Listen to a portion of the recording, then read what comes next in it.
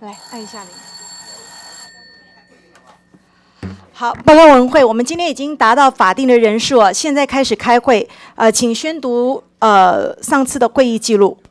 立法院第九届第三会期社会福利及卫生环境委员会第九次全体委员会议议事录，时间一百零六年三月二十日星期一九十五分至十二时五十二分，十三时五十九分至十五时三十一分。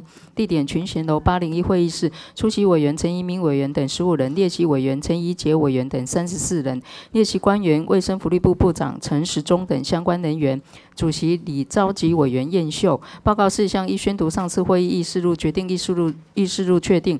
二、卫生福利部部长、援助民族委员会、国军退出役官兵辅导委员会就长照二点零长照 A、B、C 示范计划原乡长照服务据点推展情形及落实出院准备及推动医养合一规划列席报告并被咨询。三、卫生福利部部长就食安药安连环报、食安五环破功、药品履历制度建立规划列列席报告并被咨询。本次会议由卫生福利部陈部长、时钟等报告后，委员陈。移民等二十一人提出质询，均经卫生福利部陈部长、时中暨各相关主管等及时答复，决定依本日会议报告及询答完毕。二委员林俊宪、徐增卫、王玉敏、廖国栋及李坤泽所提书面质询列入记录刊登公报，并请相关机关书面答复。三委员口头咨询未及答复或请补充资料者，请于二周内以书面答复。委员另要求期限者，从其锁定。通过临时提案时案，请委员酌参宣读。完毕。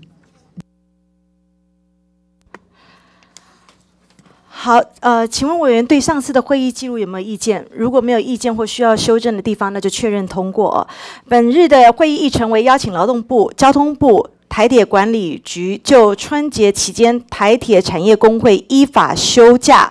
遭惩处运输业人力补足的状况，包括劳动权益的现况、一例一休施行细则及相关函释处理进度、劳动基准法第三十四条沟通进度与实实行的时程的规划列席报告，并被质询了。那我先介绍一下今天来到现场的官员。今天来到现场有我们劳动部林部长，谢谢。部长辛苦了。啊，以及。劳保局的罗局长，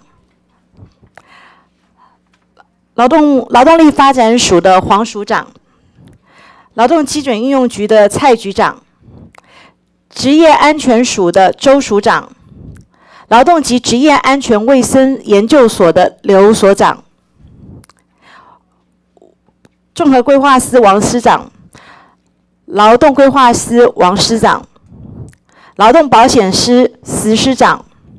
以及劳动福祉退休司孙司长，以及我们劳动条件跟就业平等的谢司长，辛苦了！劳动法务局王司长，我们统计处的王处长，今天有邀请交通部的同仁列席哦，人事处的蔡处长，你好，以及我们入政司的简继正，欢迎您。台湾铁路管理局的钟副局长，欢迎您，谢谢。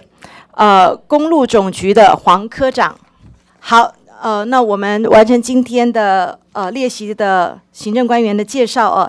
那我们现在依序请劳动部、交通部、台铁做报告，报告完即进行呃询答哦。那部长，你需要几分钟？我今天可以给你多时间一点。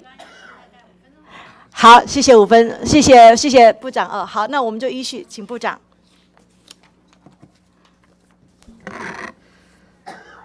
啊，主席、各位委员，大家早安，大家好。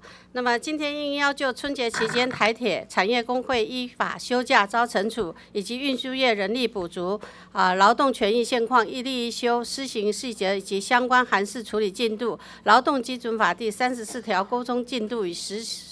实行时程规划，向贵委员会提提出报告。以下仅就啊专案的这个报告重点向委员来说明。那么首先呢，针对台交通部台湾铁路管理局劳工劳动权益的现况进行报告。在台铁局员工适用劳动基准法工作时间相关规定方面，自从一百零五年一月一号起，啊劳工的法定工时缩减为每日不得超过八小时，每周不得超过四十小时。为了要落实劳工周休二日劳动基准法部分条文修正案，已经在一百零五年十二月二十三日公公布施行。其中第三十六条规定，劳工每七日中应有两日的休息，其中一日为例假，一日为休息日。同时增订休息日日出勤工资计算标准，并列入每月延长工时总数来计算，以确保休息日出勤劳工的一个权益。劳动基准法第三十六条所称的一日，原则是午前零时到午后十二时之连续二十四小时。但是呢，考量实务上各个各业别营业方式不尽相同，所以呢，允许事业单位如果因为配合业务的特性，实施轮班制的出勤方式，而且各班各班的轮替，呃，这个轮替有规律，那么就可以采取连续二十四小时为一日。那么，但是呢，为了要顾及劳工的这种身心健康以及权益，所以呢，雇主仍然应该要尽量安排完整的一日，使得劳工可以有充分的一个休息。台铁局劳工往往牺牲啊假期为了大众来服务，所以他的辛劳啊必须是呃得到肯定的。那么同同时呢，该局也肩负了交通运输的使命，所以劳工权益的保障以及大众交通的便利都很重要，必须同样受到一样的一个重视。那么劳基法修正案已经在一百零五年十二月二十三日公布施行，台铁局应该要配合法令新制上路。那么就他工时的排班以及休假的事宜，在保障劳工权益的前提之下，妥适来安排。另外呢，有关于台铁局违反劳工法律啊这个方面，那么近四年实施劳动检查的这个结果，总共我们有一百五十八场次，违反的法令呢，总共有二十四场次，那罚款的金额呢，也高达了这个七十四万哈。那么在针对台铁局劳工工会组织以及这个团体协商的这部分，台铁铁路工会啊，依据工会法第六条的第一项规定成立的工会，依依照这个这个该会的这个章程规定，是以台铁局的管理区域为组织的范围。台铁局与台湾铁路工会从七十八年起，每月召开一次的团体协约协商会议。但是呢，到目前为止，并还没有订定啊团体协约。另外呢，在台湾铁路局部分员工，他依据工会法，在一百零五年九月六号向台北市政府登记成立的台湾铁路产业工会啊，诸如行车运转、车站业务人员等等的，都得加入该工会为会员。那么，有关台湾产业工会向本部申请裁决的处理情形也报告一下。那么，有关于台铁产业工会是在一百零六年，也就是今年的一月二十六号，向本部不当行劳动行为裁裁决委员会提出裁决的申请。目前呢，该委员会正依照这个呃他们所检送工会检送来的一个工会裁决申请书，以及他补充的理由书等等，请台铁局在期限内提出答辩。那么本部将会在裁决委员会依法做成裁决决定以后，尽速将裁决决定书送达各该当事人。再者，有关于一例一休施行细则及相关函事处理的进度部分，为了要增进社会大众对于本次劳动基准法修法内容的这了解，本部在官方网站首页建置周休二日修法说明专区，建立修法常见的问答集。那么本部也分别在本年的一月二十号以及二十四号召开两次劳动基准法施行细则的会议，并且在本年三月十七日预告施行啊施行细则草案应应新制的施行。劳雇双方目前都还在调试的时间。那么本部陆续发布相关的函释，包括雇主经征得劳工同，可以在休息日出行工作；劳工因故未能依照约定时数来履行劳务的这个请假以及工资给付原则等等。另外呢，在休息日加班以后啊，同意换取补休的这种规范等等，以及休息日约定出勤以后劳工因故请假时数计算等等相关疑义，我们也都在研议当中。最后，有关于劳动基础法第三十四条沟通进度以及实施实行的时程规划部分，劳动基础法第三十四条啊，轮班制劳工更换这个呃班次的时候，至少应该要有连续呃。可以继续讲完吗？好啊，至少应该有连续十一小时的休息时间。考量雇主需要从增雇人力或者是调整出勤模式等等方式，以合理配置人力以及工时。所以呢，我们也啊，这一并规定，本次修法的一修正的一个施行日期是由行政院来决定。那么本部在本年二月二十号征询相关的部会，那么这个。呃，就他所辖的产业及事业单位盘点可能面临的这个问题，并且评估可以施行的一个日期。那本部也将尽速邀集相关的部会共同研商可行的一个实施日期，以保障啊轮班制劳工的一个权益以及健康福祉。以上啊报告，那详细的资料请看参看我们的书面，敬请各位委员指教，并祝主席各位委员身体健康，万事如意。谢谢大家，谢谢。谢谢部长哦，很快速明确。好，来啊，下一位我请交通部。谢谢您。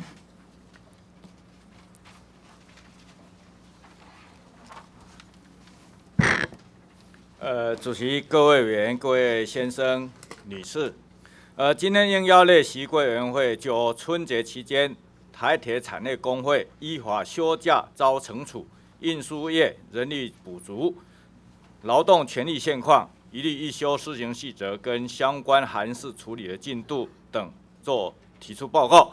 以下仅就本部有关春节期间台铁产业工会依法休假遭惩处事件以及人力补足等问题办理情形提出说明，敬请各位委员指教。在春节期间台铁产业工会依法休假遭惩处部分，台铁局是交通事业的机构，必须全年无休服务民众。在铁路特考招生简章当中。工作内容有注明：站务行政管理、行车运转业务，除办理一般行政事务人员以外，都必须要按照业务的需要担任轮勤、轮班等工作。该局的员工经由国家考试录取为公务人员兼职劳工身份，他的薪资、奖惩、退休以及保险都必须要依照公务人员的法令规定来办理。该局的工作规则在第十四四呃四十四条有规定。该局的员工选择适用公务人员周休二日实施办法，前期部也在九十二年做了一个函释，建议交通部台湾铁路管理局属于交通运输机构，为公务人员周休两日实施办法第四条所称的应实施轮班、轮休制度的机构，应该按照交通部台湾铁路管理局所排定的班别依序轮班及轮休。该局的工作规则五十三条规定，公务人员兼职劳工身份者，他的请假必须按照公务人员请假规则来办理，才可以不出勤。台湾铁呃台铁的产业工会虽然透过工会会员代表决议，春节期间依法休假，但是他们仍属台铁的员工，必须依公务人员请假规则的规定来请休假，使能不出勤。那台台铁的运输。它各部门，呃，高度的分工也非常的专业，涉及到这些安全的问题，必须要有严整的工作纪律，才能确保行车以及民众的安全。对于有关于春节疏运期间没有依规呃排定的这个轮勤班表出勤的人，啊，台铁局已经在践行员工陈述意见的程序之后，啊，提该局的考程委员会来审议。那产业工会也在一月二十六号向劳动部提出啊争议仲裁。那该局基于劳资的和谐，并尊重劳资争议的处理相关规定，对于矿职人员的行政处分，将等裁决的期间结束以后，再行办理矿职行政惩处的命令发布。该局也在去年的九月成立了轮勤轮班改进小组，邀请各类实务员工来参与讨论。希望劳资双方共同研商出合法合理的轮班制度。在没有完成法定劳资协商的程序之前，台铁局也与企业工会协商同意，仍然采现行的排班方式跟劳动条件，并希望能够尽快完成协商作业，来提升全体员工的权益，并符合劳动基准法的相关规定。在铁路局人力补足的这部分，那一百零三年的十月份。台铁局有提出人力的禁用计划，请征了一千三百一十八人。那这案子经过行政院一百零四、一百零五，总共核征了三百七十九人。那本部也在一百零五年的十二月十四号啊，函请台铁局检讨排班作业，并研拟各类啊合理严额的一个配置标准跟财务的估算，来以利核实争取。本部也在一百零六年的二月十五号订定了交通部台湾铁路管理局增加合理人力及调整待遇结构相关规划作业指导纲要，成立了专案小组，基于统筹规划、协调以及推动台铁增加合理人力的各项相关工作。本部多次召开业务执行小组会议，那请台铁局更系召开啊这一个请增人力相关专案小组的会议，研讨最适的人力规模，并尽速将请增的员额计划报部来核办。啊，以上报告，敬请各位委员不吝指教，其也请参阅。好，呃，我们谢谢交通部的报告。下一位，我们邀请台铁局的副局长钟副局长，欢迎您。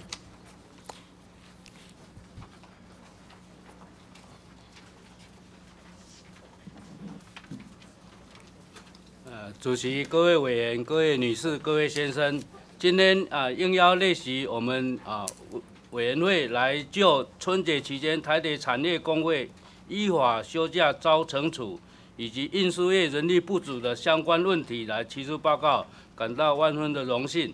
那以下仅就本局相关春节期间台铁产业工会依法休假遭惩处事件以及人力补足的相关问题。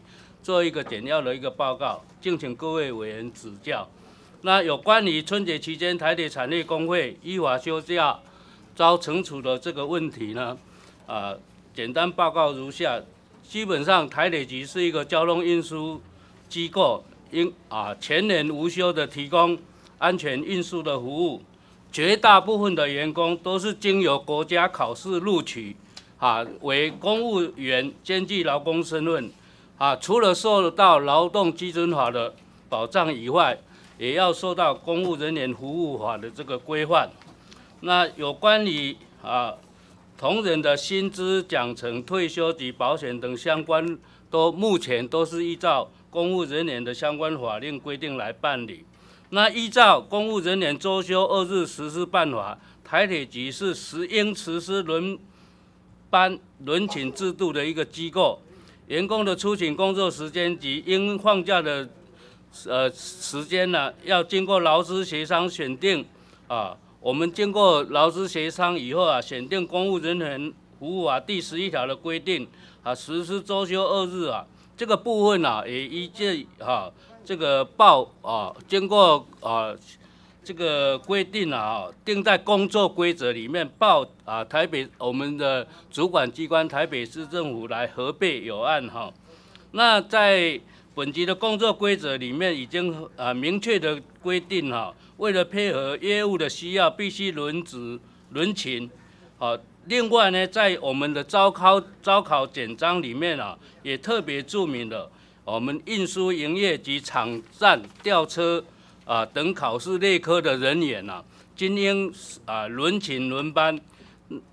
换句话说，员工在招考、投考及任职之初啊，就应该很清楚的了解轮班制的员工应配合班表来出勤，以及轮休的一个运作的模式。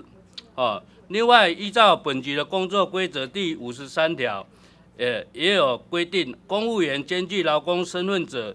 他的请假要依照公务人员请假规则规定办妥手续，使能不出勤。好，另外公务人员请假规则第十三条也规定，哈，为呃办请假手续而擅离职守者，或请假有虚伪情事者，都以旷职来论处。哈，因此本局的员工在春节期间如果没有依照班表来出勤，也没有请假获准的，我们都视为旷职来处理。那台铁产业工会啊，在我们啊全年输运最高峰，也就在春节期间呐，啊，他讲依法休假不出勤哈，这个他们的想法哈，不仅没有依照我们啊目刚才所报告的出勤的规定啊，也啊忽略了哈我们。啊，路局是一个肩负社会啊运输责任啊的一个单位啊。对于因此，我们对于未办妥请假程序未出勤的人员呐，矿址的这个行政程序哈啊，就依照相关的规定了来处理哈，我们也也依照规定哈，召开考程委员会来审议。那这个处理的程序，我也约略的报告一下。当这个啊员工没有出勤的时候，我们主主办单位啊会先寄发旷职通知书，哦给当事人哈来说明。那当事人在三天内可以用书面来陈述机会，啊陈述理由啊陈述理由。那如果在没有在三天内来陈述意见或者陈述的理由啊不正当的。我啊，主办单位如果认为啊啊这个认定为矿址的，我们就会自发矿址核定书啊核定表啊矿址核定表，并且还要召开考程委员会。那在高召开考程会啊前七天，我们呢也会请当事人列席啊来说明啊争辩意见。那即使不刻列席者，会议者，我们也可以啊，他也可以提出书面的资料来说明啊啊。那这个部分呢，依照我们现在相关的惩处的一些作业成绩完备以后啊，总共啊，我们在春节期间产业工会被易处的这个同仁啊，总共有三百三十一个人，其中有九十个人是记过一次，然后有六个人是记过两次。有两百三十五个人，哈，记一大过哈。那最主要就是，如果旷职一日的，是一啊记过一次，好，如果不连续不连续啊旷职两天的，不连续的哈，啊是各记每次都记一一小过，所以说两天的就两小过。那如果连续旷职二到三天的哈，就一大过，这个。啊，依照我们考生啊规定哈是这样子的哈。那我们这个目前因为台铁产业工会刚才也有报告过了哈，已经跟劳动部的不当劳动行为裁决委员会啊提出裁决的申请。那因因为这个哈这个我们基于尊重哈这个。劳资争议处理法第八条的规定呢，在这个裁决期间呢，我们不做任何的这个行政处分哈，等到裁决确定以后，我们再继续来做哈。那因为时间的关系，另外在这个人力不足的部分，刚才我们啊呃部里面的人事处啊已经做了一些说明哈。哎，我想我就呃省内有这个资料哈，请各位委员呢来参阅。啊，以上简单报告，请各位委员指导。好，谢谢，谢谢副局长。因为我们今天比较晚开始哦，因为刚开始的到齐人数比较比比较不足，好，我们延误了十五分钟才开始。呃，因为今天登记的委员来本委员会登记的委员非常非常多，我是不是拜托大家尽量在时间之内哦把它处理完，好不好？拜托大家。那呃，第一位，请陈一鸣陈委员。宣告，我先宣告一下时间。今天本委员会八加二，那呃非本委员会六分钟，谢谢。十点半要完成登记哦，拜托大家。好，呃，谢谢主席。我们是不是可以请一下劳动部的林部长？好，好。其他人没有叫到的不要上来哦。好，谢谢陈委员。啊，部长早哈。我们今天就针对这个一例一休还有劳动权益的现况呢，来就教育部长哈。请放下一张。啊，我们的林权院长哦，在上礼拜五啊被询的时候，他就讲了，他说啊，其实开始要落实劳基法，重新检视劳基法的这些问题，其实发觉这些规定老早就有。只是过去没有执行或没有严格执行，一层因此造成问题。那请问一下我们的部长，你觉得问题是出在过去到现在劳基法这样修了半天，问题是出在执行吗？你们真的有在认真执行吗？有没有？谢谢委员。我想这个问题是这样，在我们这一次的修法的立法意志，我们一再的强调，是为了要。所以你觉得林权院长讲的是对的？那么在呃我们的这立法目。目的之下，因为有一些我们修的只是针对缩短工时的这个部分。对那，么其实呢，有一所以些现行的一题是在执些法律，行吗？我觉得这个所谓的执行，大概院长的意思并不是指着劳动部所以的执行，你觉得院长讲的不对？他不是没有，他没有讲的不对，他是说他讲的是对的许。是好，在下一张我们过去。的，执行，或许是在然后我们业界好在，试我们上礼拜六哈，我们的嗯蔡总统哈参加这个台中的磐石会，这新旧的这个会长交接的时候呢，他也说了。他说呢，企业界都很担心啊，这个一例一休的实施，但是劳基法谈条文是有很多的弹性的，而且都是可以作为企业界比较弹性的排法哈。大家只要什么坐下来谈就可以三赢啊？请问我们部长，我们过去没有坐下来谈过吗？难道我们过去修法都是站着谈吗？还是你们跟企业界都是都是站着，不愿意坐着，坐下来谈就会三赢？我不懂我们蔡总统的逻辑耶。总统的意思是说，针对一例一休这个周休二日之后，或许呢，大家在适用上的时候，发现有一些排班上的这个问题。那么排班的问题，总统的意思是说，其实是现行的规定就有一些他们可能不甚理解，是所以大家坐下来好好的始有很多就把弹性的这个。解释，对不对不？是，我们就坐下来，大家好你好的把们觉得我们现行的一些规定，弹性的让解释这些就是让我们的这些蔡总企业能统讲说，够理解只要嗯弹性的解释就可以，所以呢，我们的不需要弹性修法都是。在法律的规定范需不需要。再修法？现在天怒人怨很少看到有一个法修了半天是三输的状态，就现在蔡总统要扭转情势，说要三赢。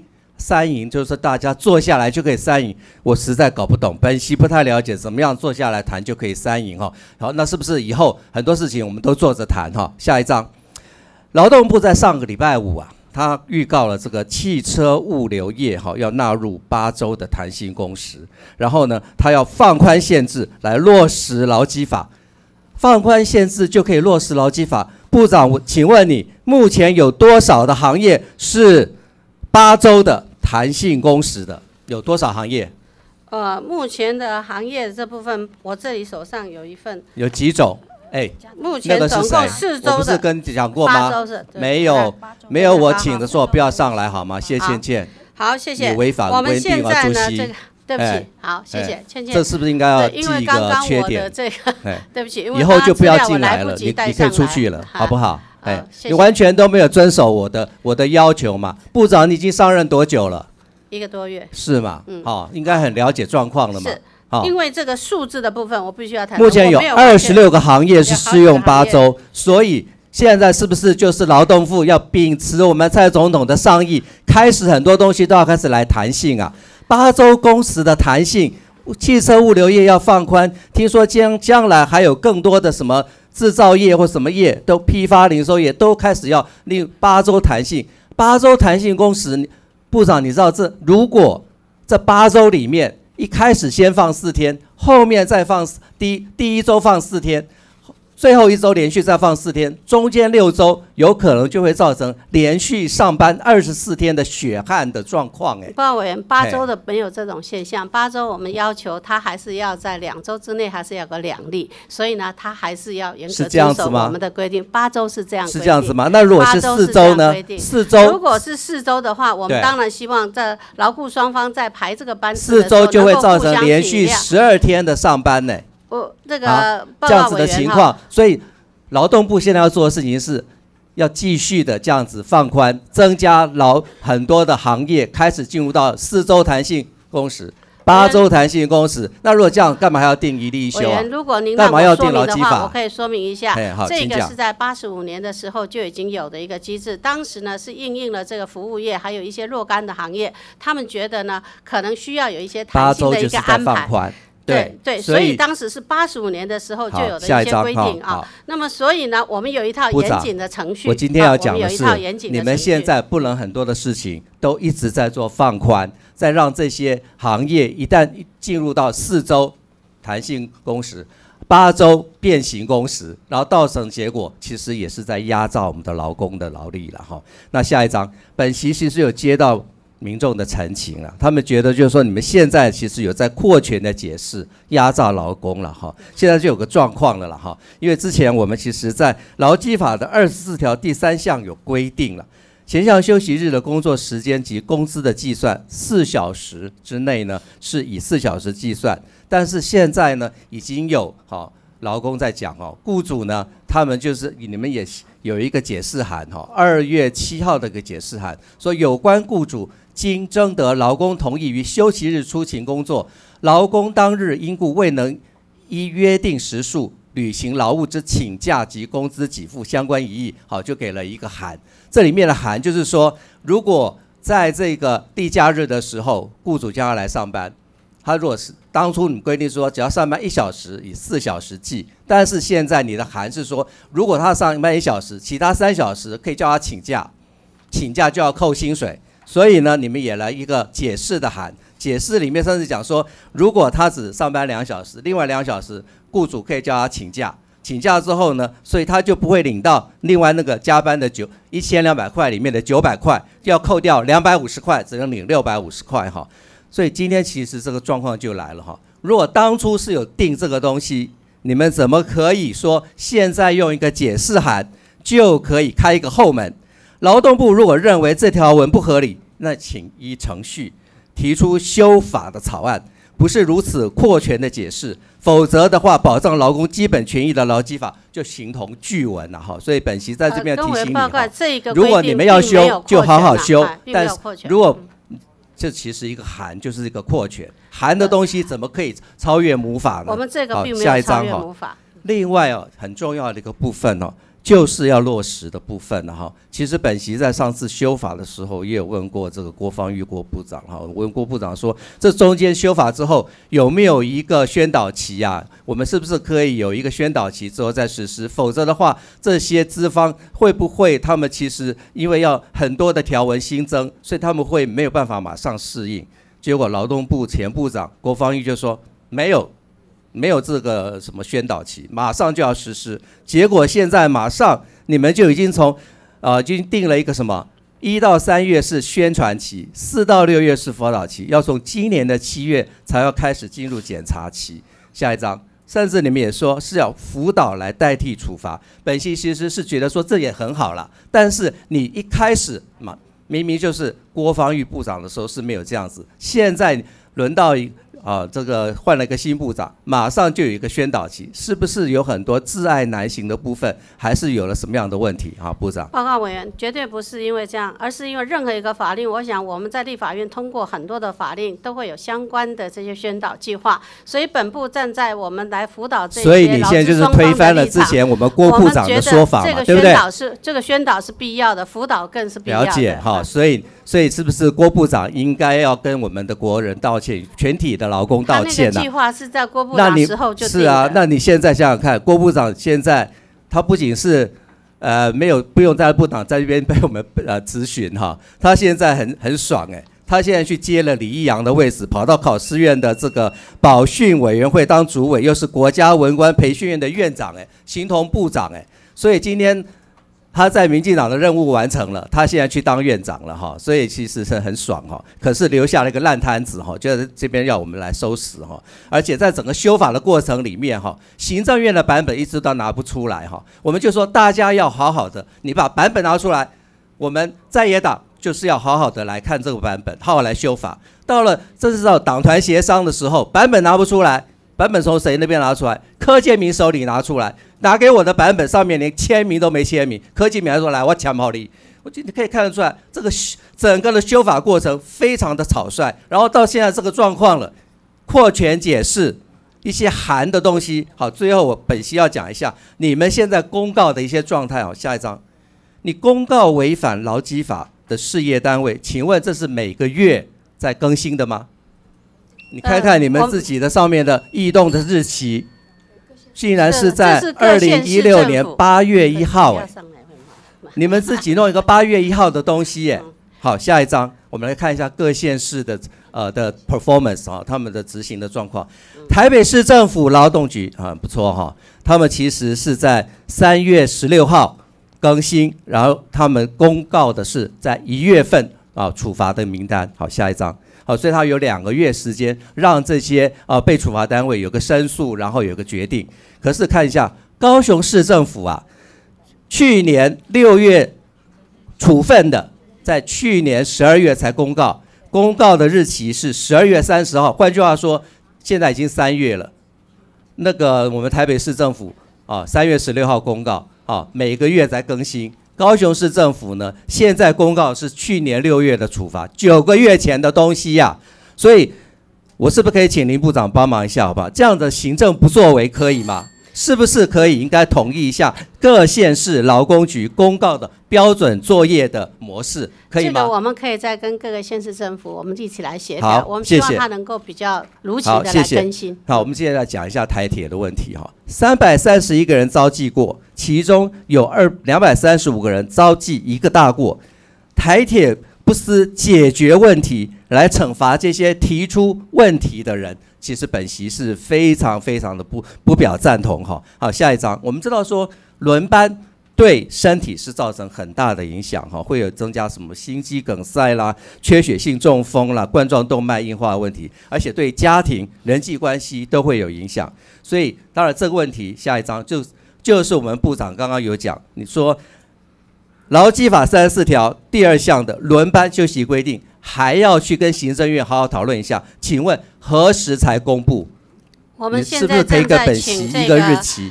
我们现在正在跟各个部会来征询他们的意见，当然我们也会再跟呃各界来寻求共识，因为这个日期我们觉得应该要，好我是审慎一点。谢谢啊。那我们好请一下台铁的那这个呃陈委员啊因为今天一分很多人钟一分钟就好，主席不好意思哈，我们请台铁的这个副局长，啊，我们还是要帮我们的乡亲讲一下话了哈。你们台铁哈现在的状况哈，现在在凤山，你们台铁要地下化，我们凤山的市民有很多的意见，台铁的这个设计呢，说像一条说是缝了，可是看不出来，而且很丑了哈。所以这个车站的外观哈，拜托一下，从是不是可以考量一下我们乡亲的意见？还有下一张，这个哈停车场的出入的动线，还有停车场好像太小了哈。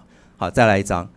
你们在设计的时候，里面说要设计什么图书馆，可是其实我们凤山呐、已经有很多图书馆的了哈。这个这有点是天龙国的思维了哈，请拜托一下，我们凤山其实大东演艺中心已经有图书馆哈，所以其实不需要有图书馆。所以拜托台铁的这个设计对于繁荣地方的发展是非常的重要，更不要讲说现在国家音乐厅哈，马上哈今年也应该会启动，所以台铁的这个这一个车站大楼，请我们中副局长回去哈，好好的帮我们的这好重新的思考。来，这个议题再谢谢请这个副局长私底下回复一下陈委员，谢谢好不好这？个意见好我们会带回去跟相关单位来做研究改进，好好，不好？谢谢谢。陈委员，抱歉，因为今天大家都要要求我十二点半之前要问到十三号，哦，原谅我，原谅我必须卡掉大家的时间，我都尽量让大家讲，好不好？抱歉，来，呃，第二位，请吴玉琴吴委员。啊，主席，我请林部长。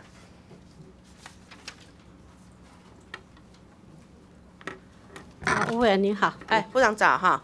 我想，呃，今天我们还是要，呃，本席想要才谈的就是缩短工时哈。我们劳动部还是还是要加把劲哈，落实周休二日哈。那这个部分，我想，呃，在下一页哈，我想，呃，在当时呃上会期的一个修法过程里面。呃，我想我们呃大家都很努力，想要来缩短工时，好落实周休二日。那我也要比较一下国际的一个趋势，好，在呃国际劳工组织哈 ILO 的这个组织，他们是在一九一九年就已经有三呃工时三八制哦，三个时段啊，呃八个小时哈，每班是八个小时。那也呃慢慢的把每周的工时从最初的四十八小时，慢慢的在缩短，到一九三五年就提出单周四十小时，好，一直到一九六二年，他们也在这个呃这个国际劳工组织里面公布了就是减少工时的建议，希望能完全的落实周休，呃，就每周四十小时的工时哦。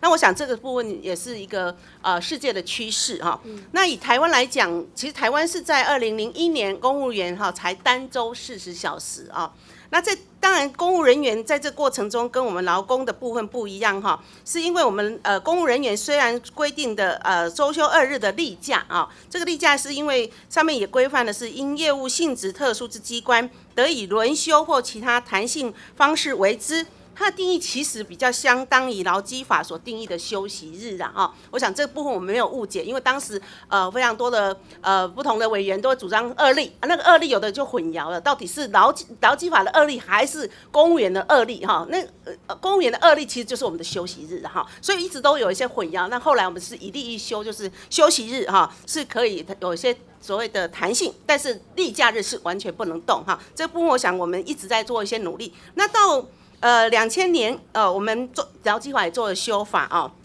从工时哦单周四十八小时，收到修到两周哈，呃这个八十四小时。啊，十五年后了哈，也就是二零一六年啊，我们才真正的修法啊，单周四十小时。所以其实我们整个周休二日的这个呃单周四十小时的政策是落后国国际五十五年之久了哈。所以我是一直觉得说，其实台湾去应该要进步哈，因为我们的产业并没有很落后，可是我们劳工的权益确实是。哦，相当的落后哈，所以我们希望能够在上会期，我跟陈颖委员一直虽然在担任招委过程中，在推动修法，真的蛮辛苦的，但我们一直坚持的是要落实周休日，全国休假一致哈，那也让特休，特别在。呃，政党协商的过程中，也增加了特休假的部分，好让呃六个月哈满六个月的有三天的休休假，这些都是我们想要回应给劳工更好的条件啊。所以我想，我们呃劳工权益确实少了哈，晚了五十五年，我们应该迎头赶上哈。来下一页，我要跟呃部长讨论的就是说，我们经过这样的一修法之后，接下来要呃有几个数字哈，因为今天呃现在主席说时间很赶哈，所以我想我就有些数字可能要请呃劳动部。是不是事后也能够提供给我呃本席这边来做参考啊？因为其实我们这个周休是单周四十小时，这个是在去年啊一零五年一月就开始实施了啊，所以相关的这个呃月薪制的这个劳工平均的工时有没有下降？好，增减的情况怎么样？还有他们总工时哈每月的总工时有没有下降？好，这个呃这个部分我们也希望能看到整个的趋势啊，因为我不知道现在手上有资料吗？你们现在有最新的资料吗？在从去年一月会后再提供。好，会后再提供，因为这个资料是非常的多，我很关心很多的这些相关的数字哈。那比较想更想问的是，那目前就劳动部的了解，产业在适应上面还没办法实施周休二日单位到底占多少比例？这个部分有数字吗？你们有没有统计？周休二既然是法律的规定了，我想我们还是希望大家都能够啊，照法律规定来施行啊。如果有违反的话，当然我们就有一个机制来处理。哦，所以我们还是希望能够落实。没有行业呃，没有企业或行业来跟你反映说，哎，我落实上有困难。对他们或许会有这些反应，但是呢，我们都会跟他详加详加的解释。哈，这就是我们宣导跟辅导的目的。是，所以这一段期间也会在六月以前是一个宣导跟辅导的期间，也要再做多做沟通的部分，是不是？好，那我接下来下一页哈。我想我们在这次修法里面有几个部分要跟厘清啦哈，因为这次修法好像有一些误解，好像整个企业一直在讲说我们增一一例一休之后成本增加哈，而且也有引发了一波的这个物价哈，有趁我觉得是有点趁机上涨啊，所以我们再来厘清一下，因为我这张图其实想让大家知道的是说，其实这次呃我们的劳基法的修法啊，呃真正影响到的其实只有休息日这边。哈，因为如果一般呃平时的工作其实没有影响他的薪资，因为原来在呃晚上加班就是呃加一又。呃，三分之一的这个啊，前两个小时是一又三分之一，后两嗯后两个小时是一又二分呃三分之二哈。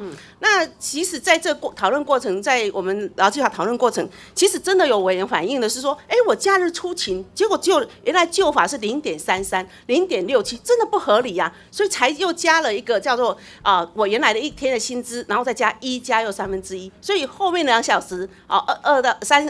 呃，三小时以上就是二一加三分之二，这个其实是真的反映的劳工出来出勤应该是要合理的待遇。我想这个是当时我们所有立委、立法委员在过程中确实是有这样的共识，但是唯一有一个呃差异就是呃这个叫拟制工时了哈，我们就是四小时未满四小时以四小时计，未满八小时以八小时计，这个部分确实有拟制工呃拟制工时的这个设计。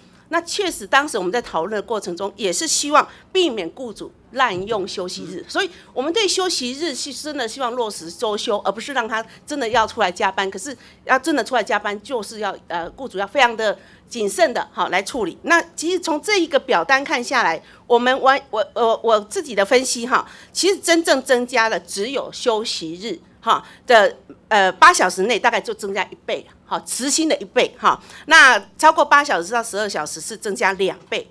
这个成本应该是增加在这里而已，没有说全面大增嘛，哈。这个部长，你你认为我这样分析对吗？谢谢委员做的这个分析相当的精辟了，哈，的确是这个状况。当时在立法的时候，就是希望说劳工能够缩短工时，然后雇主的部分尽量不要在休息日让我们的劳工朋友来出勤，如果出勤的话，我们就给他一些加班费。那所以呢，在这个上半天的部分是没有问题，但是可能在后面这个休息日的部分比较有成本的增加，只有在休息日的时候会增加一些成本。很好奇，说其实冲击最大应该是二十四小时的这个超商哈，不小的或是这些商店，真的有影响吗？在这次的反应里面有没有特别？他们是有一些反应，有些反应，这个增加的是休息日的这个呃加班费，有有这样的反应。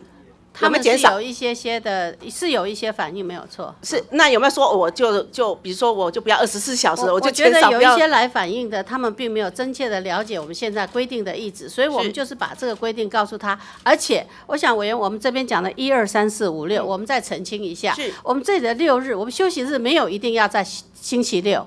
是我们的例假日没有一定要在星期日，对，所以我我趁这个机会厘清一下。是是。那因此呢，我们在针对这些业者的时候，我们一定要跟他说明，我们这里所谓的一例一休，并没有说一定要是六六日才是例休。OK，了解。我其实了解，只是因为要呈现这个图表让大家多业者他们不了解，好了解。这个其实我知道哈，啊，这个呈呈现的就六日不是一定是六呃这个休息日跟例假日，这是个有一些调整的。好，我们就接下来跟呃您谈讨论的就是呃这个最近。的一个议题哈，虽然跟我们之前的修法没有关系，可是最近讨论讨论非常激烈啊，就是这个弹性工时的部分哈。我想三十条之第二项呃双周。呃，弹性工时，还有三十条第三项的八周弹性工时，以及三十条之一四周的弹性工时啊。那我想弹性工时其实刚呃，可能部长也有提到，是因为一些呃这个服务业或相关的呃产业哈，有一些需要一些呃这个时间工作时间的挪移，增加空班，然后增加它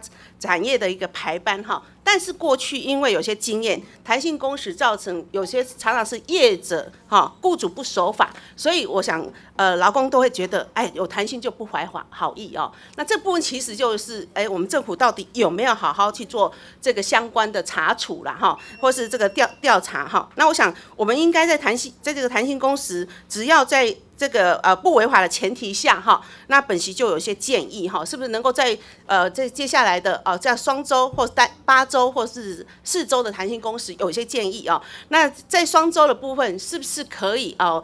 呃这个劳动部可以公告啊，休息日不可以被分配。其实我们当时在修这个法，最重要也是希望休息日不要被分配时间，因为会影响到他真正的休息。这个可以做到吗？因为这是一个函释令哈，那因为要确保劳动者的一个权益啊。那八周的变呃这个弹性工时，呃现在已经有在试试用的行业啊，大概有六十几个哈，因为包括三十条之一的行业有四十个，然后刚刚提到的这个八周变形的大呃弹性工时的有二十四个，大概有六十几个啊。那这样的行业好，你公告之后，是不是劳资双方的议定一次以八周为限？好，那每一次要重新议定。这有没有可能？您您觉得？呃，跟委员报告这个部分，因为呢，在我们的程序上面来讲是非常严谨。当他提出来之后呢，我们当然会经过审慎评估。然后呢，如果我们觉得评估尚属可行或者有可能性的时候，我们才会提交这个咨询委员会。那么咨询委员会通过了所以每个行业是要公告你们审慎评估的。对对对。然后呢，经过我们这公告之后呢，每一个行业回到他自己的这个行业，跟他的员工在协商的时候，我们是要求还是要经过工会的同意，还或者是。经过劳资会议的同意，而且呢，还要再跟每一个每一个劳工朋友再订定一个劳动契约，所以是很严谨的。所以这个部分它的程序是相当相当严谨的。好，所以呢，这个双方议定没有错，都是由劳资双方可以来议定。是我这边要提醒的是说，不管是八周或是四周的弹性工时哦，那我觉得这种弹性的工时，如果劳方好劳工有任何时段提出要终止这样的一个协议的要求的时候。我们资方是不是应该立即终止这个这样的一个排班？因为这个哎还是在这个劳资双方之间的一个议定。那我们在做相关的这些咨询的时候，我们会都会把这最大的善意告诉劳资双方。是，那我呃还有一个部分呃也帮劳方在讲哈，如果因为弹性工时的问题有争议，向劳方呃我们劳动单位来提出申诉，可不可以提匿名，而且是要求以例行的检查为由来来做协助我们？呃，我们如果看到申诉的话，我们都会做处理。好，呃也是要保密的哈。诉案件我们都会是这个一当然也会定要帮忙申诉。好人。好，这个部分我想，因为几个呃弹性工时在讨论的过程中，我们我本席真的很关注的是说，怎么样防弊，好，不能让劳工的权益呃在这个弹性工时的过程规划过程中担心啊自己权益受损哈。但是我最重要还是要谈的是说，我们当初立法哈，在上次会上会期的一个修法的过程，我们要落实周休日、全国假日一致。我们希望劳动部还是持续呃来做继续的推动，谢谢。好，谢谢委员指教，谢谢。好，我们谢谢吴群委员的质询。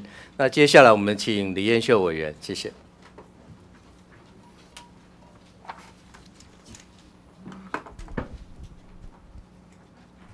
好，谢谢，请部长。好，我们请林部长。好，谢谢。好，谢谢部长。我想今天我们大家都跳脱情绪哦，我还是想针对于有一些问题是一例一休实行过后，包括韩式有一些问题，我想好好的把它厘清清楚哦。特别是昨天看到晚报跟今天的部分的报纸也在谈四周的弹性工时大漏洞，它有可能连上二十四天的血汗班，包括。连续上二十四天之后，因为休假日可以挪移，所以我们当时很多部分委员，包括民进党同仁说，一例一休是一个加班加薪的政策，因为可以多领到更多的加班费。但但是因为这个四周弹性的工时可以连续上二十四天班，休息日可以挪移，反而是领不到。那我请问，就这个议题，我先请教部长。那这件事情到底有没有调整的必要？它有没有必要？因为我们当时二周、呃八周有列入七休一的规范，那我们有没有要调整？呃，跟委员报告一下，我们现在的这种四，您刚刚讲应该是它四周算不算大？对，弹性吧？四周的弹性工时，四周的弹性工时，我们还是有我们的规定存在。也就是说呢，它每每两个礼拜，它还是必须要有呃。对不起，他还是可以，他可以排班呐，哈。那么他的这个休息日是可以挪移的，没有错。但是呢，我们一开始也说，其实呢，我们这次的修法目的就是当时有七休一的精神在嘛？七休一有它的目的在，但但但是这个这目的是还是四周的，所以原则上我们还是希望四这周虽然他们在排班的时候呢，还是要让他尽量不要在休息日的时候出来。当然，部长，我希望24部长日部长这种四周，但是他可以这样子排嘛他？虽然他是一个排他可以排极端的状况，是你我大家都不希望有这样子的状况发生。那但是我们当时七有七休一有七休一的精神在，对不对？所以我们才会列二周、八周要列入七休一的规范。我今天我就是希望说，我当然不希望看到这样的状况在。但是业界或许有这样的需有有这样的需求，但是或许有这样的恶老板，哦，或许有，我希望没有。那但是我现在直接问你，有没有要调整？他需不需要纳入七休一的规范？我只要问您答案，不部长，我不是在逼你，我要问您答案。呃我们还是希望能够透过我们的宣导跟辅导，我们要告诉这一些啊、雇主啊、其实劳工的这些贡献呢，就是雇主的绩效嘛。所以呢，我们昨天也有一个会议里面，其实劳资双方呢都本着说，呃，劳工呢一定要体谅这个资呃这个雇主，雇主一定要爱惜部长，你讲到你讲到现在，因为我我也不想占用委员会时哎间，嗯所以你不打算休？你觉得其实有四周的变形工时没有纳入七休一，其实弹性已经非常大了，对不对？这个弹性的这部分是八十五年的时候就有的弹性对，了部长哎，我都很清楚，你我都对法规非常清楚，是。弹性已经非常大，但是为什么很多人都还是觉得我一例一休，是。它是一个恶法，它不是一例一休，但是终归来讲，从一例一休施行到现在，你说你要去跟地方讲清楚，要跟资方跟劳方沟通清楚，所以谈到现在，我都觉得你刚刚说也要去做更多的沟通。其实到目前为止，我觉得你们最大的问题就还是沟通。如果四周能连续上二十四天班，它虽然是一个极端值，大家都不乐意见到，但是劳资双方的权益如果够公开透明，你即便要我加班，要我连续上这么多天的班，劳方当然有权利说不。哦，可以沟通协商的吗？我最多就给你上到十五天，对不起，我没有办法上到二二十几天，都有机会透过更多的沟通可以去处理。我都认为你到目前为止，就我看法令，其实它的弹性或许是有，但是是不是你劳动部？当时为了推一例一休的过程当中，包括在委员会连续讨论了三天的过程当中，很多朝野党派，包括刘建国也提出来说：“哎，你们这个很复杂，要这么快推，可能说明你们要花更多的时间。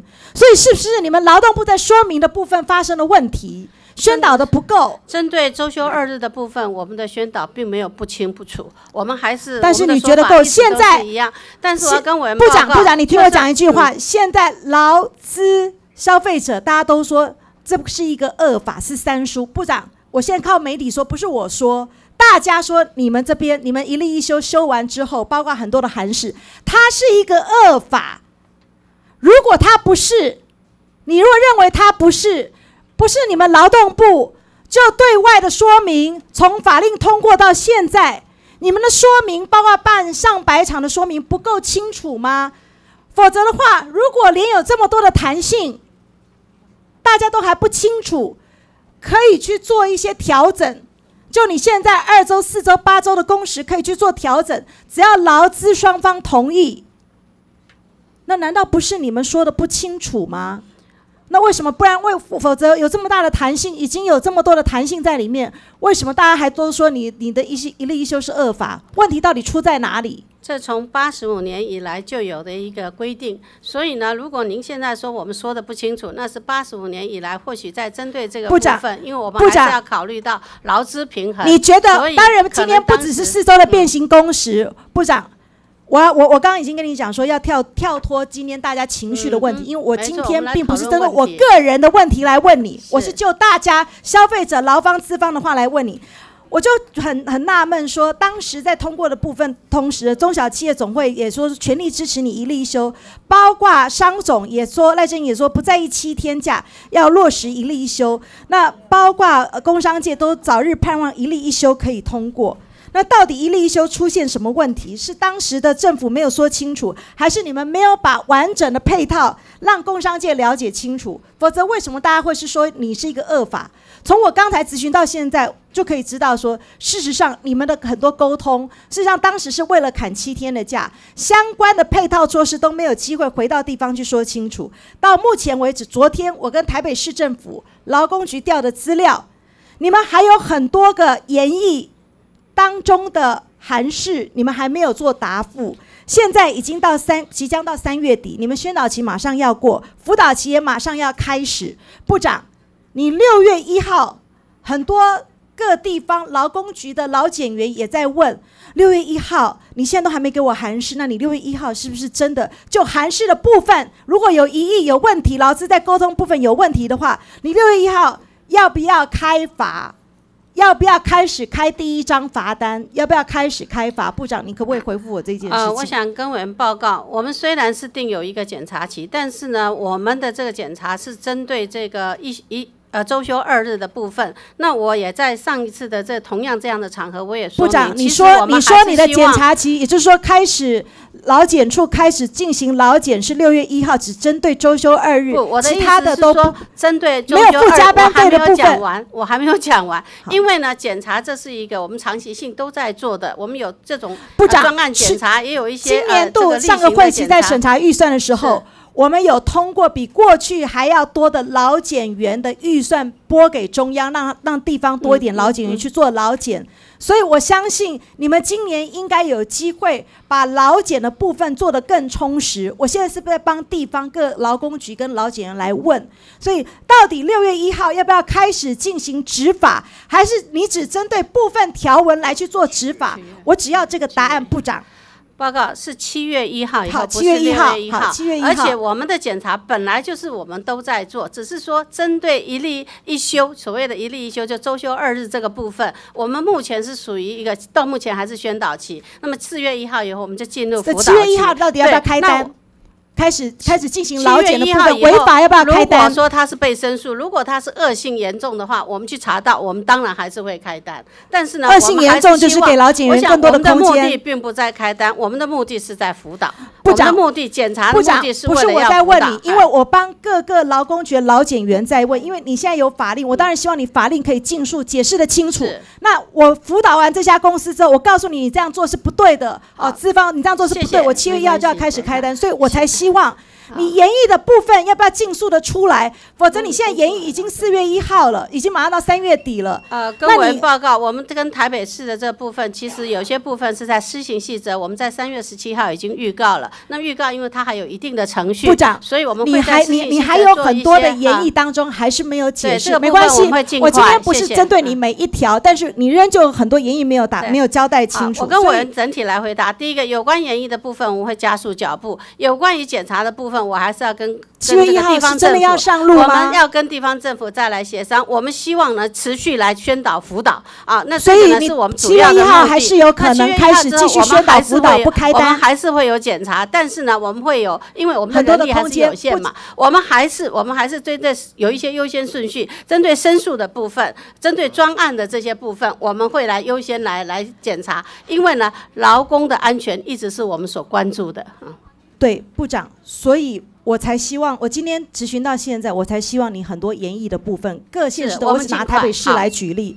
所以你说七月一号只是部分开单，你会尽量来去做辅导。啊我还有希望部分开单，我刚刚讲话，我想话结得太快，我是说分为两个部分，一个是周休二日的部分，一个是针对原来我们就通案在检查的部分，通案检查部分包括我们还有研议的查部分。对，但是这个一周休二日的部分，因为我们还在辅导，还在这个宣导，所以譬如说我们宣导辅导过后，他还执意，他还是不遵守，那这个部分我们当然就没有办法再给他空间了，嗯，部长，我我想各县市政府大家都有明年连任的压力。是如果你因为一例一休，包括后后面的韩式解释不清楚的话，很多县市首长都说我开了单，人家是骂我，不是骂你劳动部。对。但是我认为这整体事件应该是劳动部要扛起最多的责任。大家都在选举，大家都有面临明年连任的压力，所以部长，我要提醒你，你在研议当中还没有解释清楚的，我不知道他如何去做宣导。我们会拜托你哎各县市尽速的回复。好，七月一号，我帮大家问，有疑义你还没解释清楚的部分，该继续辅导的，要不要继续辅导的更清楚？该对开单的，你要不要加强？你自己要思考清楚。大家都要选举，不要因为你劳动部的解释不清楚，造成各县市的困扰。部长，我都跳出出我我自己的情绪，我也希望你跳出你自己的情绪来回答这些东西。然后，另外三十四条之一，我最后三十秒，轮班的部分哦，你刚刚虽然回答说要行政院来定职，但是我还是希望就是说轮班十一小时，但是我认为。林权院长一定会尊重您，所以我还是希望您有一定的期程出来，可以决定到底什么时候还是要落实十一个小时轮班。因为我知道交通部、交通单位跟医疗可能有它的困难，但是我总是认为它有一定的期程在，我们才知道好去追踪，让大家好去尽速的去把人力来去做补足。所以部长，你可不可以把一定的期程给我？就目前为止，你们只开过一次会，我都不知道你们是正式开会还是来一个文随便问一下。我希望三十四条不要形成一个句文，它是可以有机会落实。你即便要一年、一年半也没有关系，但是我势必要看到你的进度，你好去追台铁局，你人力什么时候一定要给我补足，你好去追这个其他的运输业，包括医疗单位等等，这是我的期望。我没有要你马上做，但是我希望那个脐橙是要出来，你势必要有一个脐橙给委员会，让大家知道，让林权院长可以去追追各部会，可不可以？好，谢谢。我想这个部分委员这里说，我们四个多月只征询一次，这个我要跟委员说明一下。事实上，我们的征询不限不限任何形式。我们在各式各样的会议里面，我们跟专家学者，甚至于这个劳政劳雇这个这个学政劳雇这这边，我们只要有机会，我们都来请教他们相关的这些意见。所以呢，应该不是只有征询意见，但是呢，这件事情的确是关系很重大，所以呢，我们希望用最审慎的态度。因此呢，我们持续在了解各方的一个共识。那陈如刚刚我部长我还是希望有一定的这个期程。你的确是你你呃沟通的过程也让我们大家知道，我们好谢谢去追到底问题出在哪个部会，那我们也谢谢好去追追他的责任。好的谢谢委我不希望在一个司机过劳发生重大的交通事故发生，好不好？好谢谢，谢谢部长。谢谢。好，谢谢林秀委员。呃，第三位我们请林静怡林委员。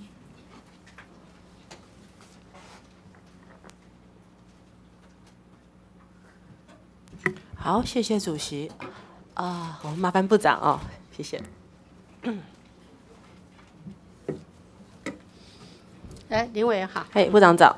部长，我们呃在台湾，我们一直在谈少子女化是我们的国安问题嘛，哈。那之前也一直提到说，呃，我们在在这个人口慢慢老化的状况之下，我们未来会面临包含劳动力短缺等等的问题。所以我想，呃，友善的这个生育环境跟促进，大概是我想劳动部这边应该是一个很重要的一个单位了哈。这边您也也也认同吧？是是，谢谢。好，那我想请问部长哦，我们现在有一个现行的这个性别工作平等法第十九条哦，他有提到缩减工时的部分哦。那呃，这个这个表其实我也必须要肯定一下，这是劳动部你们发行的台湾劳工季刊了哈，它也把各个国家在呃协助我们的家庭照顾里面的缩减工时都做了一些整理哈。那部长您觉得我们现在的性平法呃性别工作平等法第十九条的这个缩减工时调整的这个呃法规，现在这个状况是不是真的可以协助我们的受雇劳工有这个友善的育婴条件？呃，报告委员哈，我想既然当时有这样的一个通过，那么员工也呃，雇主也都按照这样的规定来对我们这一些呃妇女同胞在做呃这个劳工的工时的调整，那这个呢应该是有它相当的一些效力。那当然，这个当时在定这个时间上面，也是因为经过大家综合比较当时的一个共识了哈。那 那在我们目没关系，对不起，在我们目前的这个理解，目前劳工也都比较愿意配合。我们有做过相关的一些民调，嗯，所以我觉得呢，对于这个妇女的权益的部分，特别是针对这个少子女化以后，那么在不止妇女了哈，先生也最好是请嘛，对不对？我们鼓励他们请。好，对不起，我现在讲妇女怀孕的这个 这个时候，他们的一些体恤，那么应该是有相当一些照顾。那么对于说要抚育未满三岁的子女这个部分呢，我想我们也做了一些努力的，那或许还有努力的空间呐。但是呢，我们可以看到我们的法制是进步，我们是在努力往这个方向哦。不过部长，因为这个条，我们的这个第十九条上面规定的是受雇三十人以上雇主，呃的这个受雇者哈，也就是说，我们那时候的想法大概是说，诶，他人力比较好调配嘛哈。那您知道这样子用得到的人有多少吗？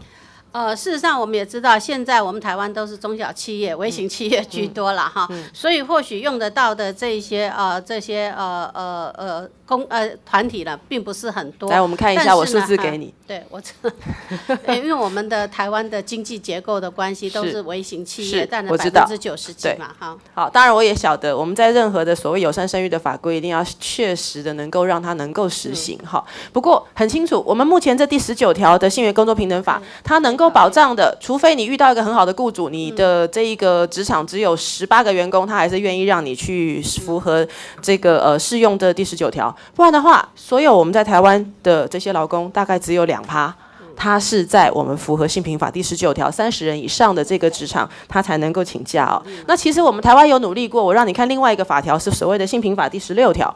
性平法这第十六条，二零零一年那个时候也是说三十人以上。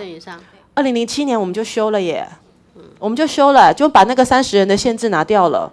好，那呃呃第十六条是育婴留停，也就是说他是直接就工作。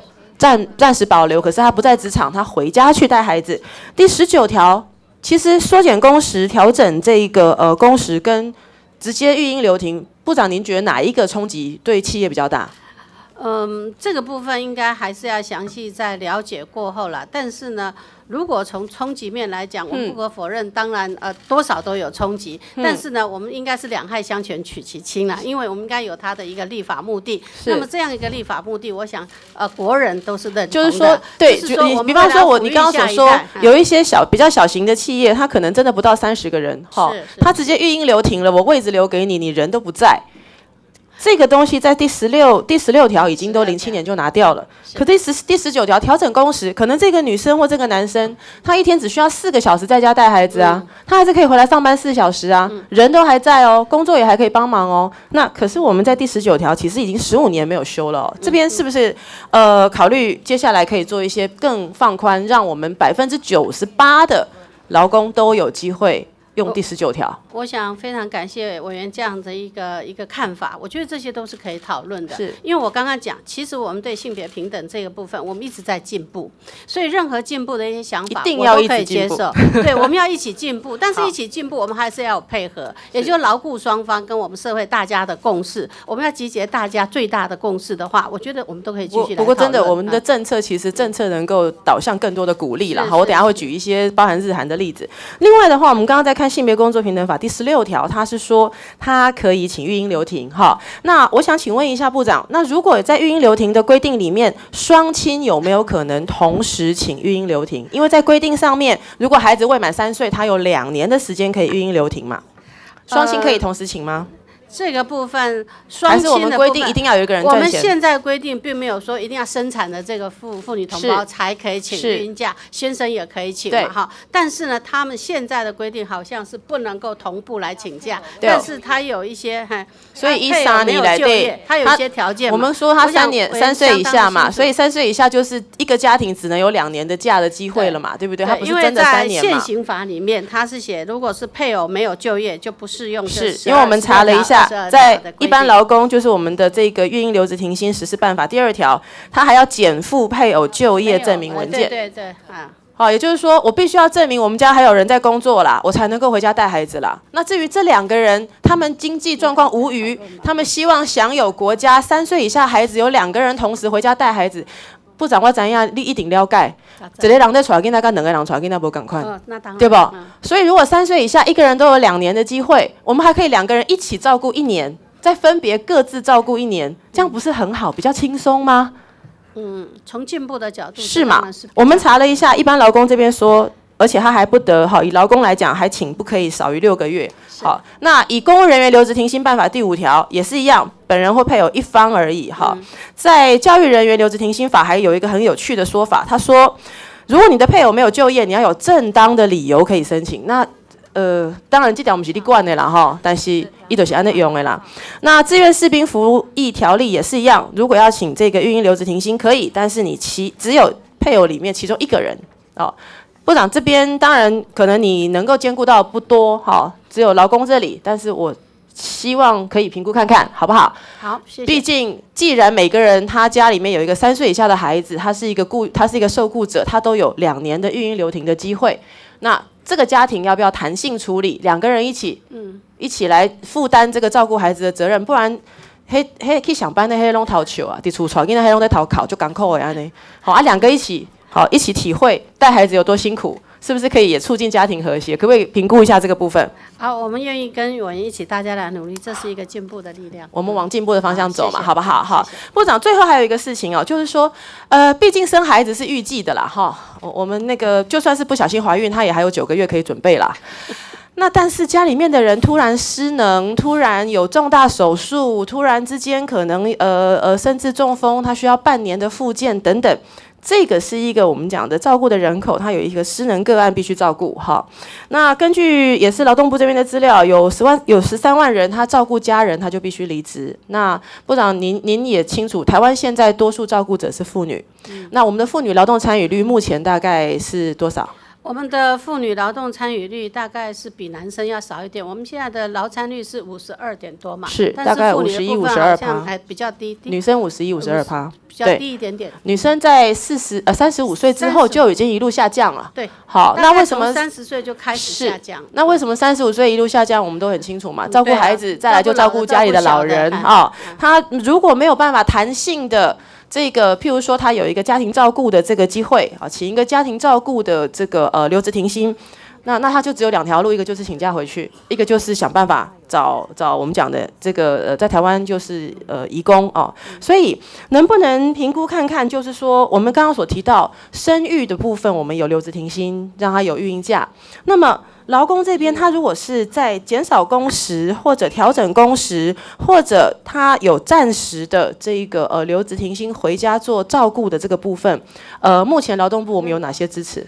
哎，谢谢。目前我们有家庭照顾假，对，也就是说可能在是短暂的、临时的、临时的哈。保定有归岗呃，那个临时呃家庭照顾假好像是六天，七缸啦。七天。七天。七缸啦。啊，所以以若重大手术，迄住加护病房已经五缸啊，出来个住一个两礼拜，好啊，如果说他是失能，他甚至有半年需要好好复健，当然我们会要求卫福部帮忙，可是家庭照顾的压力还是有嘛？有没有在我们现在的法令里面，如果为了要照顾这些失能的这些个案，嗯那么他不是减少工时，他甚至于可以跟这个雇主来协商，可以有留职停薪这样的空间呐。是好，在现行的法令里面是这样，所以呢，就短期的来讲，当然您刚刚讲可能不够，但是我们现在机制上是有的。对啊，然但后呢是我们有没有这样？的鼓励企业的政策？呃，其实我们在呃若干的这些企业里面，我们都跟他们讲，企业必须要负有这个社会责任，所以在有一些福利方案里面，我们都认为，如果他这个是是有这样的一个福利措施的话，我们都认为这是优良的这些企业。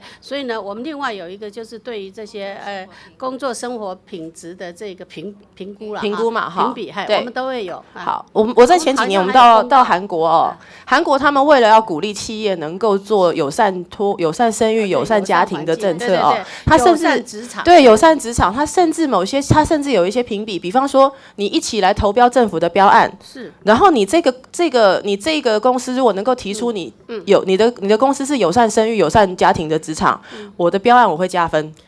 这个部分我们可以跟工程会我们来我们来讨论看看讨论看好不好就等于一个评比上面来讲，是啊我们用鼓励的嘛就是所谓的优良厂商啊，是优良厂商的一些工作环境。啊是我们把那个是不是友善职场现在已经列入列入友呃善厂商哦。最后也也给大家分享一个案例，这是日本哦，这家公司有两万六千人啊。当然我可以理解人多它比较好做弹性的处理，但是他甚至就是说，如果这个员工服务四年以上，他要结婚、生育、育儿、长期照护、留学，甚至他的配偶海外转职，他都可以有一些友善的政策协助他，包含说让你留职停薪啊，或者是你的弹性工时，或者是部分工时的协助。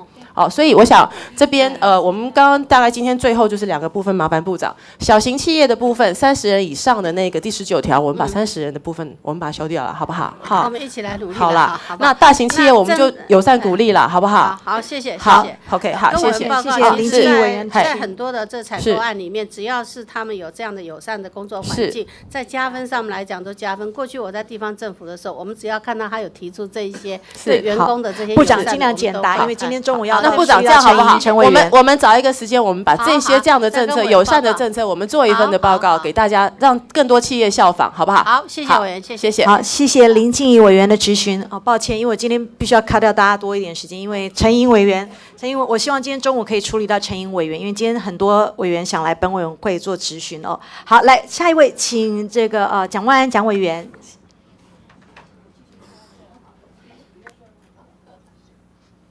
好，谢谢主席，是不是可以请林部长？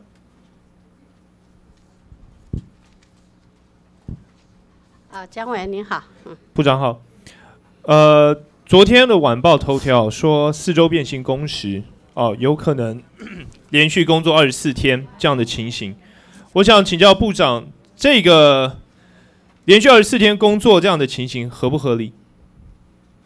先讲四周的吗？四周变形工时，呃，四周的这个变形工时是在八十五年的时候就有的一些法律规定。那么在当时呢，的确是针对特殊的一些行业，所以呢，针对这样的一个需求，我们在处理上面来讲，公务员报告我们的这个程序上面是相当严谨的。除了由工会提出来之后，我们会经过一个评估，评估之后呢，我们再送到我们的咨询委员会。在咨询委员会的时候，我们会邀请劳资双方个别针对他们的这个需求跟他们的这些呃呃实际的这些环境跟状况，我们要求他们提出说明。经过审慎的评估之后呢，如果被我们同意了，那我们经过公告以后，回到各该行业，那么各该行业还要在事业单位还必须要经过他们的工会啊，或者是经过他们的劳资会议，大家同意说好，我们就决定用这样的一个弹性工时的方式以后，然后呢还要再跟个别的劳工再签订一个劳动契约，因为他可能就变动了过去的一个排班的一些方式。对部长在，我我想这个这个过程我们非常了就这个一定是需要经过工会同意，工没有工会是劳资双方协议哦，这非常清楚。是。但是现在的问题就是说，刚刚部长也谈到民国八十五年的规定四周弹性工时，但是部长，你知道民国八十五年的这个七休一的函释，也在去年劳动部把它废止，也立了一个新的函释，新的函释也强调原则上每工作六天一定要有一天休息，那三种例外哦，三种例外也至多不能工作超过十二天。我想这个是劳动部最新的态度跟立场。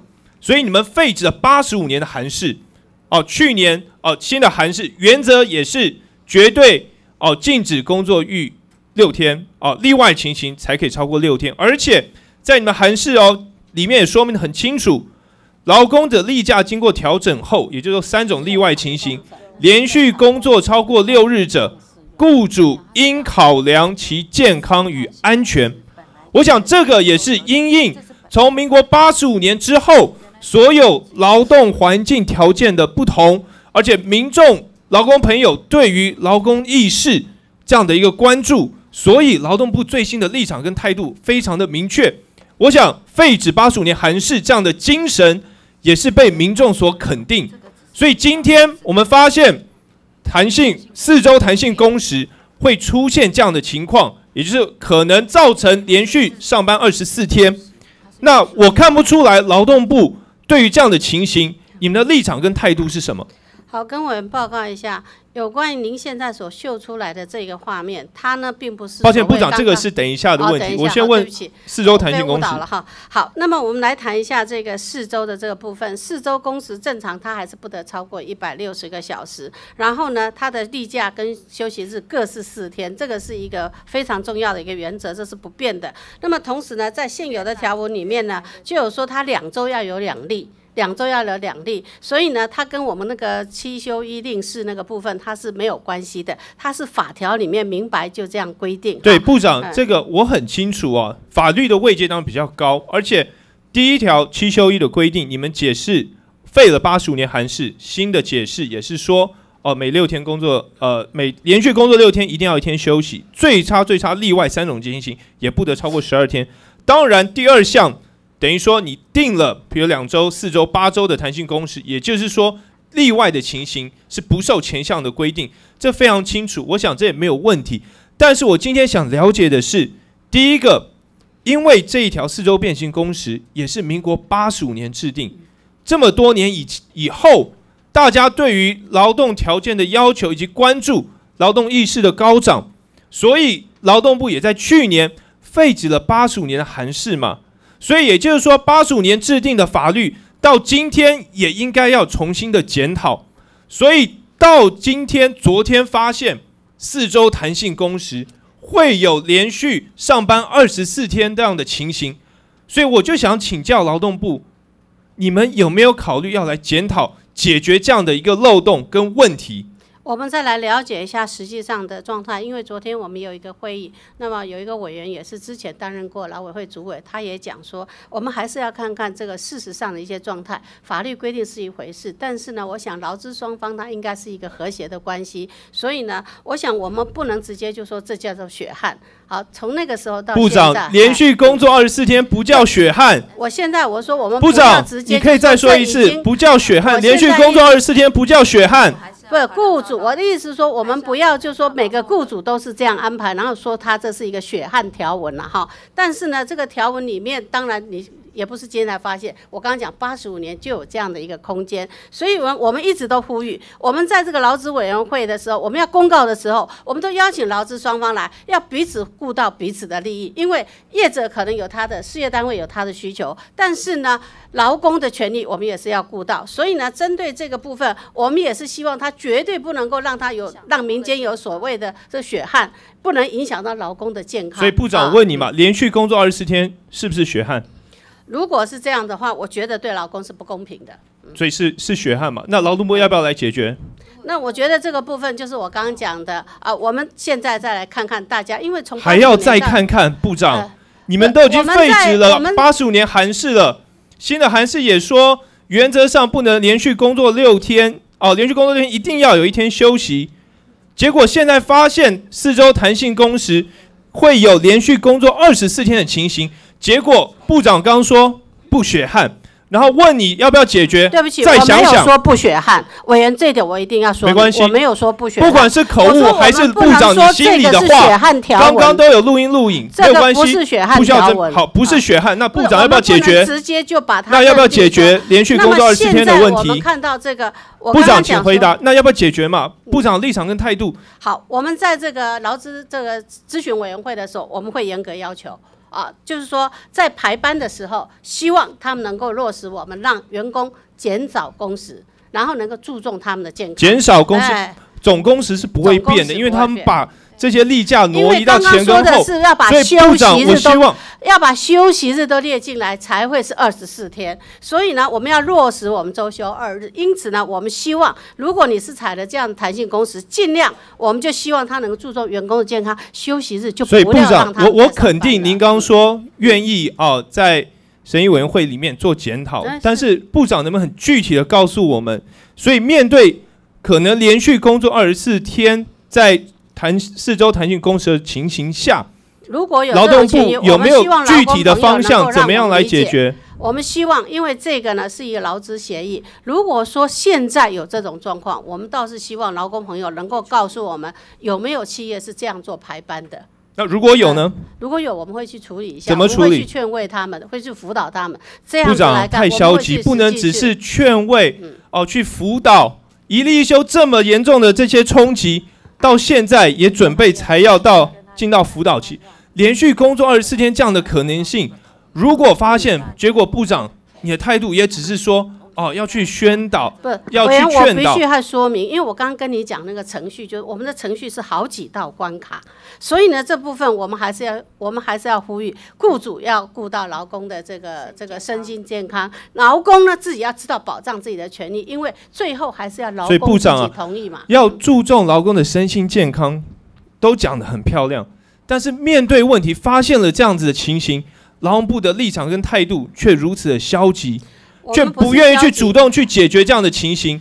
的确，在事实上，你们要去调查，是不是真的有这情况？没有对会那如果发现了候那部长，我很明确希望你很具体的告诉我们我跟委，员报告，我们事后会有劳检。我因为过去呢，在八十五年到现在，我那时候也不在劳动部，但是我今天早上已经跟我们的署长讲，事后我们在劳检的时候，我希望能够了解到他们的这个排班方式，我们也是利用这个劳检的机会去了解一下。对吗？如果劳检发现了嗯这情形，劳动部怎么做？那这个时候我们会辅导他说这样子对，只是辅导看看，因为我我刚刚讲。这个是一个比较不合理的一个处理，所以我们会去跟这个劳工讲说，这样对员工的身心是有损害的。跟劳工讲还是跟雇主讲？跟雇主讲，好那个对劳工那雇主如果不听呢？雇主说这一条就是如此规定啊，四周弹性工时。我，们就依法行政啊。依法行政问题，这个嗯。对啊，所以就是放任默许雇主。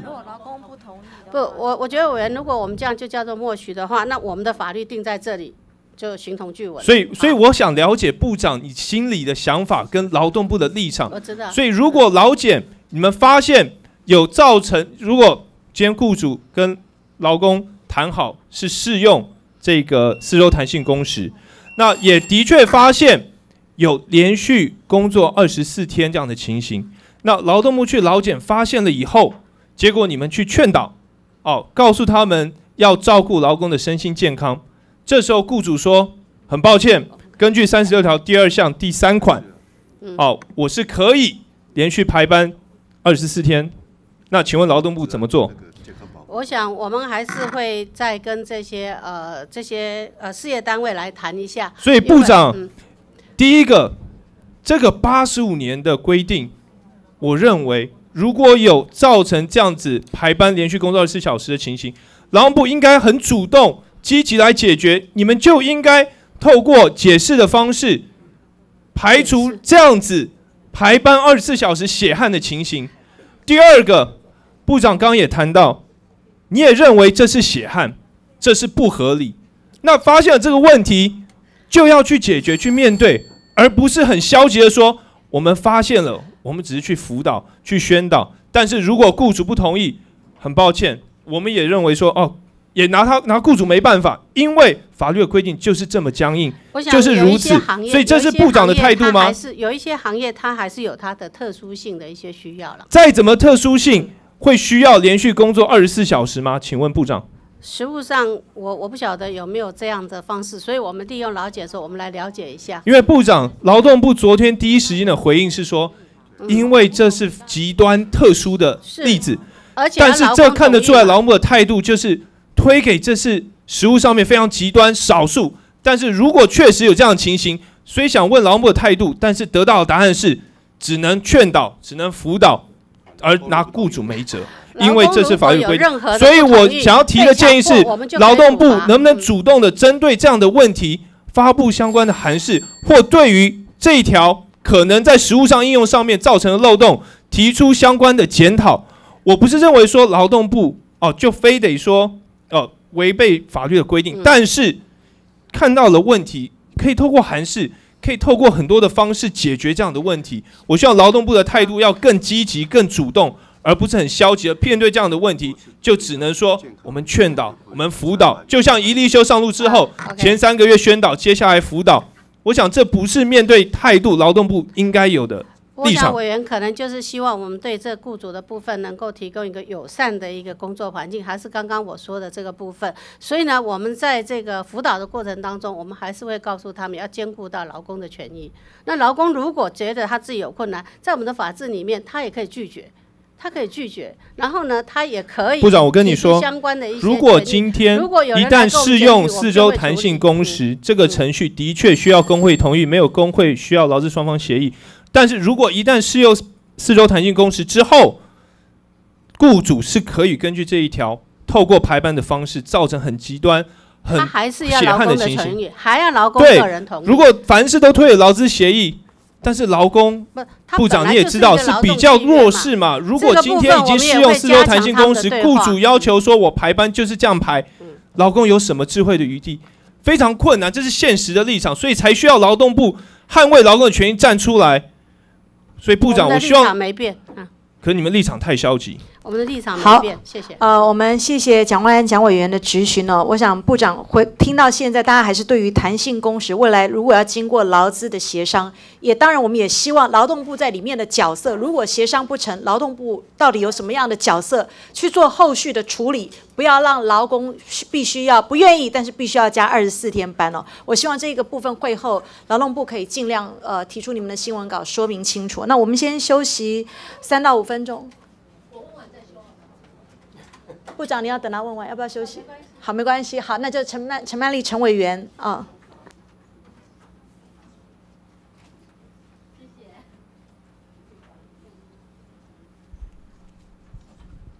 啊，谢谢主席。呃，我要邀请劳劳动部长，谢谢。不好意思哦，我插我插一下，我把我问问你再休息，不好意思。啊，那还要邀请那个呃交通部路政司的呃胡检任记证。还有呃，台湾铁路管理局的副局长钟副局长，好麻烦，谢谢哈。我想就是今天其实大家都问了很多哈，关于这个劳工的权益。那当然今天当然也是因为劳动部的关系，所以呢，我想这个问劳动的权益这个部分应该是呃非常贴切的哈。那我在这边呢，我想要呃就是先请问劳动部哈，就是说。我们有劳基法嘛，哈，然后现在呢，我们那个呃劳基法的施行细则也看到了哈，就是说我们现在看起来是二十四条是三轨并行，包括就是说我们可以呃让劳劳工他到期他到开始上班的时候就开始起算，要不然就按照年头到年尾这样算，另外一个就是按照这个会计年度哈来做这样的一个一个呃计算。那当然就是说，我们看到在劳动部的网站上面呢，可以看到第一种的算法。比如说，我的助理是在去年的二月一号上任，然后他到今年，他就很容易能够算到是说他的一个呃可以休假的一个时间。那但是呢，对于第二种和第三种哈，就是说用年头到年尾的这样子的一个状况的话呢，其实他其实就不能够非常容易在劳动部的网站系统上面呢，呃计算出来。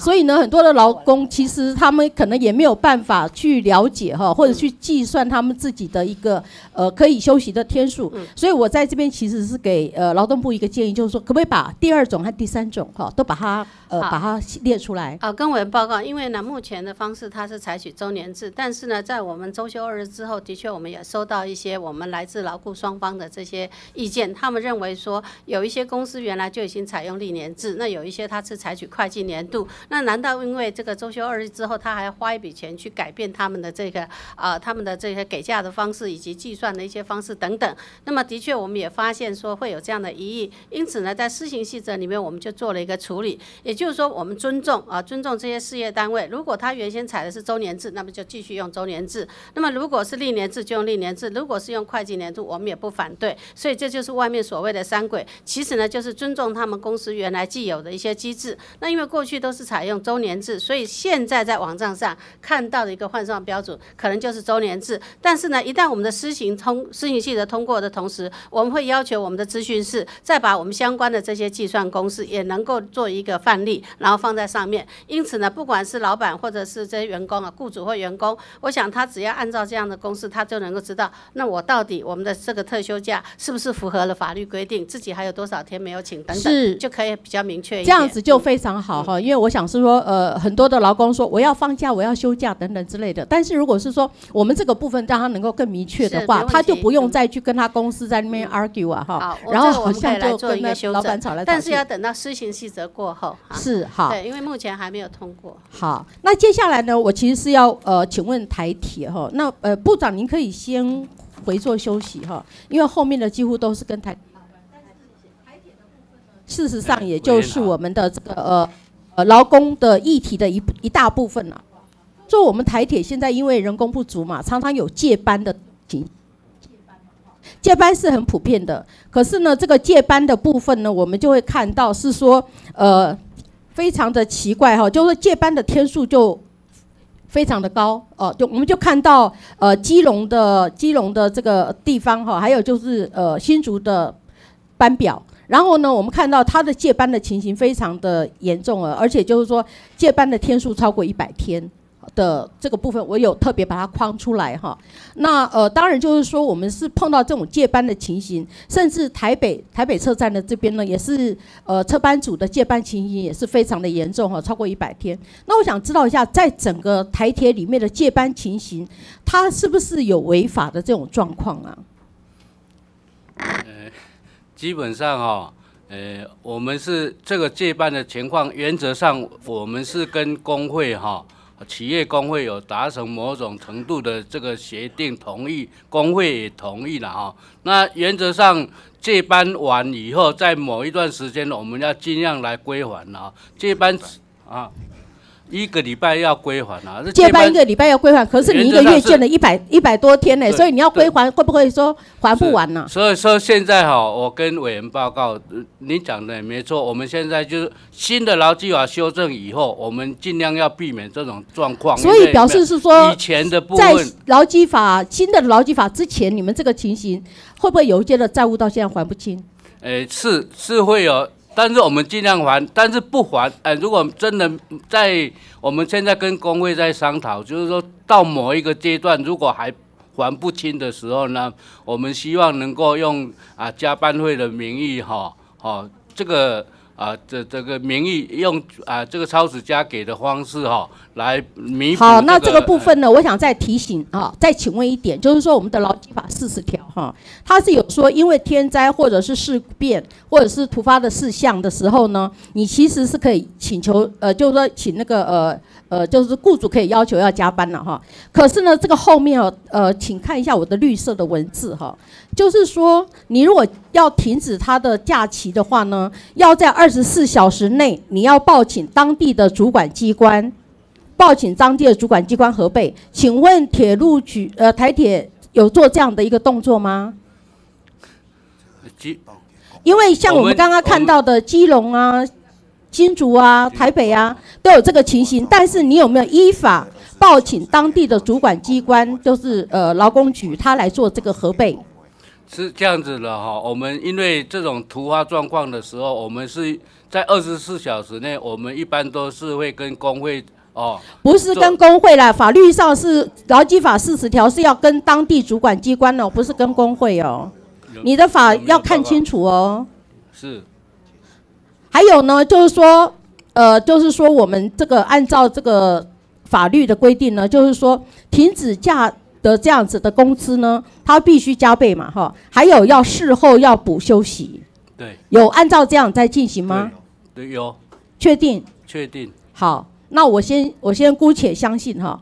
好，那刚刚的那个呃，你们回去再检查一下哈，看看你们是不是每次有二十四小时之内哈，有一些突发的状况或什么状况，你都有报给当地主管机关。我也希望能够看到一些的呃正确的一些的资讯，请你在一个礼拜内把这个资料送给我，可以吗？好，我我们我们全省各地都有，我要再查清楚一下，各地都有这种。好，那呃，那我就看看一个礼拜内你提供给我是各地的一个状况是怎么样的哈。那另外呢，我想请问一下，就是说台铁有宿舍嘛哈？是那宿舍我不知道，就是说呃，副局长是不是去过台铁宿舍去巡视？宿宿舍，呃，您自己睡过宿舍吗？我现在也是住宿舍，好，你住宿舍哈，在这个画面上呢，我们可以看得到哈，这个台铁宿舍的现况哈。那就是说，因为大部分的员工可能是日夜班啊等等之类的，所以他们就经常会去住宿舍。他们会反映哈，呃，就是说有老鼠，然后有老鼠屎，然后有臭味道哈。因为可能是在在这个呃洗手间的这个旁边哈，所以呢他们会用胶带去把这个缝隙把它都粘起来哈，以防这个臭味道跑到我们跑到这个睡觉的地方哈。那我请问一下，这个情形呃您知道吗？然后这个我我也跟委员报告哈，我各地区的这个同仁都会有反应的哈，主管单位也有反应，但是基于这个财力哈，我们过去是啊比较刻苦了哈，那最近这一两年，我们愿意跟委员啊保证，最近这一两年哦，我们不要在一两年了，不要在未来的一两年了。我想这个东西就要赶快去改了，因为你这个东西，你让那个呃我们的辛苦的台铁的工作人员，他们在受这样子的一个不不好的一个状况的的休息哦，我觉得这个品质是很糟的。是委员我们积极来办理。呃，大概会多久呢？因为各地区都有，因为都要规划，都要设计，都要好，这个有一点时时间。基本上先把环境清洁先处理好，好不好？那至于整个宿舍的空间的改善哦，好，因为要改建哦，会比较慢一点时间。好，有些能够修缮的，我是希望尽快了哈。然后如果说你们有一些的呃成绩的话、成果的话，也麻烦告诉我一下哈。是是。接下来我想问一下有关于那个呃团体协约，好，我想请问一下，我们台铁跟台铁跟我们的这个呃就是工会之间有没有订过团体协约？我们跟有应该基本上也要依照规定啊。有没有？我是问有没有？现在还没有定好，到现在从来没有订过团体协约，还没定好。哦，有在商议，啊有在商议，但是是没有定过，还没对不对？定完。哎好，那呃，因为我看到了，就是说好像，呃，听说了哈，一九八八年你们曾经订过一次的这个跟台铁企业工会签签过了一个团体协约哈。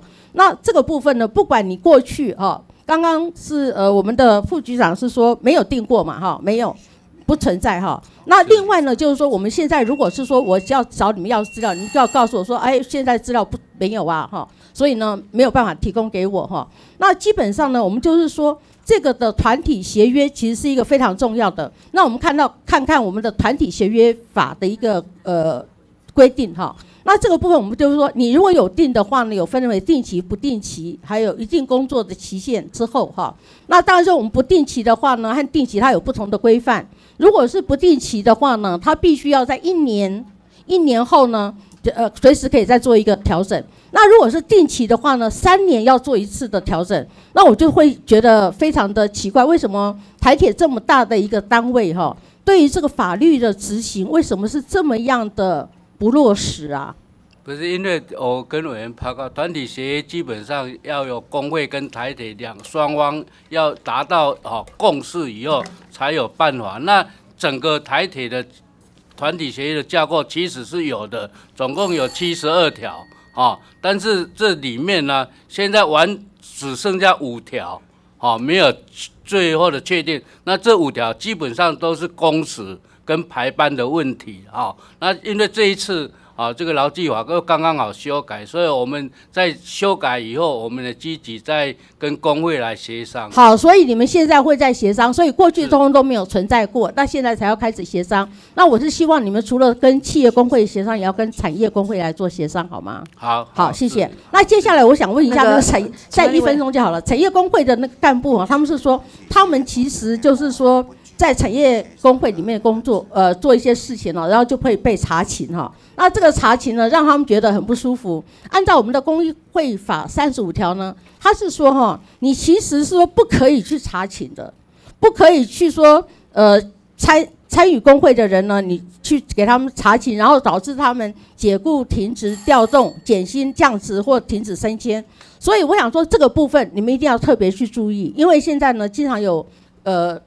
这个你们台铁的人来做这样的反应哈，那我想回到一个国际劳工组织九十八条的一个公约哈，它其实九十八号公约，它其实就是讲到是说劳工应该享有充分的保障。如果是说我们因为他在他的这个一些的动作上面，我们为了要防止呢，然后给他一些的限制，其实这个都是违法的，违反了台湾的工会法，也违反了国际的劳工组织。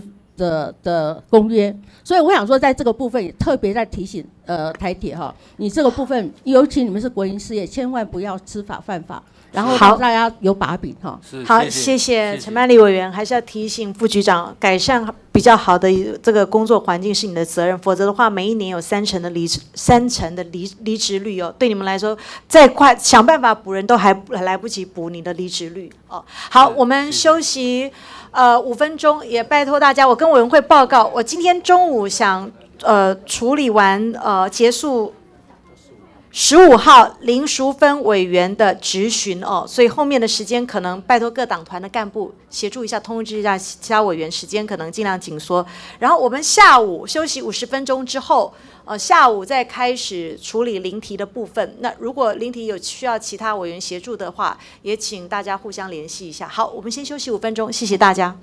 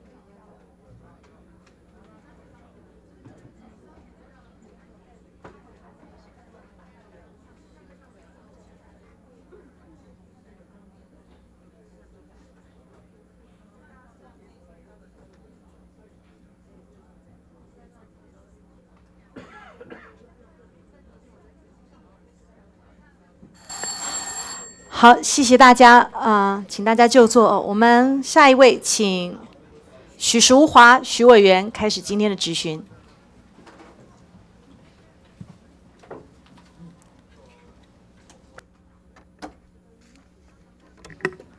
好，谢谢主席。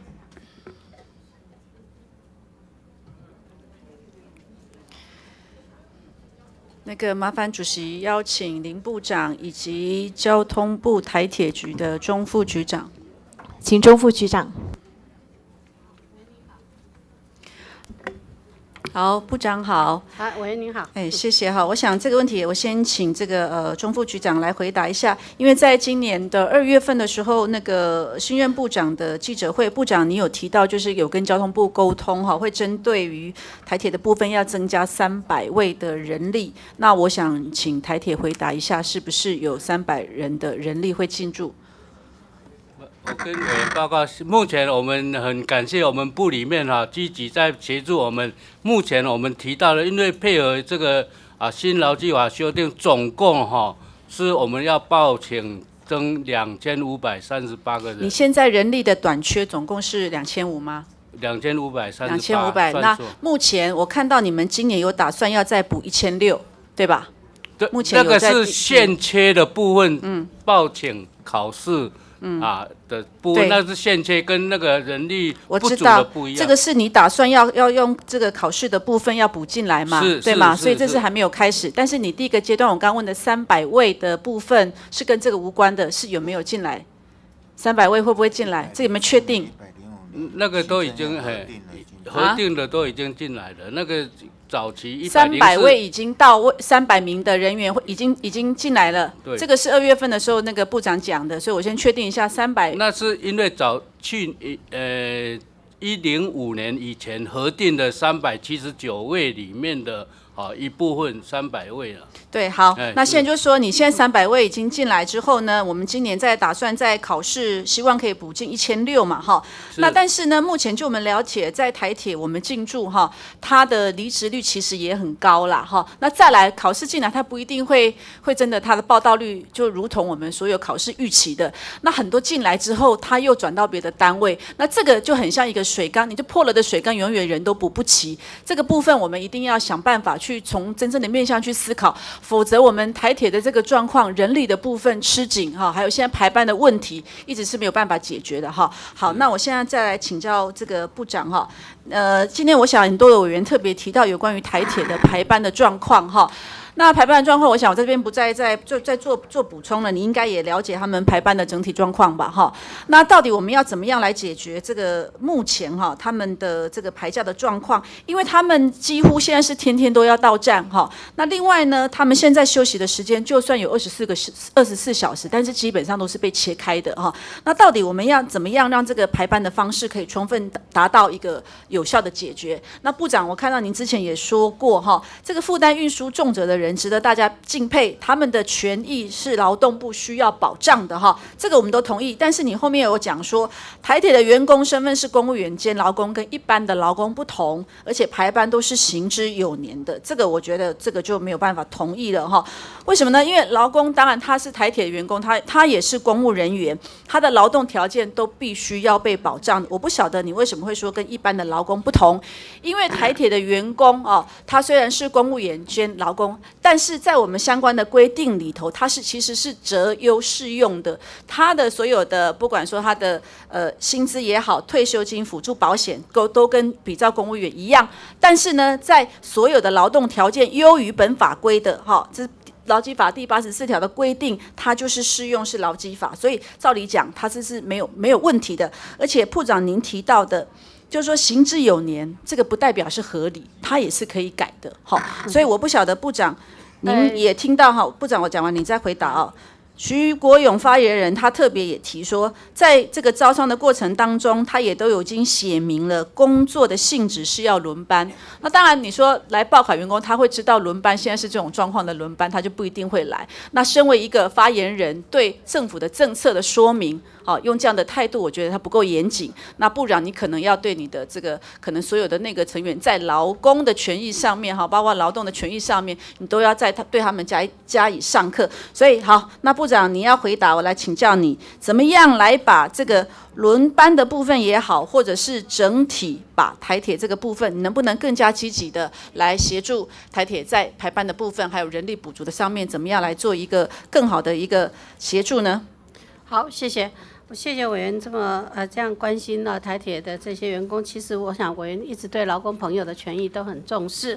那么有关于这台铁员工的这个事情，那么在呃事情发生之后呢，我们也持续在跟这个交通部在跟台铁局这边来联系。那我之所以会说他跟这个公务员不一样，就是诚如刚刚委员所说的，因为他在有一些适用上面，包括他的禁用，包括他的奖惩，包括他的福利，甚至于他的退休金等等。那么有一些呢是适用公务人员法制，所以讲的不同是说，因为它会适用到不同的一些法律。好，那么有关于他权益的这个保障的部分呢，我们也跟这个交通部这边来联系过。因为呢，我们希望能够呃，在他们现在最面临最大的问题，就是因为他们的排班导致呃，他们也有反映说人力不足，所以导致排班呢，他们看起来比较没有办法得到完整的一个休假日。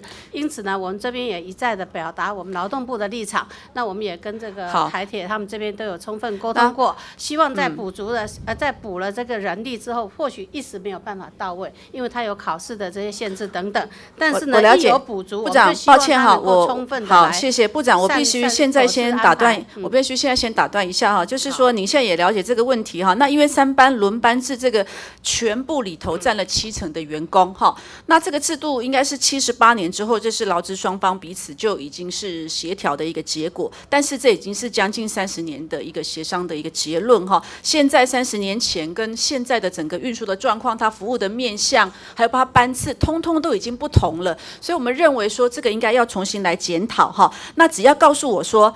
交通部跟跟这个劳动部只要告诉我说，你们现在已经有开始跟这个劳资双方已经开始在协商了，告诉我具体的时间，因为我们接下来你端午节的年假又要到了，我们不希望又产生其他的这个相关的一个呃这个衍生的事情，只要告诉我具体的时间，什么会有一个我们的具体的协商。我们请交通部来。跟委员报告哈，这个基本上最大的问题还。是出在人力不足的问题哦。那我刚才跟委人力不足已经是好几年的问题了，对啊。那你现在就是遇到，你就是过去也没有很积极的在处理这一个部分了。所以你今年要开始很积极的在处理，经过他们抗争之后。今年特别就是刚才我也跟委员报告，部里面也同意，基本上已经有一初步的共识，要增加两千五百三十八个人嘛。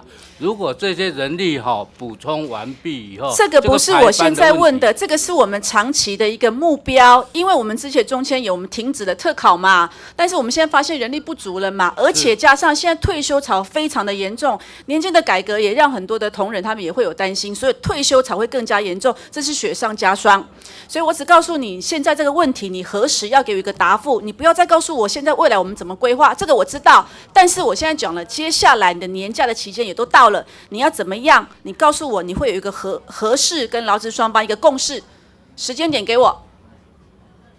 这个我们基本上还是积极在跟工会沟通了。如果工会有意见，你自己也定一个时间嘛。我跟你讲，那个副座。如果你们今天为了你们的主题来这里，你连自己的功课都不好好准备好，你用这样的态度在敷衍委员说你会努力，我跟你讲，没有人会接受的。今天，哎，副座，我记得你已经在台铁局很久了，你不是新人了。因为部长如果今天他是新人，我们可以给他一点时间对整体的业务最些了解，但是你不是新人，这个问题的产生不是在今天，长期以来的。这些的这个人口的这个短缺，也不是现在的问题。长期目标我们要增加的，我们也愿意来支持来做。但是我现在只是告诉你，明确的是，发生这样子的一个事情之后，未来在很快的，你们已经在协商的过程当中，你告诉我一个时间，你什么时候用最快、最明确的态度，可以跟我们的台铁的员工有一个协商？你回答不出来，你今天是用你的主题来这里备询的。委员。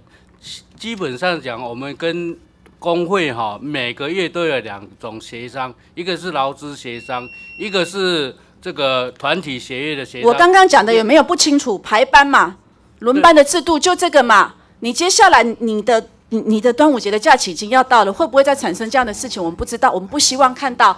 而且除了这个，你短期之间要解决人力的问题，你刚刚才已经告诉我，三百位的人已经到到位了嘛？那三百名的人工已经到位，你暂时已经也可以解决你现有的问题了。那我告诉你，短期之间你怎么解决？你没有办法告诉我一个期间。我跟委员报告哈，基本上讲这个沟通是陆陆续续的了哈。那现在乘务人员的部分，就是司机跟列车长的部分，这个我们都已经基本上都已经有一个定案了哈，这个没有问题。那现在最比较大的问题是站务人员的这个部分，那这个部分我们将来哈，我们有几个配配的在人力还没有补足以前。我们会有一些配套的措施啦。好，你再重新整理一下，你什么时候会把你的站务人员跟现在的司机的问题，你做一个明确的回复？什么时候你这个协商出来，会针对哪一类会做解决？不能解决的，你拉一个脐橙告诉我这个需要多久，你告诉我这个就可以了。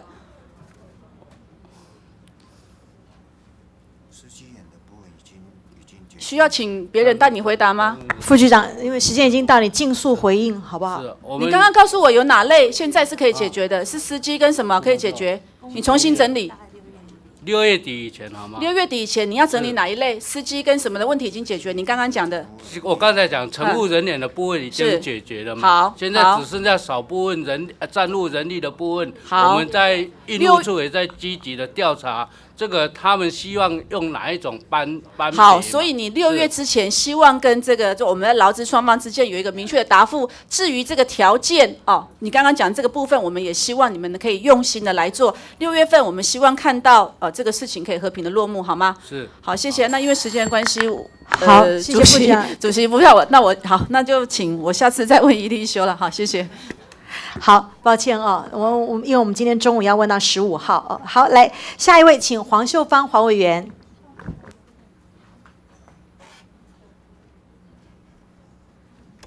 谢谢主席，我们请部长，请部长。嗯，黄委员您好。呃，部长好，部长。呃，针对一例一休的这个部分哈，我也讲过好几次哈，就是呃，我们所有的呃企业主也好，或者是我们的劳工，对于呃现在我们政府推的这个一例一休哦这个部分哈，还不是那么了解哈。那就刚刚部长讲的哦，就是呃这个一例一休不一定要在。六日嘛，对，所以这个部分其实还有蛮多人还不是那么清楚哈，所以我希望说你们还是要加强沟通。另外就是说，呃，你们这一阵子都已经到地方去做说明哈，跟啊这个呃资方做一个面对面的沟通。那我也知道说你们下去的时候也被这个骂声连连，然后也受蛮多的委屈。那我也希望说把这个所有的资讯公开。那把应该做的，然后呃，让这些企业主能够更了解。那劳工的部分也要让他们清楚哈。如果呃劳工对于现在的这个一例一休不是那么满意的话，因为我听到有有一部分他是想要加班哈。那他想要加班的话，如果说呃这个一例一休的这个部分啊，他可能受限于这个加班时数的这个限制，那可能他可能没办法啊这个呃。一个月当中的这个加班时数可能就会超过以往哈，这个加班时数都超过的哈。那类似这样子的话，如果劳工他是想要加班多赚钱的部分，其实我觉得你们也要去做说明啊哈，就是说让资方跟劳方都能够有充分的了解目前的这个政策，那才不会造成现在真的是呃纷纷扰扰哈。尤其是我们在地方啊这个跑行程的时候，真的是。呃，被 K 的满头包，然后所以也希望说劳动部这边能够加强去呃这个说明哈，加强沟通了哈。好，谢谢委员。我想我们的这个宣导不限于资方，好，劳资双方只要是有需要，我们都可以做。那这个委员指教需要再加强部分，我想我们再努力。好，那另外呃，就针对这个部分哈，我我来请教哈，就是呃，我们前阵子也看到呃这个。呃，学校跟啊这个厂商建教合作的这个部分，哈，那呃这个呃我们的学生可能也搞不，就是对于这个部分可能也不是那么清楚。那呃雇主克扣啊这个这个劳工的这个薪资哈，或者是克扣劳工的这个价，那像这个部分哈，其实我我想问一下部长哈，你知道现在啊这个网网络上面有一个求职天眼通吗？嗯，我知道。你知道哈？那啊，这个求职天眼通，我们也看到，就是说，其实我们看到很多呃目前所爆料出来的哈，就是说呃这个雇主克扣员工的这个部分，很多都是因为呃这个网络上爆料之后，然后然后我们的啊这个劳检的部分才去才去做检查哈。那像这样子的话，其实我们看到呃如果有现在网络上的这个求职天眼通哈，其实呃让我们的啊这个网络的乡民他直接对于呃，他可能现在在上班的这个呃这个工作，可能做一个评价。那呃，对于未来啊要去求职的这个呃这个劳工，其实有很大的帮助哈。那我想问，就是说未来呃我们的这个劳动部这边有没有可能成立一个官方的求职天眼通？呃，跟委员报告，其实呃，这民间这个我知道有这样的一个平台。那当然，我们还是希望说，劳工当然如果针对他的权益有受损的部分，我觉得他主张保护自己的权利，这个我们是无可厚非。我们也鼓励他们啊来做这个类似的这种呃保护自己权利的事情。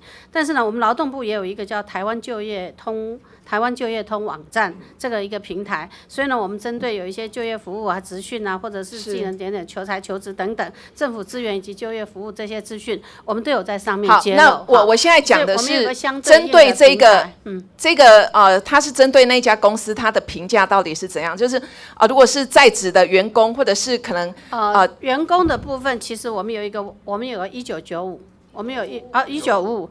一九五五这一个呃检举专线，那么那是因为事情发生之后才去检举嘛？那我现在是说，如果这个劳工他要去求职的话，他可以先从这个网站上面去得到一些资讯。可以可以，我们的这个台湾就业通网站就是这个这个相相关的讯息啊，可以得到这个，比如说这一家公司它目前的评价到底是怎样，然后对是不是有符合劳基法？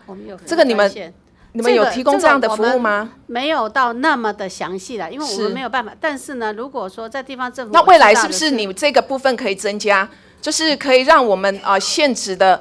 啊，这个劳工也好，就是现职的这个公司的员工也好，可以上网直接在上面对他们自己公司的评价匿名哦，不是？您的意思就是说，我们这个台湾就业通网站上，我们有一些啊行业啊，有些事业单位它需要求财，那这个呢，我们要登我们的这个就业网，我们是需要。我们检检检查过滤，它没有问题的，我们才会上这个平台。有问题，我们就不会上这个平台。好，那未来是不是你们可以再另外再成立一个？我都有筛检啊。再另外成立一个类似就这个啊求职天眼通的这样子的一个网站哈，让啊这个员工。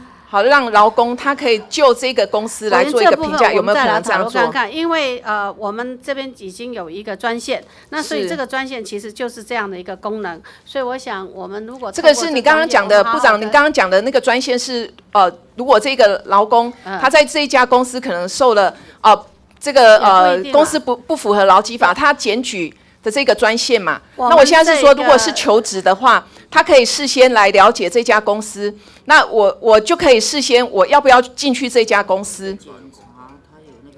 对，我们在地方的劳工局，我的理解是，地方劳工局刚刚有人提醒，就是我们的地方劳工局其实对他们检查的结果，这些不良的、有违反的这些呢，他会都公布在相关的网站上面。所以呢，这是地方县、地方县市的政府他们都有在做。那因此呢，如果说也这样，我们这边我们或许会做一个连结，我们可以做一个连结。我想这个部分未来我们再来看看怎么样精进刚刚委员所说的这个部分。但是目前地方政府都有在做哈。呃，其实我看到哈，就是我我们很多公部门哈，就是刚刚讲的哈，很多都是因为呃这个媒体爆料或者网络爆料之后，你们才去做检查哈。那后续的部分，其实我们希望说，呃这个事情还没发生之前，劳工他就可以知道说我到底要不要进到这家公司哈。所以其实我我希望说，我们呃劳动部这边哈，可以就我今天所讲的，哦这个是不是要有一个。官方的这个呃，这个求职天眼通的这样类似这样的一个网站呐，哈，让劳工要求职之前，他就可以自己去选择我到底要不要进去哈。那其实这样子，一方面可以减少你们啊这个劳检劳检的人力哈。如果他这个员工他就直接在这个网站上面直接 PO 的话，也许你们哦有人去维护管理这个网站，他就可以看到说这家公司到底有没有符合劳基法。那可能就是用抽检的方式。好去做抽检，而不是你们现在哦，这个这么多的这个劳检人力，然后劳检又不够哈，所以我希望说，呃，劳动部可以去啊，这个参考这个部分，可以吗，部长？嗯，我刚刚还是要说明一下，就是说这个部分我们愿意再来看看啊，因为跟地方政府的这些呃工作，因为我们现在中央。地方都有主管，我们再来跟他们联系。那当然这部分我考虑到的就是说，当然是匿名检举，揭露各个公司职场一些状况。可是有没有呃这个资讯的这些问题了哈？是所以这部分我们再来研究看看怎么样精进啊，能够对这些劳工朋友保护更大。好那这个部分我们再来研究看看好不好好？好好，那呃，部长，另外一个议题哈，就是我们呃劳工保险啊、老老年给付的这个部分哈，其实我接到很多，呃，我请一下局长好了哈，就是说我们呃接到很多的这个服务个案哈，就是说他呃申请这个呃劳工呃这个保险老年给付之后。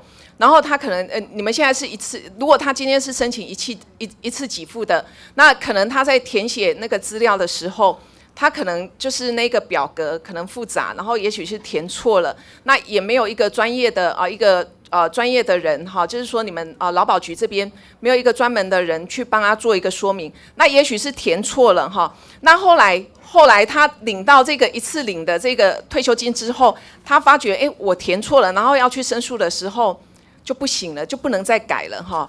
那针对这个部分哈，因为呃又民众呃这个陈情，就是说你们有一个确认的那个信信件嘛哈，可是你们啊、那个一次给付的那个钱已经进到他的账户了，那确认的那个信件却他还没有收到，那类似这样的状况，你们说也不能更改，报告委员，从劳保年金开办的时候就有一次性改年金的问题了，以前比较严重，中间的过程嘛经过很多很多的改变哈。我跟委员报告的是，从去年申请十万件，总共后来提出来的只有十八件，是。而且去年六月我们做了一个改进以后啊，下半年只有四件，就是我们现在一定要他本人签名。是。第一个，他先来试算，会有一张说你年金多少钱，一次多少钱的，试算完看好了，你一定要自己签名。是。所以我们现在因为以前都盖章嘛，盖章那你们他确认的那个信件不是我那信件是我已经付钱通知他，那个规定他这种申请我要他答复，是所以那个是已经确定给他钱的核定通知单，所以那个时候当然不能改了。是但我们现在有简讯，是他一次金来的时候，可是其实有的哈，我会花钱去给他哦，说我就算了你一次金的。不是我，我跟你讲，我我跟呃局长这边哈这个说明一下哈，其实有很多退休，我们现在看到退休的年龄差不多六六十二岁、六十三岁，平均呐哈，六十二岁、六十三岁哈。那其实他有的虽然现在啊这个赖很方便哈，这个手机很方便，可是他不一定会看简讯呐哈。那所以就是说，针对这个部分哈，你们寄也是用平信寄，不是用挂号信寄，对不对？对不对？不是，那是核定通知单嘛？是啊对，，所以当他收到的时候，他收到平信，他是一一次给付是先进到他的账户里面。对对对那他看到，哎，我好像填错了。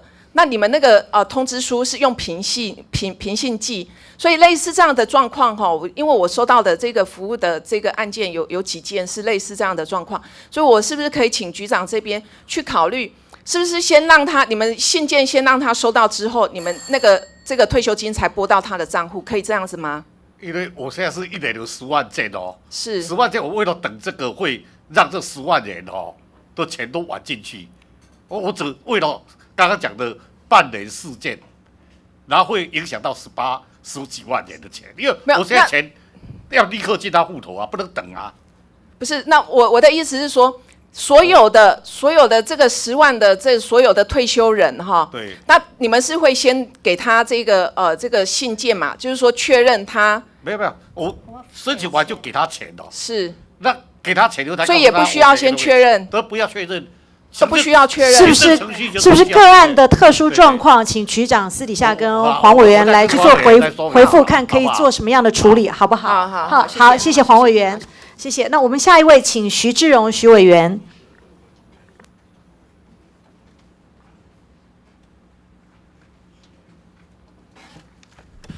谢谢主席，赶时间讲话就快一点喽。那个，首先请那个我们台铁局副局长，副局长，请。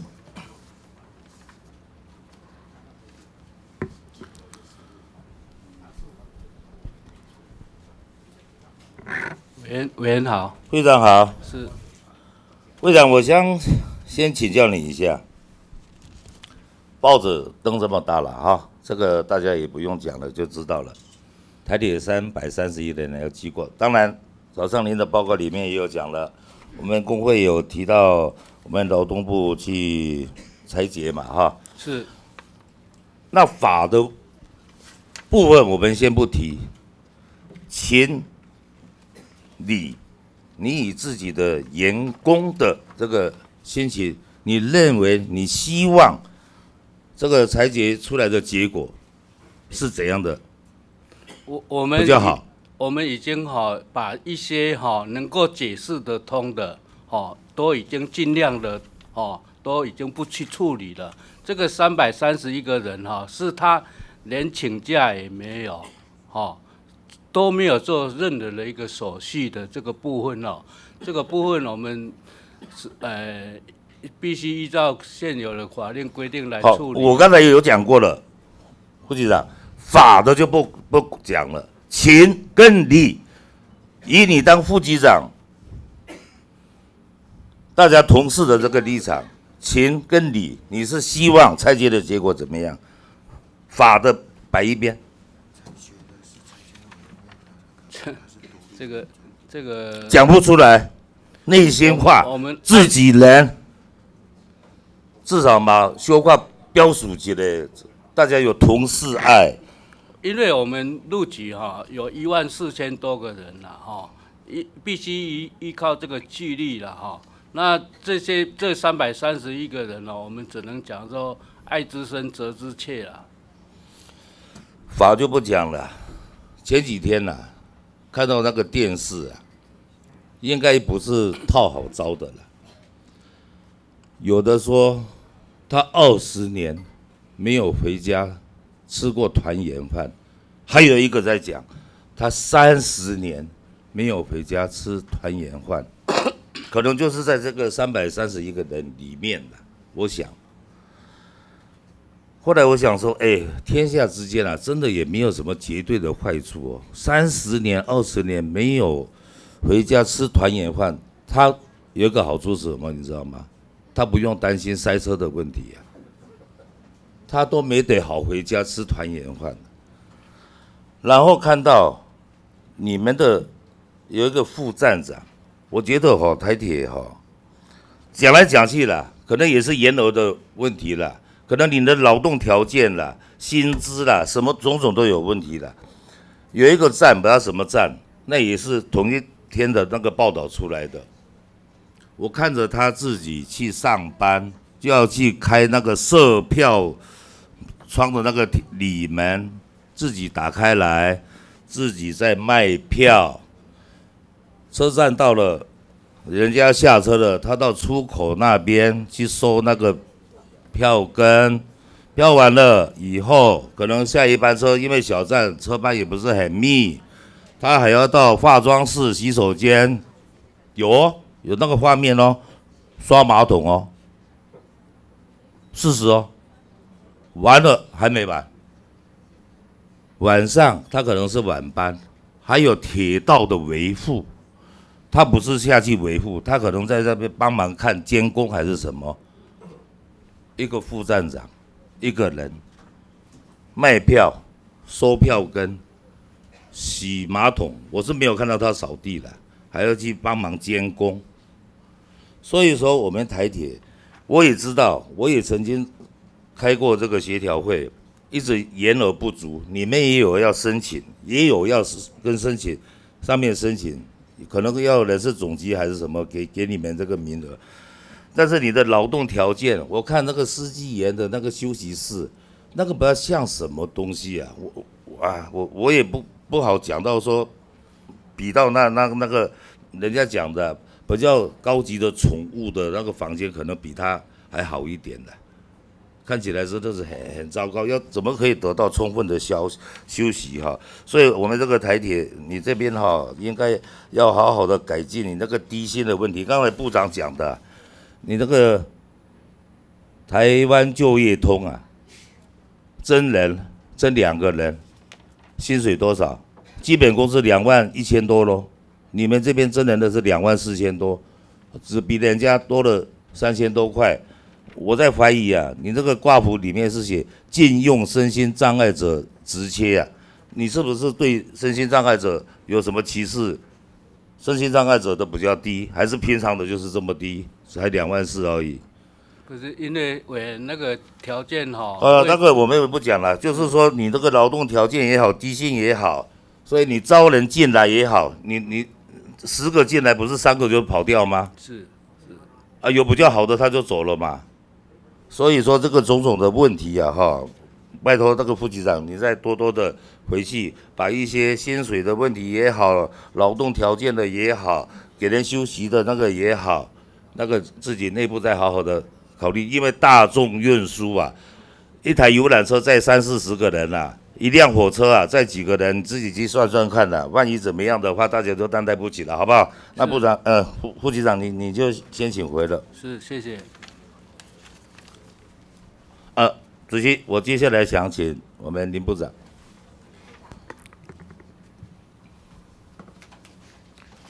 啊，徐远你好。部长好，那部长，我又再请教你一下。嗯。虽然我知道台铁的员工在这个劳基法里面有关第八十四条那边有写着那个公务员兼劳工的身份，现在的仲裁也送到贵部去了。您以我们劳动部部长的身份，当然我们劳动部不用我讲吧，应该我们就是照顾照顾劳工为你的主要的职责嘛。那我也想请问你一下，那你希望这个裁决的结果是会怎样？因为他等着，虽然报纸出这么大，但是要等裁决的结果，到五月份嘛，是吧？呃，您跟我们希望呢报告一下，这个呢是指的他在一月二十六号的时候，他们这个呃曾经向我们本部来提起一个不当的劳动行为的裁决。那这个裁决委员会呢，它是一个独立的一个机构，那么我们是由这个外部的这些呃呃委委员来担任主任委员。那这委员呢，也都是我们呃这个各各各各界的哈，就是这个学政呃劳雇啊双方啊，大家有教授，那么也有一些雇主、有一些劳方的这些代表哈，呃。的律师啊，律师啊，他们来组成的。那他这是一个独立机构，所以呢，目前大概针对这样的一个不当，是不是一个不当的劳动行为，他们会有，他们会邀请两边来说。目前好像也都是在这个，所以我部长们会尊跟就重他的结跟副。局长刚才的答案一样的哈，我我现在也不他们的呃，嗯你也不好去干涉那个嗯独立的那是个那个组织。因为他是独立机构啊。，那你心态上呢？心里面呢？呃，我们还是希望这个台铁针对这个排班的这这这部分能够再妥善的安排。不，我是我是说，您心里面想，您希望，你当然你，我也不是建议你你去去干涉那哦我如果。讲出来，是不是就会有影响了哈？所以我们还是跟那个行政机关之间，我们还是跟台铁局这边来沟通。我们希望他的人力的部分能够尽快补足。那么在补足之后呢，能够针对这个排班的方式，能够有妥适的安排。好，大概我能够对行政机关的就是这样的一个呼吁哈。啊，您不好讲，我替你讲。我们的总统讲过，选举前，你跟总统什么关系？我不在这边讲。总统讲过，劳工是他最软的一块，这样子大家知道了吧？您刚刚讲的什么学者、哎律师，律师，嗯，大家知道总统讲的话，劳工是他最软的一块，大家知道应该裁决的结果应该要怎样了哦？总统有讲哦，总统没有影响他，总统讲劳工是他最软的一块，你不好讲，我就替您的，呃，你不太喜欢跟他有有亲戚的那个关系的哈，反正总统有这样讲过了哈。所以我是认为啦，我们部长啊，你是应该站在劳动部这边。虽然他有公务员兼具劳工身份的台铁员工也好，国营事业的员工也好，在这个案子里面啊，以后有什么关系，在法律的适用上，我们应该是站在劳工的权益为主，公务员的规范为辅。虽然有八十六条里面只有八十四条有这样关关系到那个公务员的那个字字眼在那边，我应该认为八十四条应该很是一种例外，应该从严的解释，严格的限缩八十四条的适用，不然整个八十六条全部架空了劳基法的精神。我想保护劳工的权利一直是我们最主要的工作啦。好，谢谢部长。好，谢谢。好，谢谢徐志荣徐委员的质询。呃，下一位我们请林代化林委员，时间六分钟，谢谢。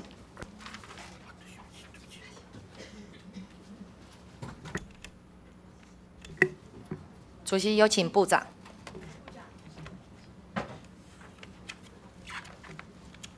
林委员你好，是部长，来，您针对目前台铁局，他这边有提到台铁局啊，呃，包括交通部的这个报告的最后第二呃，在第二页最下面有收到，本部啊已要求台铁局必须兼顾大众传播运输责任及台铁员工身心等等等，台铁局啊已与企业工会协商同意。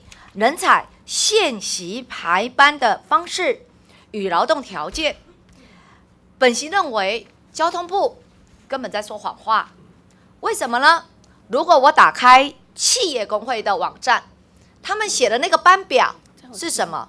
是两周休一天，而产业工会呢，希望七天内就休一天。好，所以呢，再来，我们有请交通部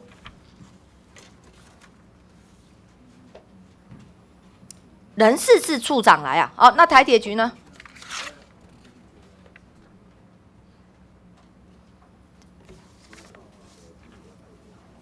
暂停哈，请主席暂停，他们正在那个，不要占用我时间。好，来，那个交通部。您说您已经达成协议了，表示你已经遵照企业工会的在网络上的版本在做执行了吗？请回答。呃，这部分我们请直接的台铁局的副好，来台铁，你请回答。你说你已经跟企业工会协商同意才，你说采现行排班，可是它的网络上不是现行排班哦，它是两周休一天哦。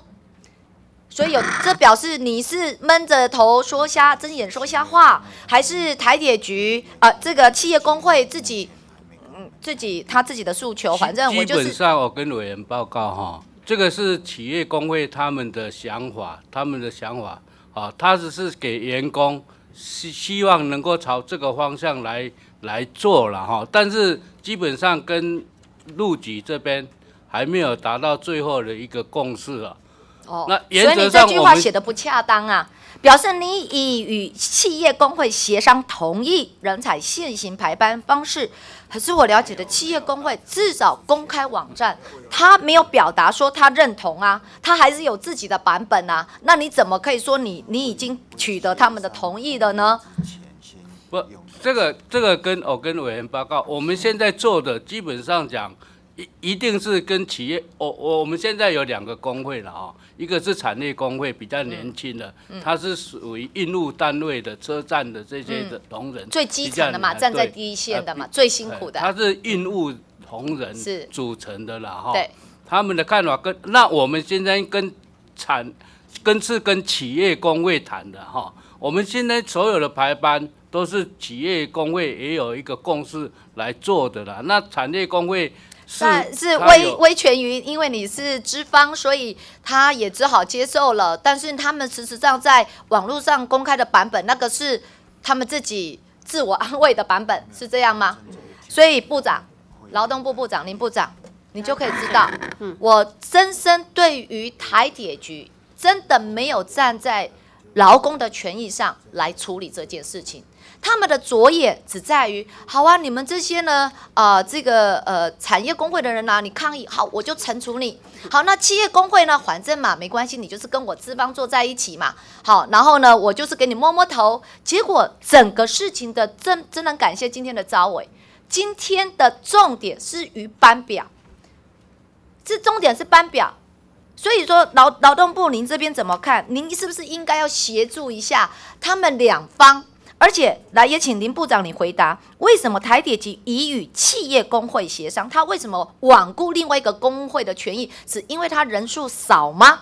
部长。这个部分我们还是希望由呃台铁局这边来跟他们的工会协商，是跟一个工会还是跟两个工会？这个呢是应该是协商的话，我觉得既然是他有两个工会，他应该是跟两个工会来协商，呃，来做这个合理的安排会比较妥。谢谢林部长，你很清楚的指导了我们劳工权益在劳的资方跟劳方的协商当中，你很清楚的定调了。交通部来，殷良殷呃蔡处长是吗？还是台铁局哦，台铁局副局长是吗？台铁局中副局长是来，所以在这边您这边写的，你第八第二页，你已经违反现在的劳动劳资协商，至少在林部长亲口已经讲，你要针对两个工会做协商，这是第一点，请你改进。第二个，您在所采现行班表，我觉得你这个正式的呃公开的报告是有误的，如果是真的真的取得同意。那企业工会的班表，他不会在他的他的公开的网站当中，是说他也要那个那个版本。所以我在这边具体要求啊，因为咨询有限，我具体要求两个礼拜内，你台铁局自己的版本要提出来。你台铁局，你作为资方，如果你真的是真的照顾劳工权益，你为什么提供不出来？你有什么武器？你有行政院给你核定的人人人人手？至少我从往这个你们。报告当中的一百零四年到一百零五年合计合增三百七十九位。好，那当然你们今年还要再继续争取嘛。好，那我没有意见，我也已经全力支持你。你是比两个产业工会最直接知道你人员的配备，所以你怎么可以放任？好，两个工会你们去争吧，你们两个工会呢去去去去抗议吧。然后呢，我台铁局反正我没有办法协商你两个工会，算了，我们就回归到现有最最血汗的班表，就是回归现状。你觉得这样是真的是照顾劳工吗？照顾我产业工会、企业工会他们所代表的这个组织的劳工权益吗？两个礼拜提出你自己的版本，可以吗？跟委员报告，我们本来就有版本，我们都有版本，但是在协商，我们现在是这样子，因为产业工会本身哈是在我们的运务处的辖下，所以说我们也有请啊这个产业工会的代表来啊在运务处的工时协商里面啊，就有请他们来表达这个意见了。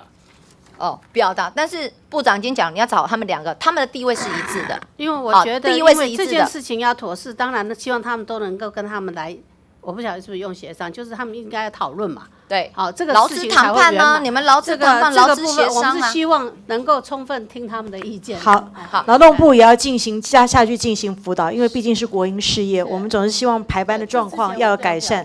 但是每一年三成的离职率，其实是副局长要要去注意的，好不好？不好意思，在三十秒，请部长您再上来。我针对一个蓝山人寿保险，部长您这个案子哦，可能您不清楚，好，但是我在这边提出来，让您去督导这件事情。南山工会在这边最高行政法院的裁判书明确的裁示，南山工会与保险业务员间的劳的关系是什么？很明确，在这个判决书当中的第六项已经确认，南山人寿保险公司是跟保险业务员是存在雇佣的劳动契约关系。可是呢，我们南山人寿啊，这个在资方啊，到现在。还没有正式执行这个最高行政法院的裁判，他们根本没给他家保，所以部长这件事情，您针对他违法的这个部分，我们都持续在处罚。哦，在处罚怎么处罚法？五十人一个罚，还是一百人一罚？这个部分我请。对于这样的财团，您觉得你用五十人一罚，这不会太轻判了吗？这个处罚的部分，我请局长说明。好来，这个是依照劳工科学条例啊，他没有帮他提拨吧？对，限期改善没有改善，一案花十十万。所谓一案是指什么？是指一人代表一案，还是你自己认定的五十人代表一案？当初劳委会当初的劳委会就解释，一批一批来的叫一案。呃，我觉得哈，部长，如果您是真的把民进党的执政价值。真的在基层劳工的权益真的要放在心上的话，我觉得这个案子你要正视。什么叫做一批？如果一批报上来叫做五十人，一批报上来叫一百人，叫一罚，那个根本就不叫往，这不根本你对于最高行政法院的法院的判决你是置之度外的，好，好所以我认为我具体建议一人一案一法，请那个劳动部带回去研议。后续这个案，部长，后续这个案子要如何去处理啊？请部长。啊，好，我再跟委员报告。好，谢谢。来，谢谢您。好，呃，我们因为今天是要问完十五号中午才要休息哦，拜托所有的委员后面把握时，注意一下时间，好不好？谢谢您。下一位，请刘建国刘委员。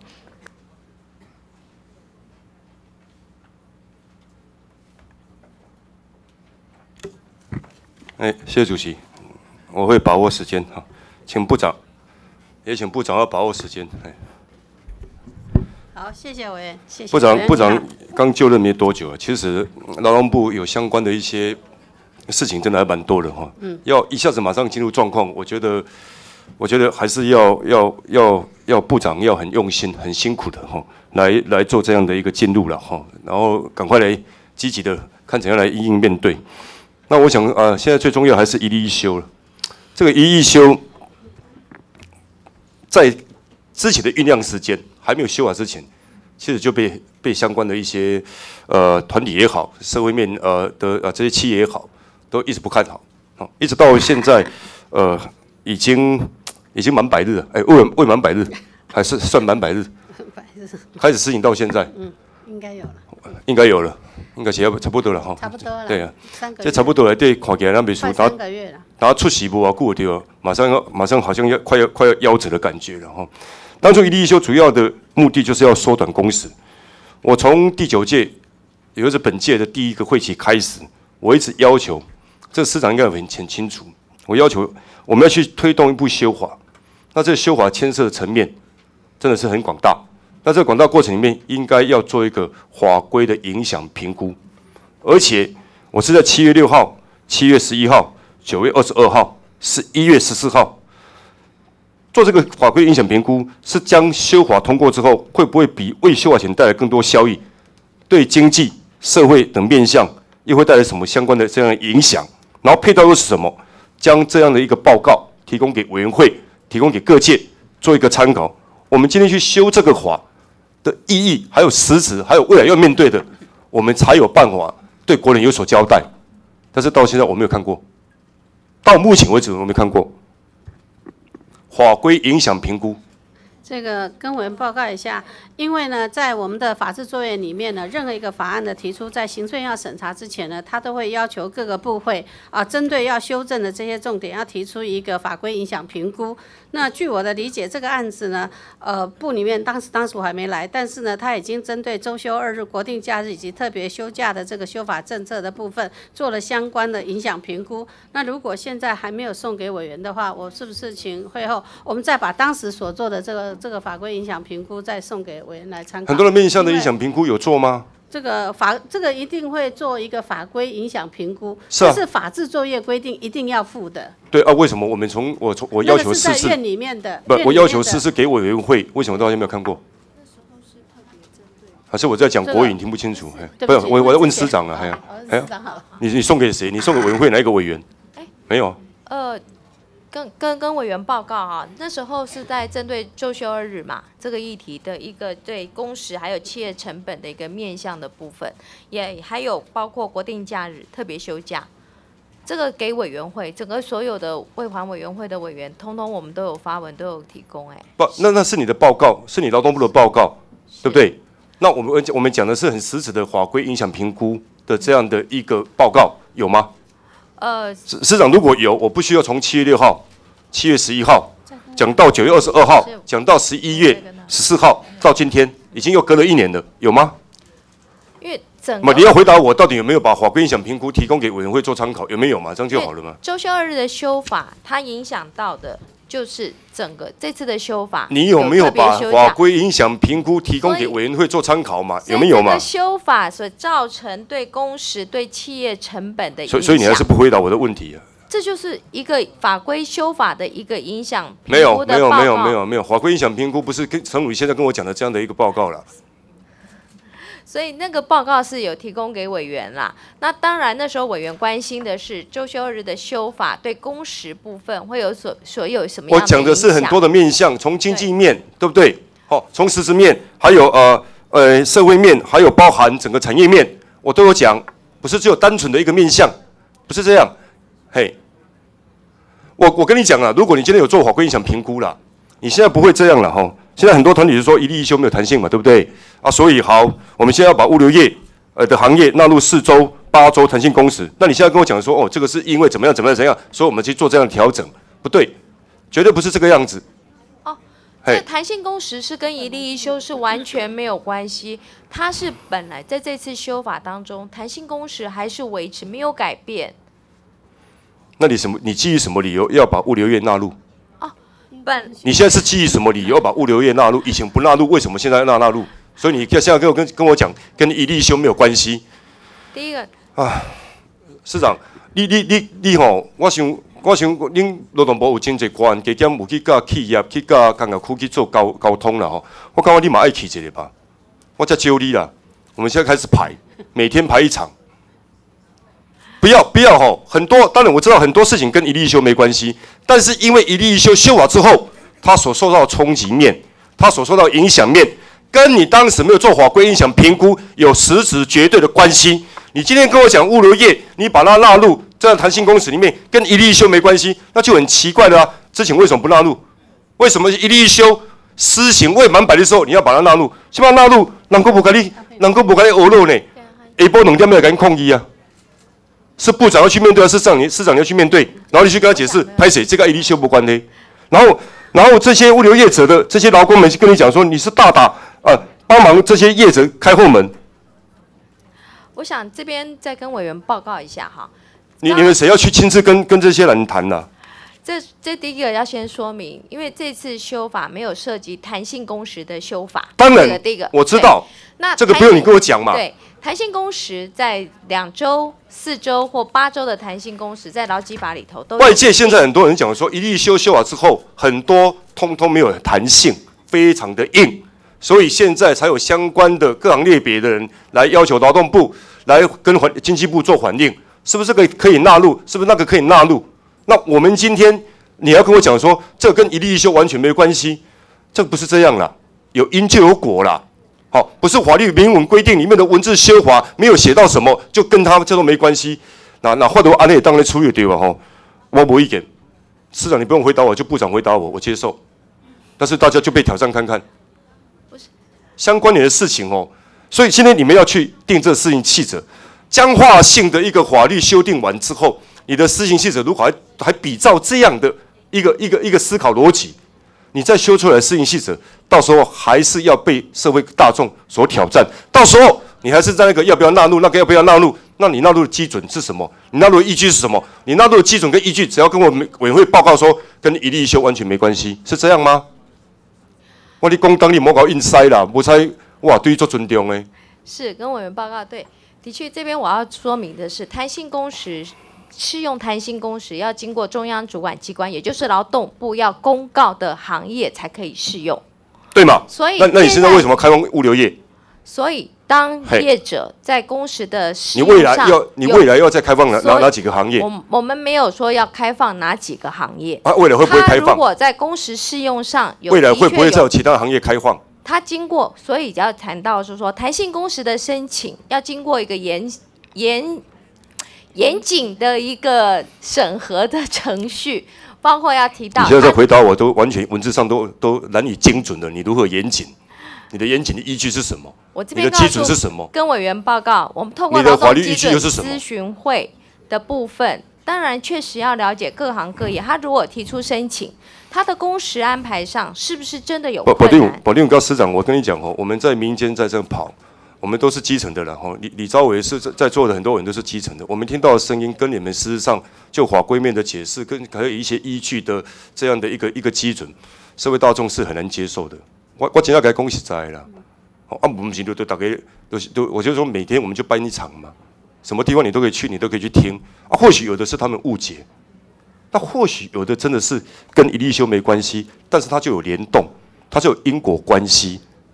不然你不会今天一立一休未完百日，到出席无啊？姑娘特别挑伊啊！嗯，是有点我无希望讲一句话嘛，啊，熟悉的是安尼嘛，对不对？我们评语解释，我我认知的，我对一例一休的法规啊，对你的原有的申请者，有些厂家、有些有些制造业者、有些啊，各行各业人他不清楚，我们也要去做解释。我要解释的，我要清楚，我才有帮我解释。很多人不清楚，连解释都不会清楚，你知道吗？那你现在要跟我解释的，我跟你讲也是不够清楚啦。所以我跟你讲说，当然是要严谨啊，怎么不严谨？但为什么你是在一例一休之后，你才来把它纳入，而不是在一例一休之前？然后为什么一纳入之后，人家要跟要要起来跟你抗议？理由何在嘛？对不对？啊，你阿别阿个有无？你别当高公无啊，你嘛唔敢搞硬无啊？一停阿个有啊，阿没要处理。然后你们的你们的次长还有意思跟媒体答复说。这个这个很好笑啊！四周弹性工时传漏洞传呃连什么连续二十四天班呃二十四天上班合法，劳动部有可能，但没有听说有真实案例。啊，今麦是要等代志发生以后再来处理。我相信有法律的人，不可能没有这款代志发生嘛，不定，对不？我们会持续来关注这个议题的。不，这这种答复就很奇怪嘛，这种答复就很奇怪嘛。你不用讲说什么事情跟一立修没关系了，有的我们都已经讲了了。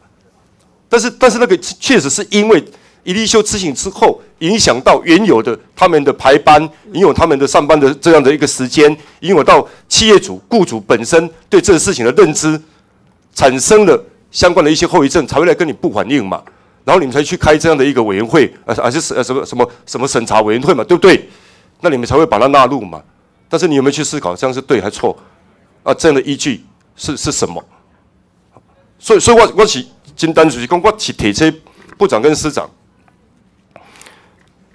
因为你们现在在预告嘛，对不对？在预告这个中间，你真正的法规影响评估要不要拿出来？你要不要劳资政专家学者再召开一个公听会，好好讨论一下？你不要向某一个部已经预告了，然后被被被被人提出挑战，现在就两个两个单位在那边。那个讲那个，那个讲那一个，很难看呐。不是劳动部某部了，对，某部就对了。预告已经期满了，有瑕疵当然是可以修正，但是还是被委员提出来，这就不对啦。那你今天好，你的事情细则在预告中，你要不要快速有效的，然后应应社会各界的期待，把劳资政还有专家学者找来，我们再召开一个空空听会。不要有僵化性的东西，呃，延伸到你的私刑记者更僵化，然后让外界觉得说，啊，你那撸顶撸硬了对吧？啊，再来亏一个盘啊，再来恭候你这个我让你纳入，你那个我你这种行业我让你纳入，你再怎么纳入，公平性永远都会被挑战、被质疑了。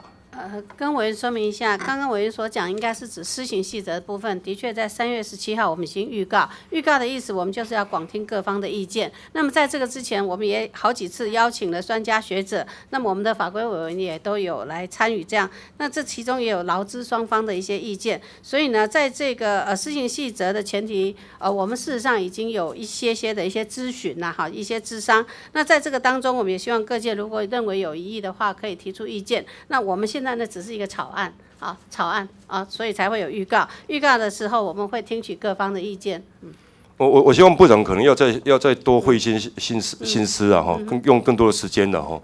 这个公听会最好是你自己来主持会更好。好，我建议是这个样子的哈，因为毕竟一例一休事情造成很大的冲击，这你你觉得非常清楚的嘛，对不对？今天今天今天你来担任这样部长，其实就是要来应应这些事情。让这个事情，他今天是为了缩短工时，为了让劳工都的有足够的呃休息时间，啊，创造更好的这样的一个效能出来。那今天反而我们的实行不到百日就变成这样状态，我觉得，我觉得我们有更大的、更大的义务跟更责任，然后来解决这样的事情。所以，所以在预告的这个中间，可能很多事情我们可以做，包括我跟刚才特别又做重新提到的法规影响评估。我们要不要拿别的部的法规影响评估给你做参考？这个通常我们过去在做法规影响评估，都是针对法律案。那这个施行细则，呃，因为我们施行细则只是针对母法的，呃，这个就是劳动基准法，所以呢，我们还是可以了解一下呃各界的这些声音啦。但是可不可以提出一个评估报告？我们再跟文做一个。一例一休走到现在，我觉得还是需要从各层面去了解状况，好不好？部长，我觉得刘刘刘远说的对，但是刘远刚才讲的那几点，其实我也蛮认同。我觉得我建议可以用临时提案的方式，我们来要求后面还要再开放职业别的部分，针对弹性工时，我们来举行一个我觉得公听会，让各界来充分表示意见了哈。好，谢谢。我们来用临时提案来去做处理。好，谢谢刘建国刘委员。下一位，请周成委员，谢谢。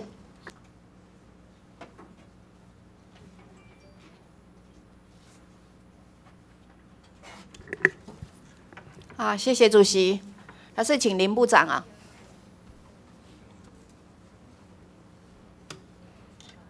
啊，赵常委员您好，好部长好哈。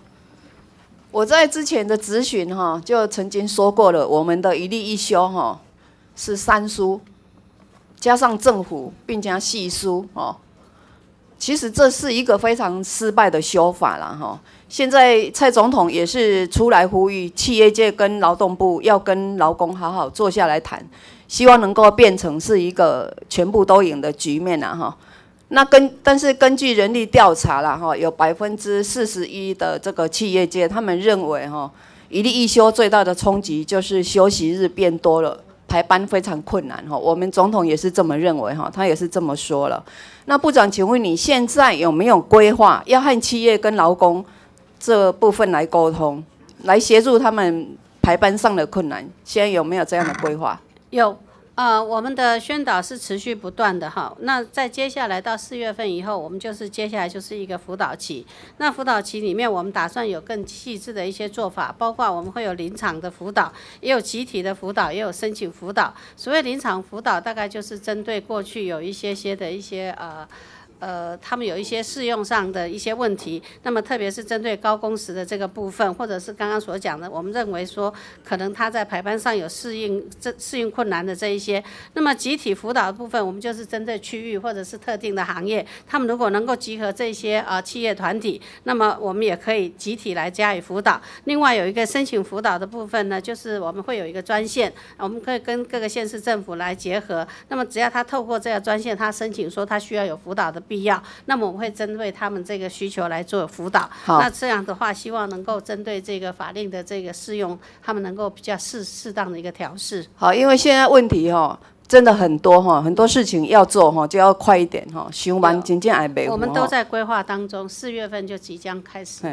如如果我们的政策有有错了哈，朝令还是可以细改的哈，只要是对民众好的，我相信大家都可以理解哈。那免给他更小哈，知不？好，谢谢委员的指教。我想这个部分我们会持续来了解到底民间啊他们的意见反应是什么。好，那我们法规的规定哦，连续上二十四天呐哈，上班二十四天，每天上十二小时的这个血汗班哦。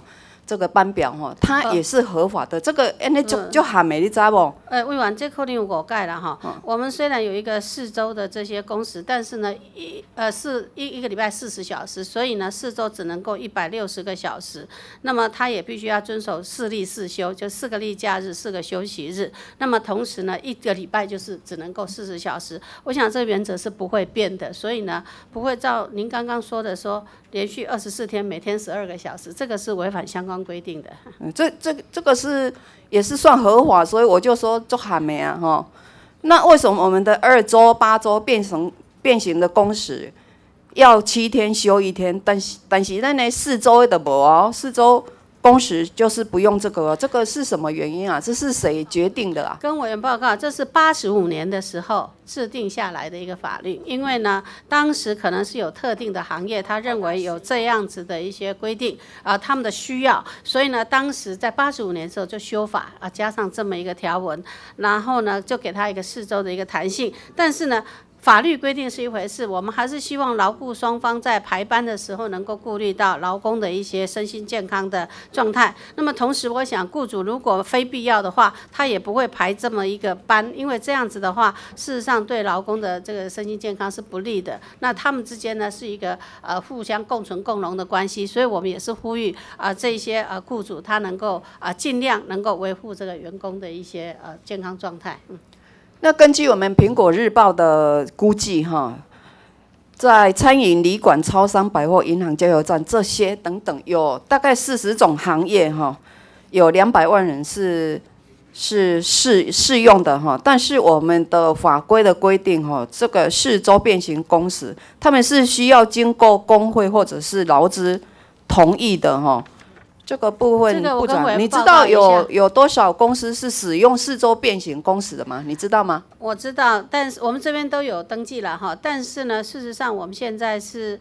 呃，我跟委员报告一下程序，也就是说，业者，我们刚刚讲特定的行业，所以业者呢，他们有必要，他会提出申请，提出申请之后呢，我们劳动部呢，我们会去评估，评估完了以后呢，我们会提一个叫做咨询委员会。那在咨询委员会的时候，我们会邀请劳资双方，也就是说，这个事业单位，他们这这个行业的一些呃双方的一些呃牢固的这些双方，还有一些呃专家学者等等啊，政府单位等等，那我们大家一起来啊评估看看这。个行业到底我们要不要纳入这样子的一个规定？那么一旦我们公告，这个还经过我们劳动部公告，公告以后就说这个行业，譬如说这个观光呃呃观光旅馆业，观光旅馆业它就适用了。那么适用以后，每一个观光旅馆业它到底要不要用这样的弹性工时，还还有一套机制，也就是说必须由他们的工会或是他们的这个劳资会议必须要同意。跟雇主有同意以后，他才能够来决定要不要采用。采用以后呢，还要再跟每一个雇主，哎，每一个劳工啊，雇主再跟劳工，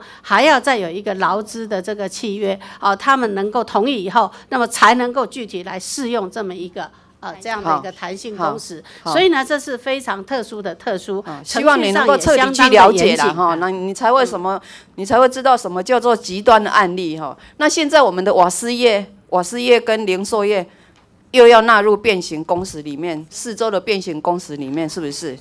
现在有没有查清楚了？这个部分，因为他目前他们再来申请，他们现在是来申请。那么申请以后，我们就会按照刚刚跟委员报告的程序，我们一定会走完全部的程序。我希望先把它查清楚了，因为提供他们需求的一些报告。哎，新新行业哈，是不是应该暂缓试用哈？这个。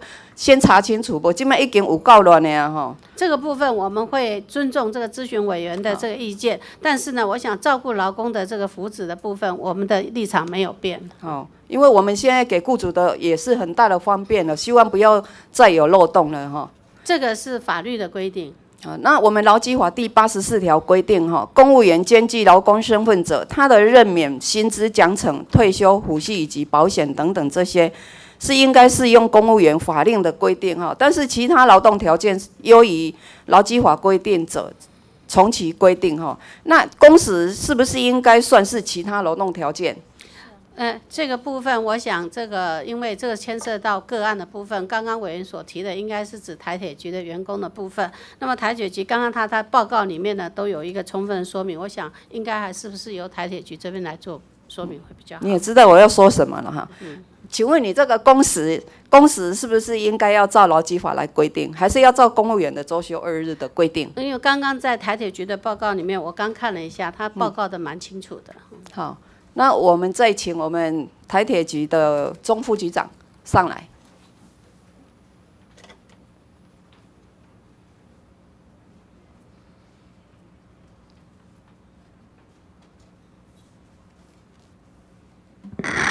跟委员报告哈，其实这个工时我们都是依照现行的法令规定了哈来排了。当然就是有超过的部分，我们就依照啊这个。劳基法规定每月的工时是二零六小时嘛哈，但是我们台铁员工的工时是两百四十小时嘛哈，安内安内刚违法，有没有明显的违法？这个有，我们会依照，因为每个班别不太一样，我们有日有正常班制，有 A B 班制，也有轮班制了啊。那基本上每个人的每天的工时都在规定的标准里面。那超过的部分，超过的部分，我们会给他超时啊加给了。基本上讲，目前的规定哈啊是没有超过这个这个法令规定的限制。咱代替的员工一当是两百八两千八百八十个小时嘛，哈，那一般的劳工是两千一百六，所以高出很多嘛。那这个我来请问部长，血汗的台铁这些员工，这个洗手，敢爱改？这个部分我们有拜托这个呃台铁的部分，希望他们能够透过两种方式，一个呢就是能够增加人力的部分，一个呢就是针对他排班的方式能够再予以妥适的调整。我想这部分我们行政机关的这种联系并未曾中断过。哦，那再请问副局长，台铁员工在深夜的时候，伫咧车站内底待命，这样交通部说这样可以休息，不算工时啦，哈，安尼敢有合理？伫咧车站内底在等台的时，会当算休困吗？他可以真的完全能够休息吗？事实上，我们是有算工时的啦，有算工时，有算在里面。认知上可能有一点差距啦。嗯，哎，因为劳动部说例例假日的原则啦，哈，是零到二十四小时嘛。啊，什么？为什么是原则？例外是什么？嗯这我说明一下。啊，因为原则上我们当然是这样，可是因为有一些不不像这个台铁这样它的业务特性，所以我们是采取二十四小时营运的方式的话，我们就允许它，如果是配合它的业务特性的话，可以，而而且它又是实施一个固定的一个轮班制的，那我们这是有规律的，我们就可以同意它是只要连续二十四小时，我们就是当做一天了。但是我们刚刚有说明，我们还是希望啊台铁局这边能够尽量啊能够排出一个完整的日历天啊，让这些同仁有一个。呃，完整的日一天的休息。因为这个确实的时间，你如果没有真的，因为他下班以后，他还有时间要回到家嘛，然后来上班的时候也是需要时间嘛。所以你如果没有真正能够休息到二十四小时的时候，我们是，我们想说他是不是能够得到真正的休息？这部分我们这个他是有休息二十四小时啊。好，我们的解释上就是必须要连续二十四小时。好，好，谢谢。好，谢谢。我们结束周陈秀霞委员的质询，下一位，请啊邱太元邱委员。好，谢谢主席。不好意思，就是请部长跟呃周署长。请部长周署长。好，嗯。好，喂，你好，嗯。你好，你好，辛苦了哈。那看第一张，好的。不晓得部长有没有了？应该你们很了解那个团，我先。另外一个主题了哈，团体年金保险，我们都知道年金现在在改革，那我们就希望把基础做大，好，以免说你没有一直没有开源，一直节流，大家也觉得不好，所以不晓得，嗯，连团体年金保险部长这个部分有没有听听过？有有有，哦，那是这样子，那个。我们过去团体保险是没有包括团体年金保险哦，所以在上个会期，呃，本席在财政委员会针对这个一直执行跟努力的哈，看起来财政部后来在一月三号把它列入团体年金的保险，把把团体年金把它列入团体保险。嗯。那所以反过来，劳动部这边是不是有跟着跟进呢？跟进来了解这样一个情况哈？那可能在你们的规定条例里面呢，是不是有把团体保险，是不是有包包括团体年金保险？呃，跟委报告，这个部分的确刚刚说的，这个是在财政部针对他的盈利事业所得税查核准则里面，他把它放进去。如果你保的是一个团体年金保险的话，它是可以列入它的一些费用的支出了哈。但是呢，在我们的这个部分呢，我们并没有说呃阻止他去参加这一个呃团体年金保险。那据我的理解是，目前是不是有一些实务上有一些啊职工福利委员会，他们打算拿职工福利金去啊动资，然后。后呢，去参加这个团体年金保险，但是呢，可能在保险的这个争取的过程当中呢，好像会有一些些的困难。我想这个部分呢，我的理解，我是不是也在跟这个呃经管会这边，我们再来讨论看看，因为保险这是属于啊经管会这边的业务，我们再来讨论看看能给他什么样的协助哈。呃，因为这个我们现在一直在努力，希望退休后的一个所得替代率能够提高了哈。所以这个部分是一个，也是一个处方。那既然已经开，大家愿意开出来来使用的话，哈，是不是劳动部这个部分好好的审慎，对它的可行性？好，那甚至如它好多会鼓励，那也牵涉到保险啊，那也牵涉到我们这边的职工福利金的这个运用。所以我们愿意再跟这几个单位，我们再来洽商看看。好，那你们研究一下哈，那过一阵子可能我会再请教一下进度。好，没问题。我们一有结果，我们会跟委员报告。好，谢谢哈。那我们看。下一个哈，那我想请教那个署长哈，周市长，那个 针对一例秀这个部分，您有先导期跟辅导期 这个部分进行的顺顺利吗？还有没有更精进的方案？是，呃，报告委员，有关宣导的部分，呃，您特别关心的那个医疗保健服务业，我们跟卫福部已经合办了将近十场的宣导会，但当然这个一定是没有办法到达每一个呃医疗保健服务一个诊所，那我们宣导部分持续在加强。那针对辅导的部分，我们已经拟定了计划草案，应该在四月一号开始启动。那主要的部分也是针对三个层次，一个就是主动的临场辅导，我们会把针对高峰高工时的产业跟过于疲劳的产业，我们作为我们临场辅导的一个对象。第二个是集体辅导，包括刚才提到是医疗保健服务业、观光业，或是有区域产业特性部分，我们这请他们一起来，我们用检查员的角色，或是呃。呃，行政机关角色跟他跟他辅导说怎么样做排班的制度改变，或者是说这个工时的的调整。那第三个就是申请辅导，我们治安署的一九五五的专线直接可以受理事业单位跟我们申请，我们可以主动去辅导。好，那辅导的计划我们定的蛮详细的，未来会按照这个计划来进行报告。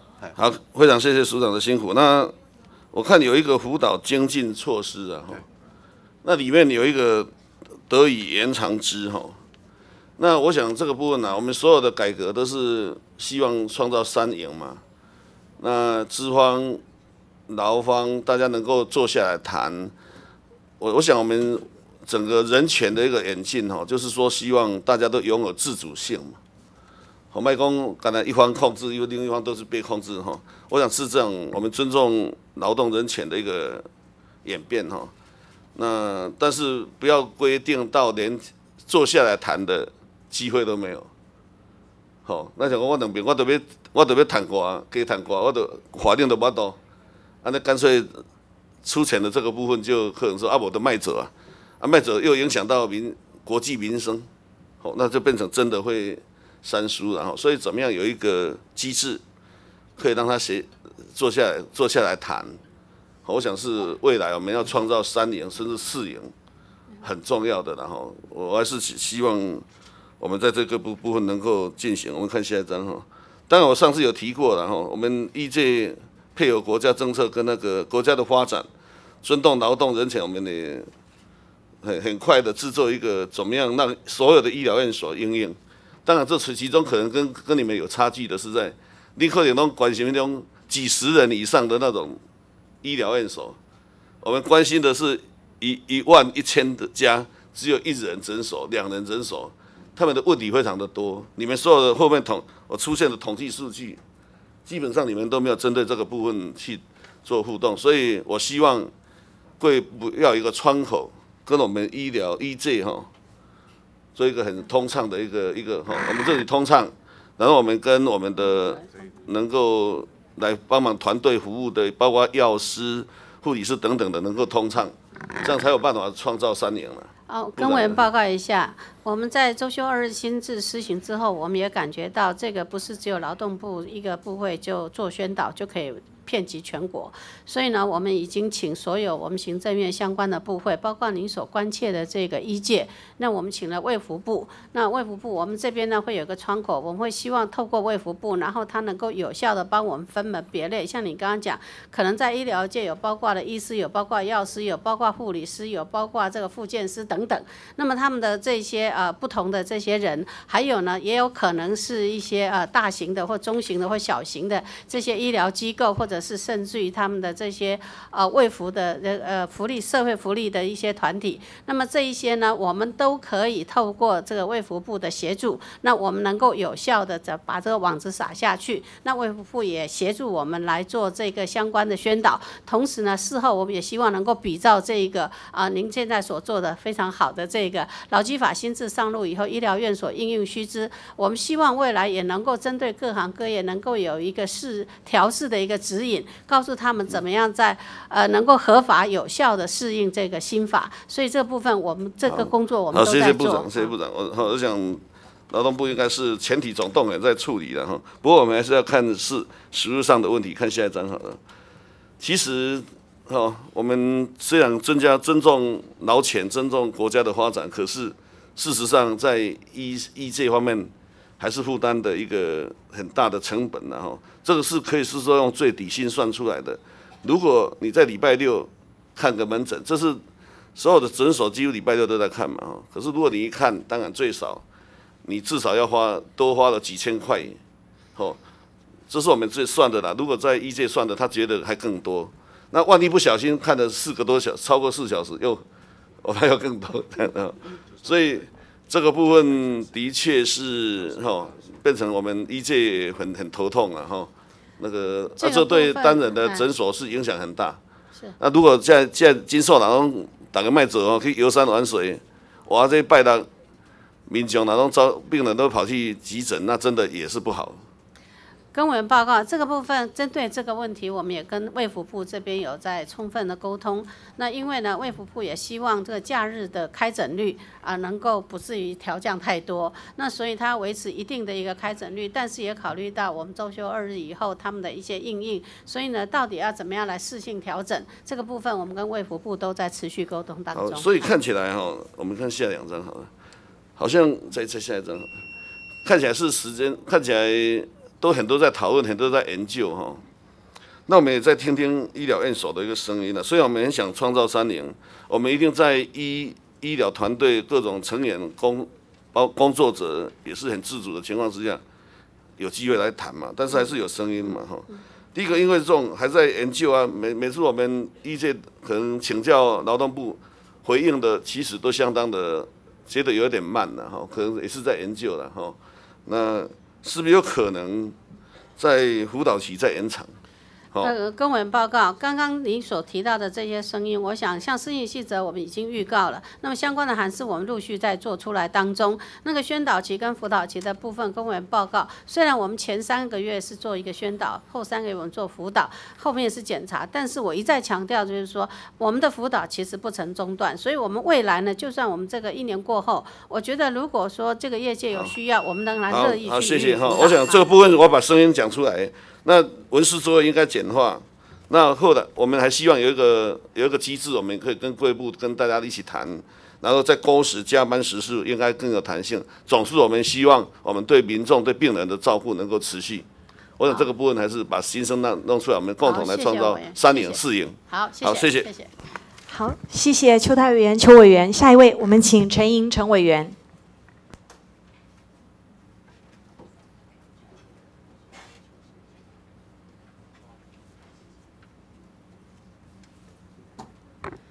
主席，请台铁副局长。好，请副局长。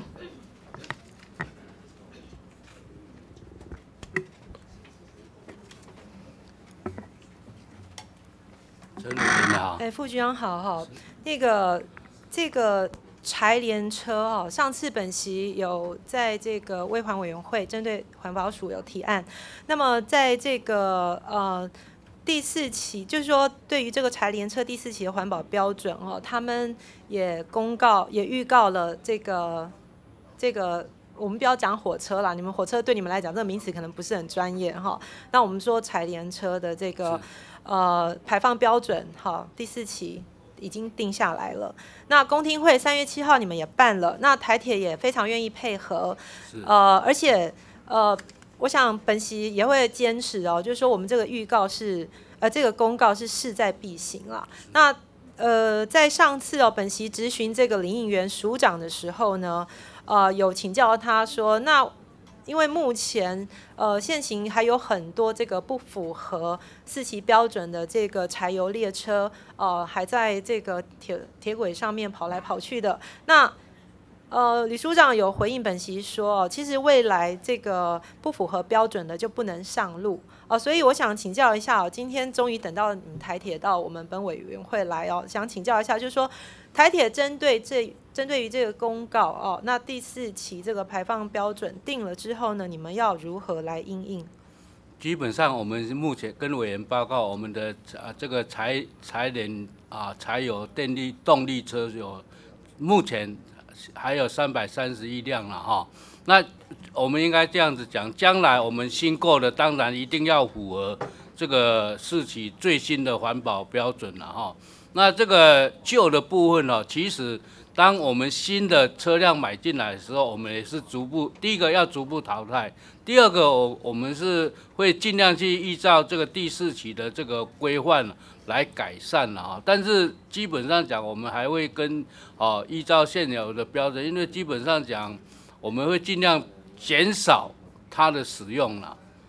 但是在车辆还没有完全进来以前，我们可能、呃、局长呃那个副局长哈，我想请教就就是说我这样听哦，其实呃本席这个提案哈，你们也不要高兴的太早，并不是说可以让你们无限上纲的不断一直花了巨额哈。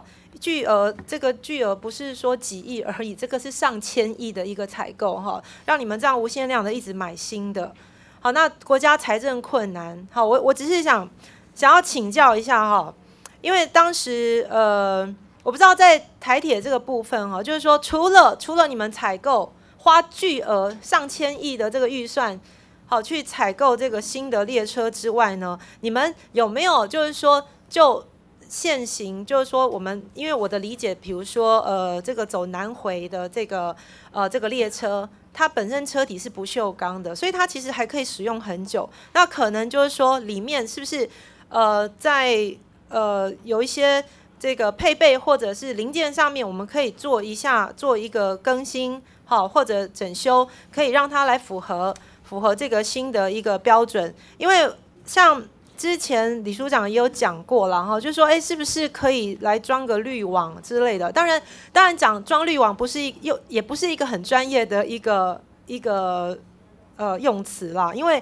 毕竟你装滤网不可能达到四期的标准嘛。那本席的本本席的经验是说，像现行有很多这个高级的这个呃汽车，比如说 B 开头的哈，它就有这个呃使用这个柴油。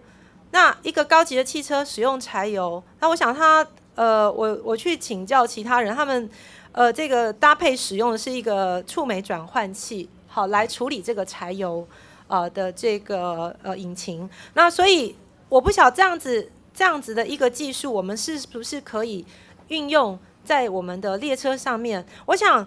呃，我们应该用一个比较经济实惠的方式，而不是说因为因应了这个公告，我们就全面采购新的。那我觉得，我觉得这个，因为我对台铁的采购，我是相当有意见，因为中间有一些奇奇怪怪的事情。好，这是第一点。第二个，真的有必要要花到这么多钱来？来采购新的列车吗？而且当初你们那个在在这个嗯三条观光路线哦，就是这个平西内湾集集的这个原来哈，原来这个编列预算编列了这个六十亿去采购了这个五十辆的列车，结果当初你们花这个六十亿的这个巨额，也是买的买这个排放标准也是没有没有很先进。那再想一想啊，如果你给我五十亿，我可以在台东盖一个文化园区，诶，台东原住民的文化园区、南岛文化园区。那这个文化园区一来可以保存推广原住民的文化，然后我们又可以赚钱回本。那我不知道依照你的这个呃经济效益的评估，你花了这个五十呃这个六十亿，现在应应了这个要应应这个公告啊，你们又要去。增加十亿左右，再去换这个买一个这个呃全部更新，然后买一个更贵的这个列车。但是我不知道，我不知道这个这个整个的效益在哪里？整个的呃，我想整个这个嗯观光的，后你们在观光的这个预算上，还有整个的这个发展上哦，东东西是非常失衡的。跟委员报告，我们现在目前哈，基本上讲。通通整个路线通通要电气化了哈，那我其实我们这个新的一个购车计划是总共九百九十七亿里面，过这个啊才有才有，因为现在只有三条支线，刚才委员报告的这三条支线呢，有是因为还没有不是电话区间，所以说它还要用柴电哈柴电机车头来拉哈。这个，那其他的部分像南回，我们现在铁工局也在积极在电气化嘛。未来整条哈主线好，来我们讲一下全面电气化的问题。来，我请教你哦。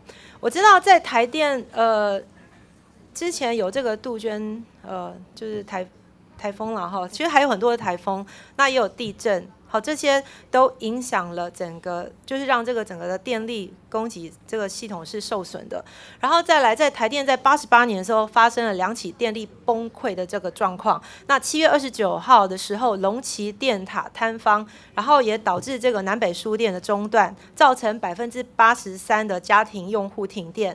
还有九二一的地震，也造成百分之二十九的这个呃电户停电哈。那上面我刚刚提的这几个状况哦，就是造成这个数天或甚至数周的断电状况。那我们再想象，未来台风不可能不来，而且也没有人敢保证未来不会有战争的发生。那我只想请教，如果你全面电气化之后，如果上述这个电力受损的状况又发生了，你们要怎么应应？你们是不是应该保留部分的这个柴油柴油列车来？针对作作为这个不管是人或物的一个运输的一个纾困的替代方案，就就是基本上它叫做柴电机车嘛，哈，就是如果是这样子的逻辑的话，它如果电力用不上的时候，柴油也可以来替代嘛，哈，在原则上是这样，但是，呃，委员你提的这个问题啊，是一个比较大的一个问题了，哈，应该。如果如果这个问题当然很大，因为台风 每年都会有啊，地震也每年都会有啊。这个台台如果电力有中断的时候，那基本上讲应该哦，我们会跟台电积极来协调嘛，赶快一它一一定有备用的电力嘛，呃，当然这个地方坏掉，它有啊其他的备用电力来支援嘛。呃，备用。备用电力如果发生是在状这个比较严重，而且时时时间比较长的一个状况，你觉得这个可以可以解决可以解决这个问题吗？这个需要再评估了。哦，所以我想本席在这边要求，就是说刚提的这个你讲的呃很严重的问题。所以你们应该好好去演绎，就是说，在全面电气化的同时，是不是我们应该要保留一定的数量、一定比例或一定能量的这个呃，不会因因为就是说这个电力中断，然后就整个这个台铁交通就瘫痪了的一个状况。我想本集在这边提的是一个很严肃的问题，所以我也希望你们回去好好的演绎，好就针对这个部分。是好，那呃其他。另外，电力，你讲到电力的问题我想下个礼拜我们可以再来安排，好配合环保署，我们再好好讨论。谢谢。谢谢。好，谢谢。我们结束陈英成委员的质询，下一位请林淑芬林委员。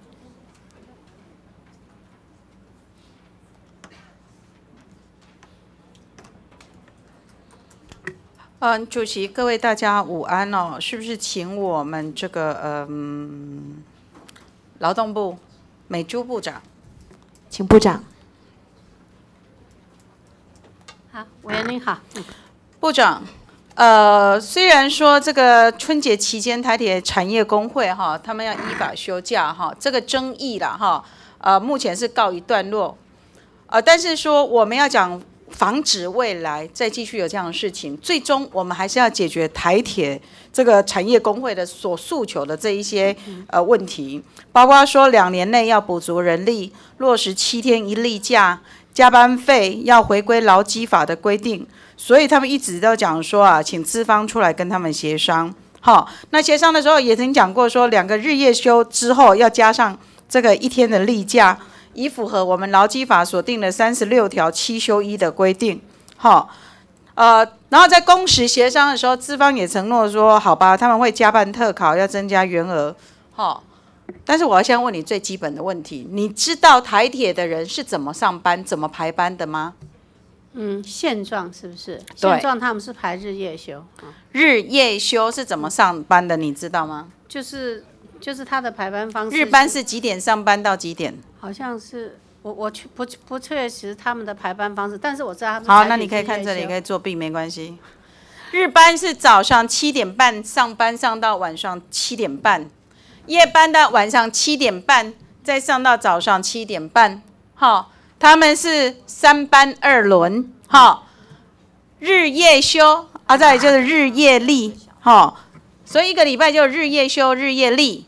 可是我们看他的利和休怎么排，其实他排下来照这样子看起来好像没什么啊。你看三天里面两天做完，一天就休了，做二休一啊，看起来是不是做二休一？你看他的月排班表，看起来是做二休一，可是你再看他月排班表是全年无休。为什么全年无休？你知道这群人为什么这么想要透过这种非常手段告诉全台湾人说，他们真的很辛苦？因为全年无休，日夜历，日夜休，一个周期是日夜休，日夜历，它是这样子的。从这里开始好了，白天七点半去上班，上到晚上七点半下班，然后隔一天在晚上再上七点半，再上到这一天的早上七点半。他休的那一天，休的那一天，他其实还继续上班，上到七点半呐。他从凌晨零点，他上到早上七点半，所以那一天他根本没有一天，他是七点半下班以后就开始算休假，然后休假休到隔一天的早上七点半，所以就这样子，他的例假也是一样，日夜例。他这里是。夜班上到这个早，例假日的早上七点半才下班，七点半才下班就说你赶快不要睡觉，赶快出去玩，因为你只有二十四小时。然后到隔天的礼拜一，天哪，你七点半跟平常一样又要来上班了，这样子叫做二十四小时。他说这样子就叫休假。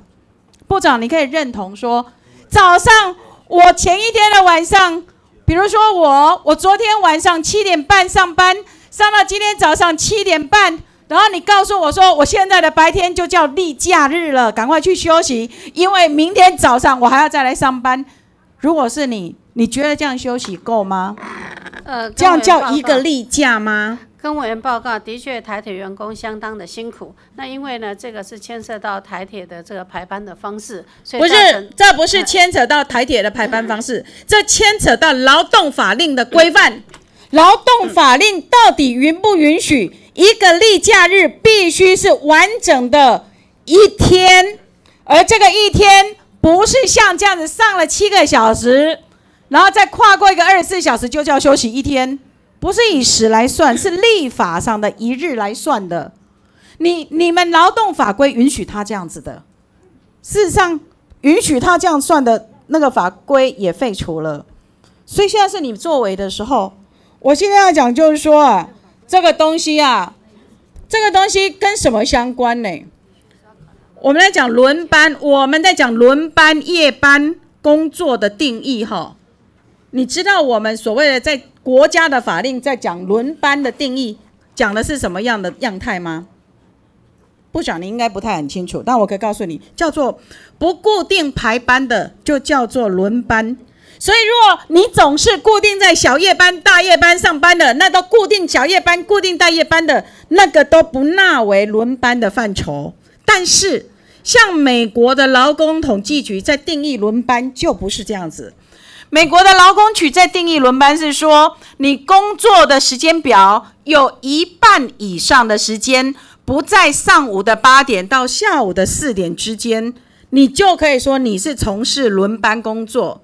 这个重点在哪里？重点就是你在晚上夜间，特别是跨过立法上一日的中半夜十二点，跨过那一个夜间的在工作的这种高风险，所以要纳为轮班的这个统计和这个定义里面。所以如果按照我国这么宽松啊，固定大夜班的这种，其实是最压力最大的。固定小夜班的，其实健康风险最大的，但是它是不纳入统计。我国就说啊，这种轮班工作只有十点九三 percent，大概是八十一万人。但是如果按照美国劳工局的定义，我们从事工作在一半以上的时间是不在早上八点到下午四点之间的比例有二十一点三六 percent。全体受雇八百万的劳工里面，大概有将近一百五十九万。其实是在这一种工作里面，那这个东西跟劳动部有没有相关？有这种人呐，这种人里面夜班工作，他会容易感到疲累。事实上呢，呃，轮班工作哈，它其实是体力负荷很大，精神负荷很大。那职业医学科科啊，他们有在研究这种昼夜节律不协调是造成轮班工作形成疾病的原因。昼夜在这个所谓的职业科里面啊，假他们最常引用的假说是昼夜节律不协调是造成睡眠障碍、食物摄取量的增加。心理压力及社会不平等现象的主要因素。职业医学科研究，轮班可能增加高血压的风险。长达十二个小时的夜班工作，导致血压上升和心跳加快，心率变异性改变。另外一方面，也发现三酸甘甘油脂的提高也是非常明显的。那有学者许生燕哦，他在二零零三年做夜班及轮班工作者的健康问题，他发现有三个方面呢可以呈现：一个是生物学的，一个是医学的，再一个是社会学方面的问题的交互影响。结果是疲惫的感觉，导致工作者不愿意继续从事这类工作。包括哈，在生物学上是睡醒周期失调、中枢体温和生活作。息啊相违背，哈，医学上是生理病症，如消化不良、血中三酸甘油脂含量太高，哈，社会学上包括这个无法参与正常性的社交活动和家庭生活，造成家庭及社会生活中的角色功能失能。好，我现在要讲 WHO 的讲法，WHO 他们提出了一份报告，认为上夜班会增加罹癌的风险，而且将轮值夜班列为导致人类罹患癌症。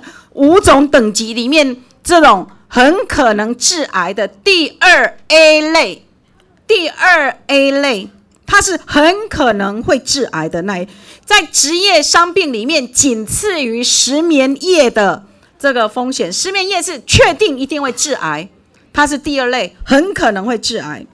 在丹麦政府里面有曾经对四十名的乳癌妇女做出赔偿，因为。他们都是长期轮值夜班后罹患乳癌。我们今天讲说这个跟职业伤病有关。我现在要告诉你哦，治安署在一百零三年曾经到台铁去做过他们的这个治安检查，嘿，发现什么现象？可不可以报告一下？治安署对。谢谢委委员这这个案子，我们在一百零三年，我们有健康服务中心亲自到台铁。做访视，当时的劳那个台铁局劳工有一一千五百八十五位劳工，他中高龄部分，我四十五岁以上就占了五十 percent，所以看起来台铁本来就是员工就是呃三高就是高风险群。那我们呃在 screen 他的那个健康检查资料，台铁是确实让劳工有百分之百的做健康检查，不过检查检查结果确实是呃脂肪肝、呃胆固醇跟那个腰围比例这些都是偏高的，所以我们。在那个时候，就希望台铁局积极在做所谓的健康管理，依照我们《治安法》第六条第二项的规定，做好健康管理，预防像这样的劳工，他其实其实那个心血管疾病的风险是比较高的。但是你们发现什么问题？你们发现台铁对于员工的体检结果，你发现他是无法自主执行健康管理的。台铁的资方。我们职安法刻以雇主必须要有这个职业安全的预防措施的责任，法定责任。但是你们去职安署去检查说，台铁的资方并没有能力，无法自主执行健康管理。而且你刚刚讲的太客气了，他们整个台铁的员工里面胆固醇异常的比例八十五 percent，台铁的员工十个有八点五个都胆固醇异常，而胆固醇异常会跟高血压联动。这个职业病学上都讲了，然后呢，有一半十个两个就有一个是脂肪肝低密低密度这个脂蛋白胆固醇与腰围异常。我们今天讲说，这个跟劳动部有关的在哪里？这这是一般健检，我们在治安法里面比较讲特殊危害要高风险管制，但是一般健检是自主自主业者自主管理，结果台铁根本没有能力自主管理，我在这里要求劳动部。把这一种夜班轮夜班的工作者的一般健检纳到特特殊危害里面，劳动部治安署要进去管理，而不是放任业者自主管理。更何况业者是没有能力自主管理的，可不可以？呃，报告委员，因为我们依照我们的治安法第二十条规定，一般健康检查跟同从事特别危害健康作业的特殊健检，确实是要我们要积极管理。那台铁部分，我们现在是确实它有呃噪音作业的跟粉尘作业是有纳入我们特别危害健康呃的的管理。我们现在最大的问题是？什么？你知道吗？就是整个国家对轮班这一件事情的严重性，对健康风险的危害，你并不认为它是一种危害，在整个国家里面还认为说它的危害不是一个危害，其实连调查都没有，连公共卫生上的调查都没有，然后也没有掌握顾现在所谓的自主管理的这些业者所掌握的资料，所以不知道危害，很难调查。我们现在希望纳管，全部都纳管。包委员，您您给我的建议，我们会再找专业学者来做很谨慎、赶快的评估。因为您刚才讲没有错，就是特别危害的轮班，可可是不在我们现在所定义的特别危害健康作业这部分，我们希望说能够做比较修正是修正。那我现在讲啊，部长还有呢，轮班工作应确保有十一个小时的休息时间。我们修法刚过，可是呢，实施日期要留待行政院颁定。哎，你看他们，你看他们，确保八个小时，他换班的时候，有时候还没有办法休息。好，那请问这个十一个小时什么时候要施行？轮班工作的换班？这个部分我们现在已经在邀请各个部会给我们提供一些意见，那么同时我们也都在对啦，什么求时候了？各方的大概预计的期程是什么这时候？这个部分，我觉得我们还是要有共识，以后我们再来做。那意思是说这一条要冰起来了，因为这个在第八届不会到这种第八届嗯行政院自己提出来的版本，就是轮班工作，确保十一个小时的休息时间。以前的行政院版就跟资方讨论过了，都愿意这么做了。结果我们现在法让它通过，竟然被冰封起来，这是一个大问题。另外，回到我刚讲的日夜例、日夜休、日夜休、日夜例，所谓的例假，完整的一天要不要给台铁的员工？我们的法令可没有说完整的一天是可以这样子，这个叫完整一天吗？部长，这是全年无休，连续二十四小时，因为对不是连续二十四小时，连续二十四小时依据在哪里？这个是过去我们大概有不要讲过去，要依法行政，依法有据。你现在告诉我，每天上工叫做休息连续二十四小时，他的意思是说，周二例假日，我昨天晚上七点半上班到今天早上七点半，我现在就开始算休假了，休到明天的七点半，我又要上工。你觉得这样子合理吗？这个就是针对台铁全年无休的班表这个部分我们愿。意再跟这个铁路局这边在不是铁路局，这跟铁路局无关。你要解释例假日是什么叫例假日？我们现在把七休一搞定以后，你现在在搞什么叫例假日？可以这样全全全每全年都在工作，就叫做已经休息了吗？这样子叫做做二休一吗？部长，不行，依法有据。什么叫连续二十四小时？那个法律已经没有了。不能允许连续二十四小时，要算天的。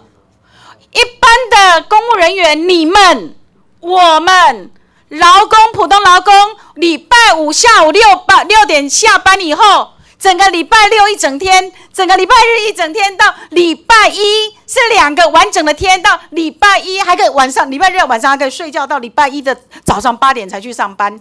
可是你让台铁的人昨天晚上才刚上班，到今天早上就叫他明天早上就要来上班，这样叫做一天吗？我才刚七点半刚下班，现在就是我的休假日，叫例假日，叫休息日，这样子行吗？台铁的争点就在这里嘛，这是劳动部管的，跟台铁无关。劳动部认定台铁这样子是可以的，是你们的完整的例假，那台铁当然不违规。部长，你直接回应林委员这个完整的二十四小时解释的依照。目前的解释是这样子做，没有依据哪一条法律、哪一个行政法规、哪一个行政函释？来，请司长说明一下。司长哪一个？我想跟委员报告啦，因为劳基法的确是在三十六条讲七天有一天的休息作为例假，当然一个例一天的休息，这个例一天当然是指例日，例日但日是对，的对确是考量到没错，的确很多事业单位有一些业务的特性。因为业务的特性，它采轮班的一个一个一个人家其他轮班的很多电子业也轮班，工厂也轮班，没有人像台铁这样子轮的嘛。所以当然，我们也是希望事业单位能够安排一个完整的例日。对让对，那他现在就没有，他是全年无休，那怎么办？所以这部分我们也在跟要求些事业单位都朝什么要求事业单位？你的法规才是问题。你到底把一个例日连续二十四小时就算一个例假日的这个东西已经作废掉了。你知道那个源源头是来自作于废这个七休一行政院的函释，那已经拿掉了，没有函释了。有这你要重新还是有责任都在劳动部身上。你们要这样子让这样的班表合法化继续下去，违法还是要解决这个问题，是劳动部的责任，不是台铁，是劳动部法规的问题。这个问题我们不会放弃的，我还会继续。在这里都不愿意承诺，都不愿意承诺给台铁的员工，不愿意承诺，不愿告诉全台湾的劳工说，我们一定会给劳工一个完整的例日的例假，连这个都不愿意啊！部长，我想这个部分呢，你们应该回去好好检讨一下。确实，这个台铁这个加班的问题、排班的问题，事实上是非常严重。我觉得有必要去再进一步去检讨，好不好？当法律规定是一个完整的例日的时候，他就不会这样子排了。所以我们在讲的是为什么要这样要求，是因为健康的风险，这是天天上班呢、你可以天天上班吗？你部长都没有，这些公务人员都没有，其他劳工也没有，你让他们天天上工，全年无休，这个健康的风险，健康风险，如果他告国赔，告国赔，或是告告铁路局，到时候谁要赔？铁路局就是涨价嘛，全民赔嘛。告国赔说制度这个代乎职责，然后让他们违法到底，国家赔就是人民赔嘛。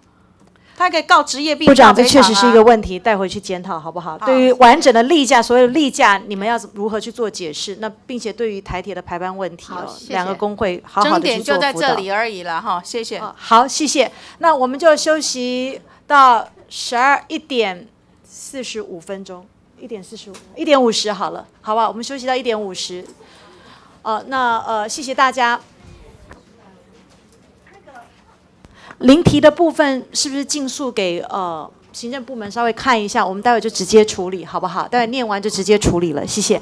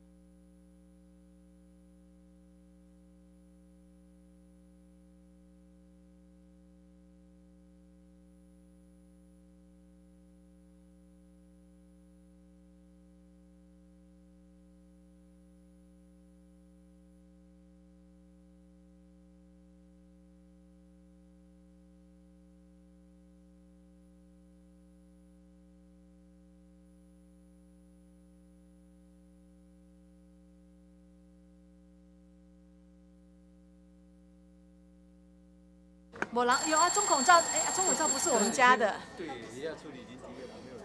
好，呃，有没有人？可以先念吗？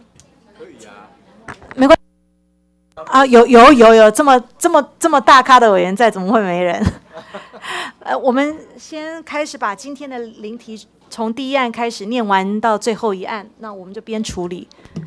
立案，铁路局内部的相关劳资协商中，过往只邀请台铁企业工会参与。然而，于二零一六年八月，台湾铁路产业工会成立后，对于改善轮班制度、调整工时及加班费、工会架构改善、工会资金运用透明化、基本福利争取以及提高劳动权益知识的目标上，皆有清楚的论述与具体的行动。基于广泛基层建言，有助于提升劳动环境，促进劳资和谐。请铁路局未来计划召开任何形式之正式劳资协商时，应将纳入台湾铁路工业产会工产台湾铁路产业工会纳入劳方代表。提案人委员陈莹、陈怡民、吴玉琴、林代化。第二案。台铁局目前劳动力严重不足，导致劳工往往需牺牲假期为大众服务。台铁局新进人力需有时间及经费等考量，因此应规划以自动化来解决一部分现有人力不足问题。以上规划，请于两周内（一百零六年四月六日周五前）送立法院卫环委员会及本办公室。提案人委员陈莹、陈一鸣、吴玉琴、林代化。第三案。台铁局劳工往往需牺牲假期为大众服务，台铁局需兼顾交通运输使命、劳工权益及大众交通便利。劳基法修正案已于一百零五年十二月二十三日生效，台铁局应配合法令新制上路，就劳工工时、排班及休假事宜与保障劳工权益之前提下，妥善安排以上排班。休假安排，请于两周内（一百零六年四月六日周五前）送立法院卫环委员会及本办公室。提案人委员陈莹、陈怡民、吴玉琴应代化。第四案，经查劳动基准法第三十之一条，经中央主管机关指引之行业别雇主，经工会同意，如事业单位无工会者，经劳资。会议同意后，其工作时间得依四周变形工时制度进行工时之挪移。另，劳动基准法第三十六条仅明定劳工每二周内至少应有二日之例假，并无劳工不得连续工作超过十二天之明文限制。致劳工于雇主指挥监督下连续工作二十四天为法所不禁，为。为落实劳动基准法第三十六条之立法理由，休息日应使劳工休息为原则，工作为例外。为促使劳工能够明确获得相关自身自身权益、劳动权益之保障资讯，之原之请劳动部尽速与各大专院校经指定适用四桌变形工时相关行业别系所、产业工会、职业工会与。企业工会合作办理北中南各地劳资会议，办理办法主题说明会。提案人委员陈曼丽、陈莹，联署人委员吴玉琴。第五案，根据媒体报道，现行四周弹性工时恐导致劳工连续上班二十四天班的过过劳困境，建请劳动部就现行四周变形。目前实行状况是否妥妥适？连续上班二十四日之情形合理进行检讨，并于一个月内向委员会提出书面报告。提案人委员李彦秀、陈怡民、徐志荣、蒋万安。第六案，现行劳基法三十四条，以去年于以去年十二月。九日通过，迄今四个多月，但劳动部对实行时间仍未确定，且仅于二月二十日征询各部会意见，态度消极，建请劳动部于一个月内向本委员会提出书面报告，说明今年度针对劳基法三十四条之沟通计划之沟及沟通目的，尽速定下劳基法三十四条实行时间。提案人委员李彦秀、陈一鸣、徐志荣、蒋万安。第七案，台铁局已经落入运量倍增、能力腰斩、离职率高的恶性循环窘境。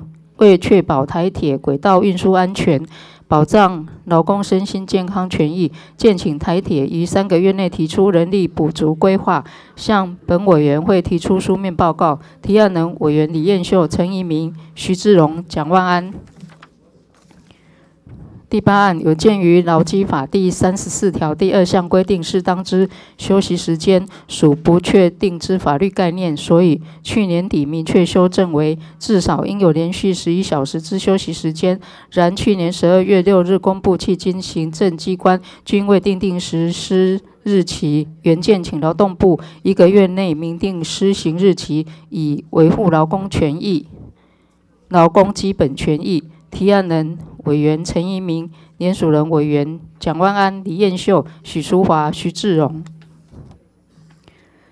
第九案查劳动基准法第三十六条规定，劳工每七日应有二日之休息，亦即一日为例假，一日为休息日。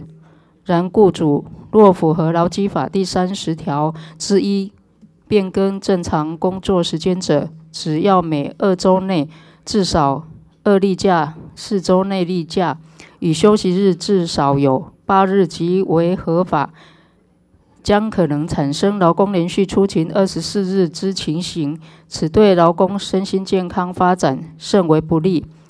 原要求劳动部针对适用四周变形工时之劳工，可能连续出勤二十四日之情形，提出检讨及防范措施，以维护劳工身心健康，并于二周内。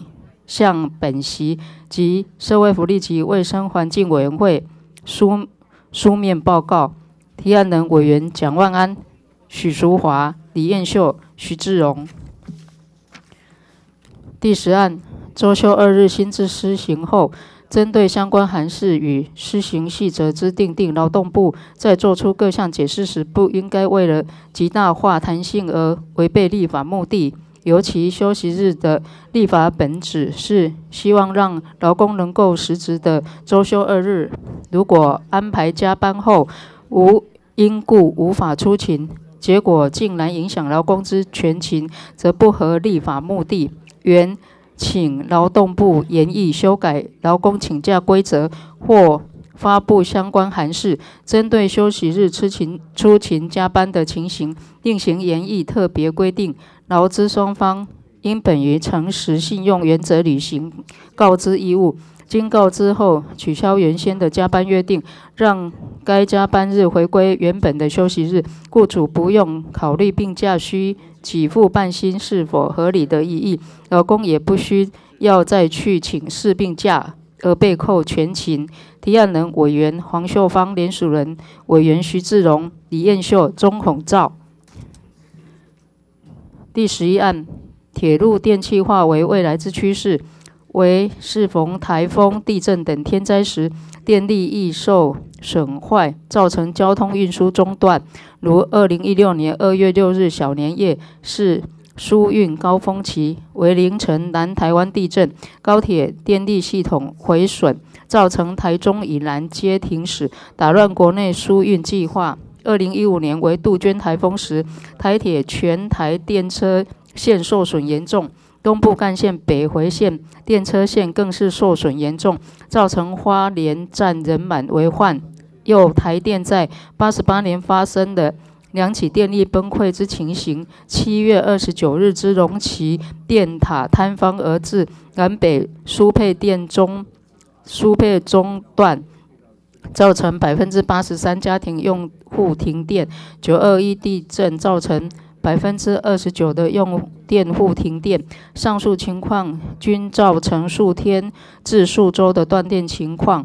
考量台铁规划全面进行电气化，为避免全台铁路电气化后，因台风、地震、战乱或其他事故造成电力中断状况，造成国人交通上之不便利。原要求台铁在铁路电气化之同时，应保留一定比例且符合环保标章之柴联车，必作必立作为高铁或台铁电力受损。国内交通运输中断时因应之用。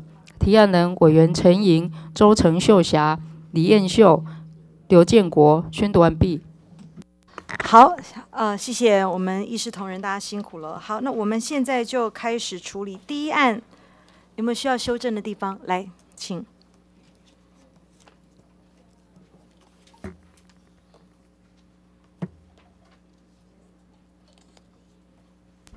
主席、各位委员哦，关于第一案跟台铁有关哈，那里面谈到的，就是说应该在任何的这个劳资协商会议的时候，要把这个我们现在新进成立的铁路产业工会的啊，这纳入协商。但是现在目前依照现行的法令规定，就是依照劳资会议实施办法第五条的规定呢，哦，这个。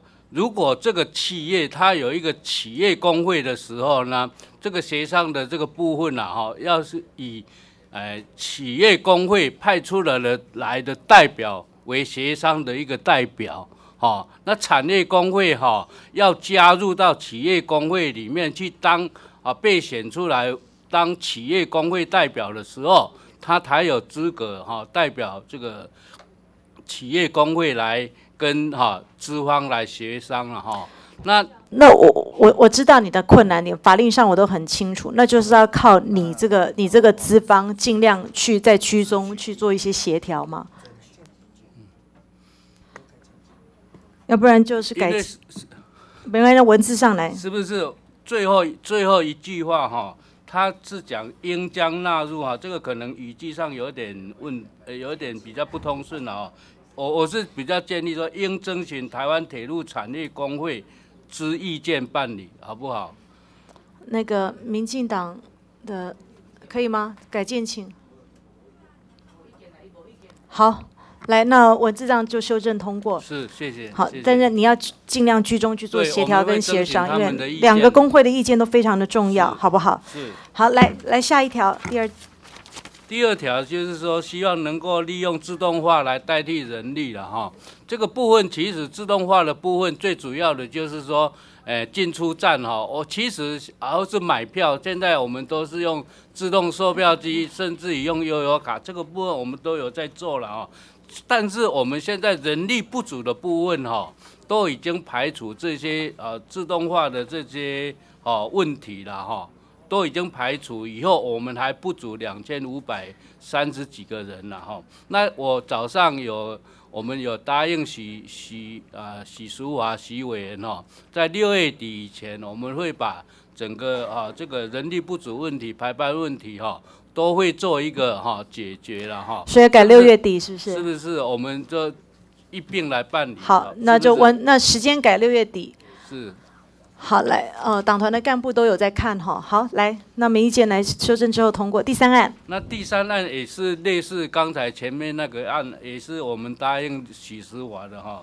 他是我们都是在六月底以前哦，把所有的啊排班也好。人力的一个啊处理情形啊，做一个哈啊详细好，这大概是今天来咨询的委员都有关注哦，就一并大家需要去联署的，就麻烦大家在现场委员就一并联署。如果大家关注这个议题，好，谢谢。来第五案，第四案。呃，跟委员报告哈，文字建议修正哈，在第三行的部分，原之请劳动部。于办理劳资会议宣导活动时，好邀尽速邀集各大专院校相关工会参与。那这部分有跟委员您沟通过了。好，来，那文字没意见通过。好，来第第五案，第五案修正两个月，一个月改两个月，可以吗？OK，好，文字意见来没意见通过。来第六案。第六案没意见。可以，好，来第六案通过，第七案。第七案，没意见。好，没意见通过。好，第八案。跟委员报告第八案的部分哈，因为这个呃劳基法三十四条的实行呃实实施日期是由行政院来核定，所以建议在第二倒数第二行，建请劳动部两个月内定出施行日期报行政院。以维护劳工基本权益。两个月是不是？两个月内定出施行日期，报行政院。好，谢谢。好那另外这个第三行那个应该是十二月二十一号，好不好？不是十二月六号。十二月二十一号，好公布那个日期。好，OK。好，可以，好公布可以好，谢谢谢这就很明确。来，第九案，第九案我这边，呃，跟委员报告一下，第九案倒数第二行，并于两个月内向本席及社会福利委员拿掉哈，社会福利及卫生环境委员会提出书面报告。好，时间两个月，可以来，谢谢。没意见，文字通过。来，下一个案子，第十案，第十案需要念一下，就就文字修正，请劳动部研议修改劳工请假规则，或发布相关函释。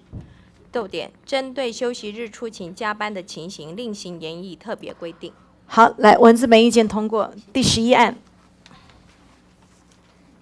跟主席委员报告，我们是不是加两个字在最后第二行的前面的应研议，好不好？加一个研议，好不好？好研议保留，这样子的话比较有一点弹性。我们回去以后，我们会做整体的一个评量，是不是？陈英陈委员很关注这个案子，你不要只是不断的研议而没有结果。研议还是要有点拘束力啊！陈英陈委员刚才赖我，还特别拜托说这个案子，好不好？要要要不是委委呃主席，因为委员啊，他有提到说最近他也会再召开一个这个，是不是？我们先用严厉哈，那他召开这个，他也有想希望再召开一个会议来讨论嘛哈。那讨论如果有比较具体确实的一个，那时候再好，谢谢副局长。那拿出你的积极度，好不好？好，来谢，那就用言言议两个字哦。那请党团那边来，那时间点呢？副局长，时间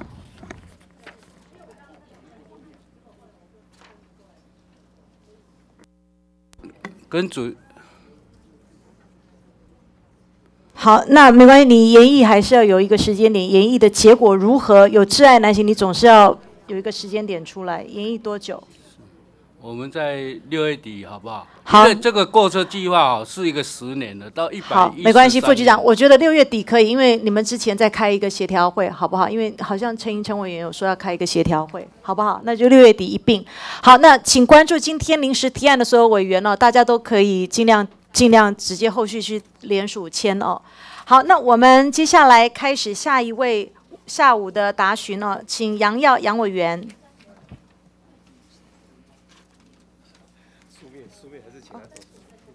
我给你那边，我那边我叫。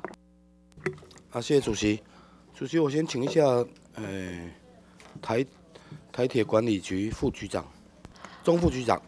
好，请副局长。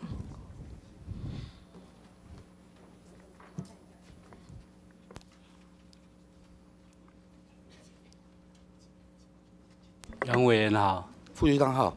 是副局长，我我先请请教你一个问题哈，就是说，因应新新修正的劳基法，未来每个月只能够加班四六个小时，对不对哈？是是。那预估台铁大概还需要补充多少人力？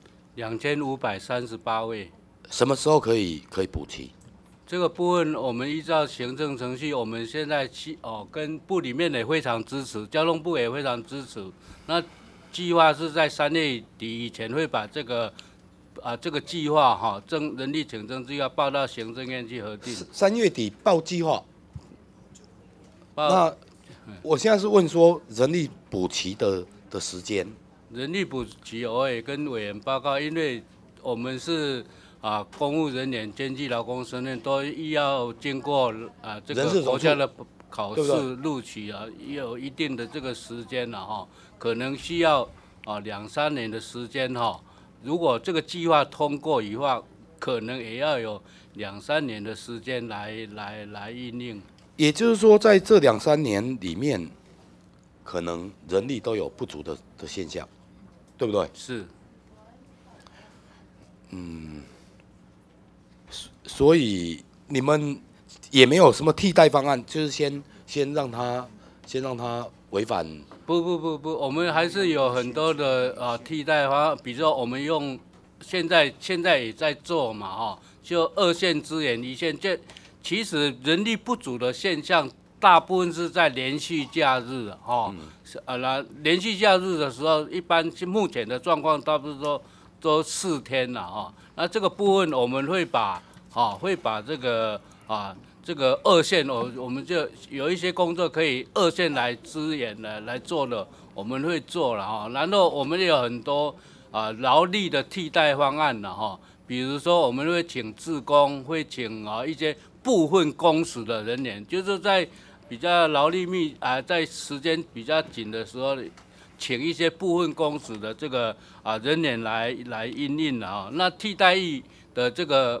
办法里面哈，替代役实施条例里面也有规定，这个部分我们也有申请了，多方来副局长应用目。副局长，副局长，我我提这个问题哈，最主要是要要跟你讲说，其实运运输业哈超工时其实是很很严重的一件事情哈，所以你们回去赶快赶快赶快把把最妥善的方案。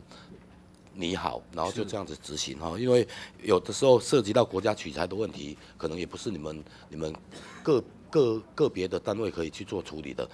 我另外问一个问题哦，就是我我发现你们目前是是以就是从一九八八年台铁局跟企业工会协商了一个日夜休的的这样子的一个排班模式，对不对？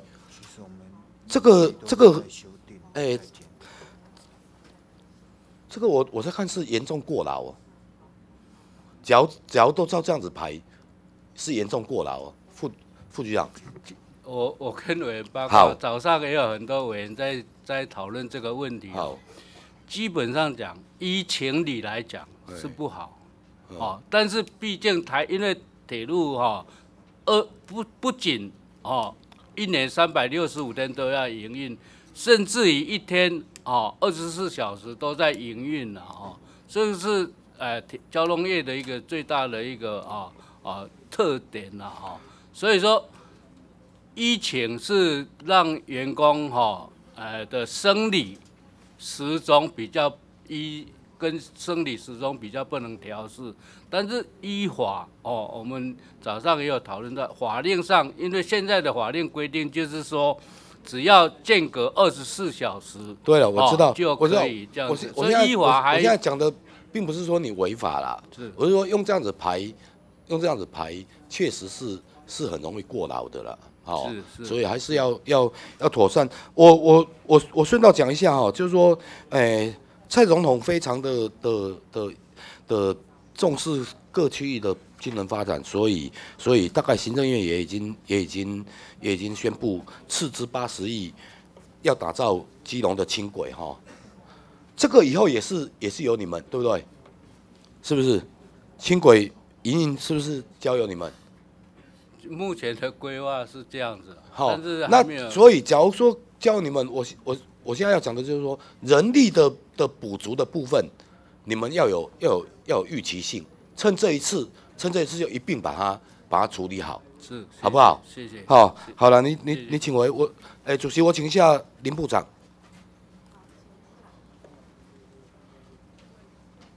啊，委员您好。部长好哈。部长，哎，现在大概有几个观光业的的的的的县哈的县长，大概都对对一例一休表达了很多的不满。那部长，你你对于对于对于他们提出的这一些意见，嗯，有没有什么看法？谢谢。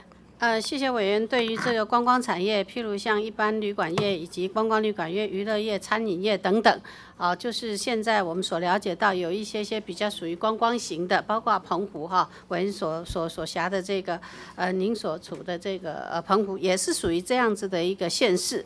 那么这个部分呢，他们可能在呃周休二日之后，他们因为不了解现行的一些规定，所以呢，呃，跟委员报告，事实上这些刚刚所讲这些行业。其实本部早就指定可以适用两周、八周、四周弹性的一些工时。那当然规定是规定，我们还是希望说，那么这些业者在安排这个时间的时候呢，能够真正的能够注意到这些员工的这些权益了哈。所以呃，法是有有有一个方法可行，但是呢，刚刚讲的情理法，我们希望能够兼顾哈。部长，保障保障劳工的的权益，这个是是最基本的需求哈。是。哦，可是我我我的看法是这样子，像像澎湖，它是一个观光淡旺季非常明显的地方。嗯。我们常说澎湖大概每年九月份经济活动就会进入冬眠期，它这个冬眠期大概长达半年。这样子的话，就是说。很明显的，其实其实，在在四周八周这种弹性工时，对对于这样子的地区是是是，诶，没有办法很有效的的的发挥作用。好，那万一万一诶，我现在要讲的就是简单的讲，有没有可能有没有可能，除了特殊行业以外，劳动部也严拟一下，像像这种。我我想离岛大概都有哈，这种淡旺季非常明显的的旅游地区，我们再再给他一点点一点点更有弹性的的的做法。部长，你你懂我的意思吗？嗯。好，你们回去回去回去研究研究看看。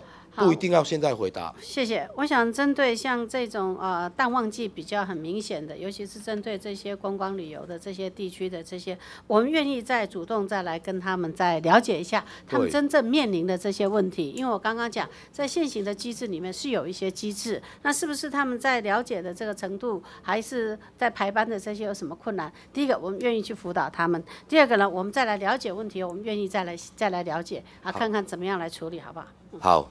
我用一点时间哈，跟跟请教部长一个立法立法论上的东西，就是说一例一修，我相信当初我们我们在修法的时候，利益非常良善，可是实施的结果，哎，企业主骂，劳工也骂，好，那那哎，部长你觉得，假如说我们我们能够再侧重多一点？给劳工多一点点工作自主权，好，然后立法上我们就是只只立比较大的原则方向，甚至于甚至于立法者只立只立大方向，很多很多个别的规范授权给行政机关来做处理。部长，你觉得这样子的的的的讲法跟做法？会不会比较比较好应应目前台湾的现状？好，谢谢。我想委员从我们七十三年制定这个呃劳动基准法的时候，当时是以工厂法为一个基础所所修做的一个修正。那么在当时呢，的确是比较适合于制造业，而且是一个定在一定的场所里面服务的这边很大群的这些劳工。那所以呢，现在面对我们这种多元化的社会，我们也发现到，事实上我们这一个劳动基准法里面，因为应用每一个业别，然后在不同时间做一些调整。那么在这种情况之下，对于这个劳动，我们说要尊重劳工的这个他们的自主权，或者是劳工的这个表达意愿的权利的这个部分，是不是能够达到充分的保障？我觉得这是我们需要再去面对的。的确，在现行之下，我们觉得我们应该协助劳工怎么样来发发挥他们的这种协商的能力，也是对话的能力，增加他们的自主能力。这部分我们愿意再来考虑。对哈。这样子比较可以可以避免，就是立法者的的良善美意，好实施的结果，有的时候反而造成劳工没有得到得到我们想要保障他的，反而失去他原本可以得到的，是好不好？好，好，谢谢部长，谢谢主席。好，谢谢啊，我们结束杨耀杨委员的质询，下一位，请啊王惠美王委员。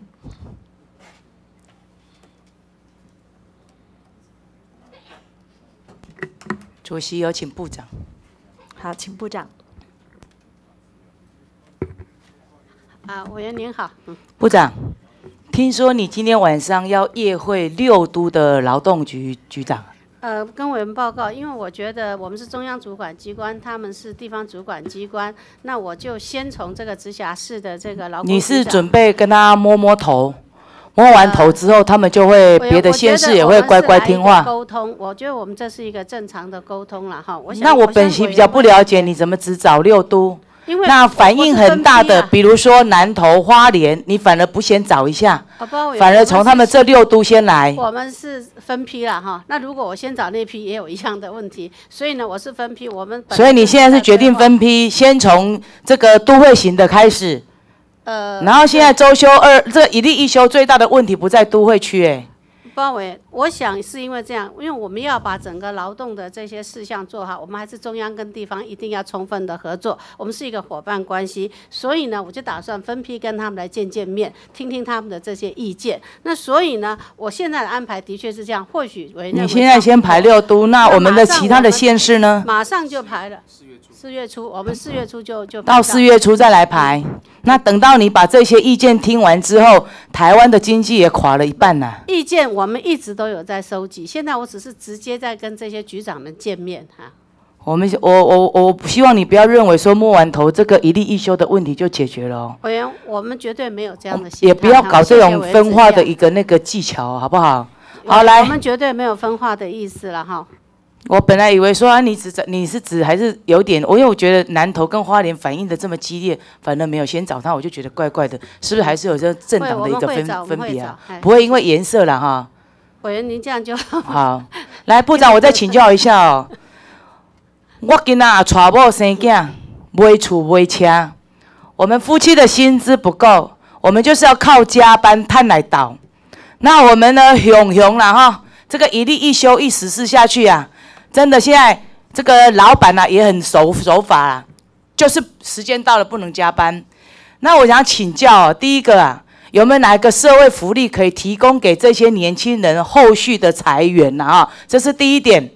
第二点呐、你是要叫这些年轻人啊卖娶某、卖生囝、卖买厝、卖买车，是不是这样？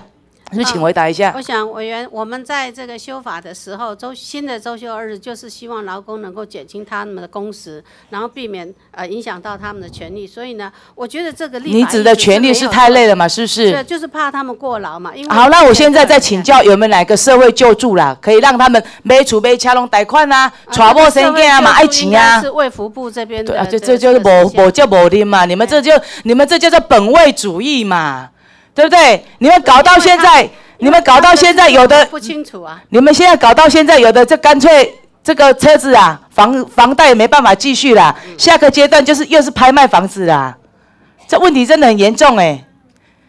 好，再来我们来看看今天讲的哦，刚刚今天讲的哦，我们台铁现在平均一个月的工时有两百四十个小时哎，这有没有违法？部长呃，这个部分是不是请台铁这边来说明一下？嗯，是台铁啊，我要请你们认定啊，有没有违法？因为他们台铁一起来他们的这个每个状况不一样，排班的形式什么的，他们比较复杂一点，所以要问他们自己。台铁两百四十小时有没有违法？现在不是啊，现在我们不是规定就是四十六小时加班吗？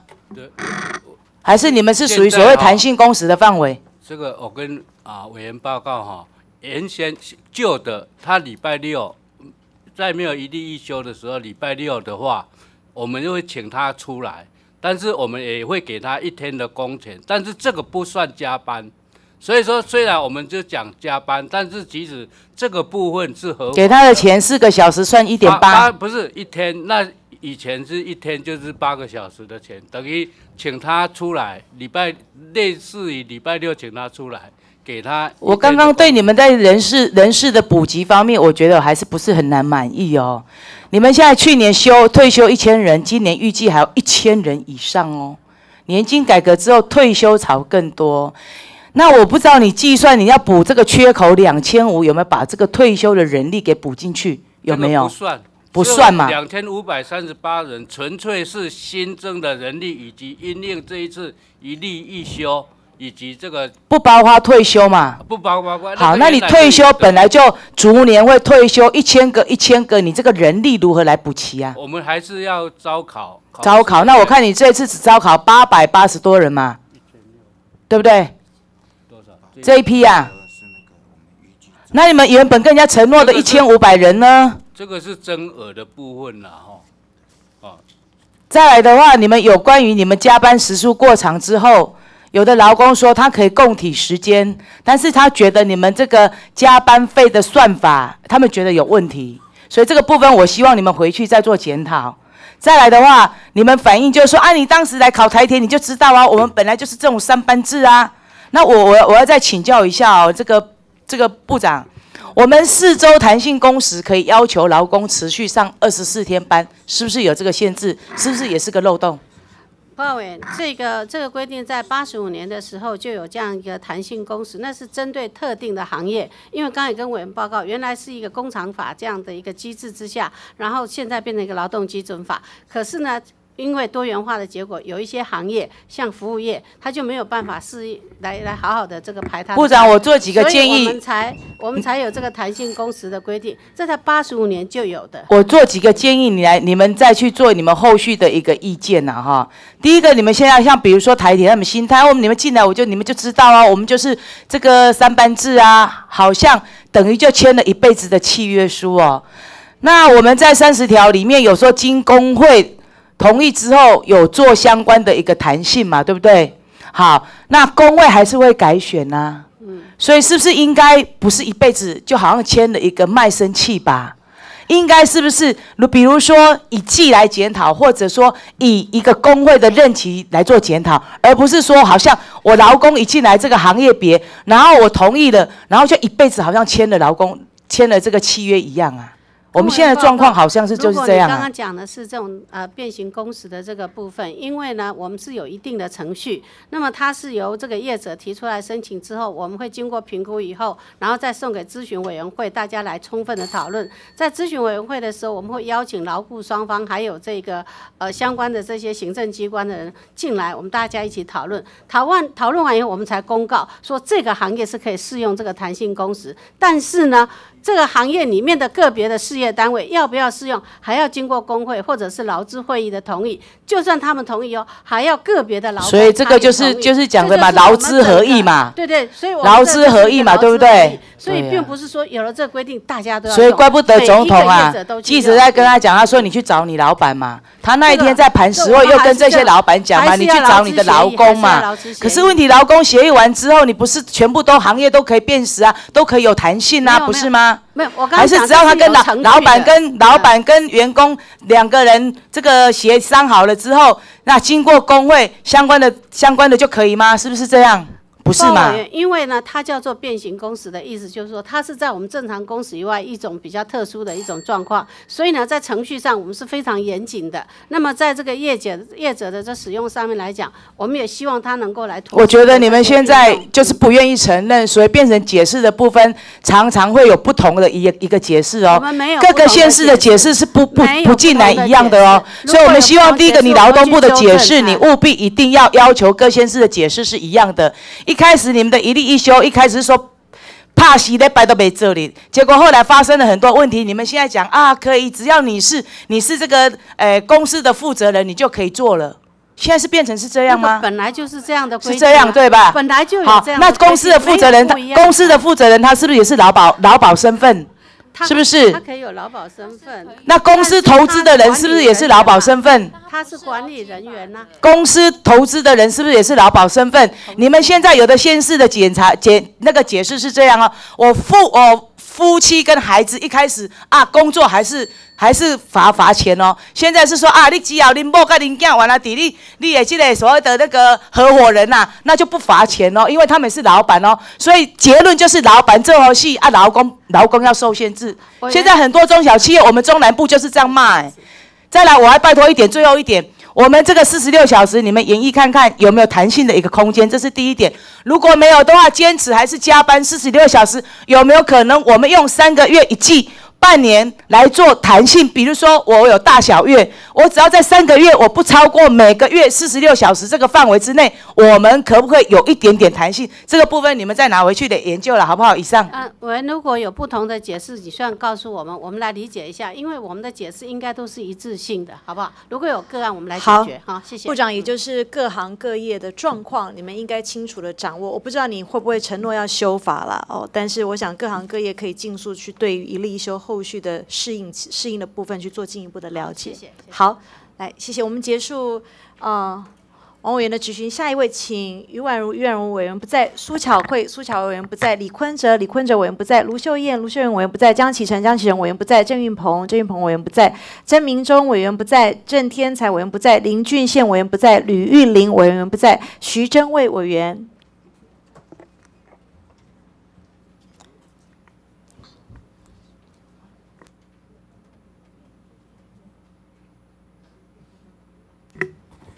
主席好，嗯，麻烦部长，还有我们铁路局副局长是吧？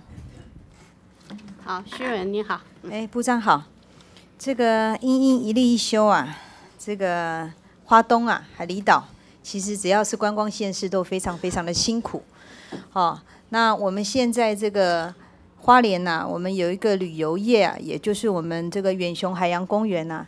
这个已经定下了每周三固定要休息了，因为反映这个一例一休啊，它的成本垫高哈，这个实在是营运不下去，所以这可能也是开了我们这个这个旅游业啊，好观光旅游业的第一枪哈，就是他们决定每周三啊来放假休息啊。那一例一休或者是这个我们周休二日，以及啊这花东观光业者可能未来可能会走向了周休七日。所以，我们劳动基准法这个部分，如果再不修正、再不调整，赶快哈把它调整好哦，对于这个很多的产业，可能都是一个很大很大的冲击。好，那在这里哦，请问我们看一下第一章哈，今天的主题哦，就在我们这个台铁这个部分哈。那请问一下我们这个劳动部好了，我们台铁的员工到底是是不是属于劳工啊？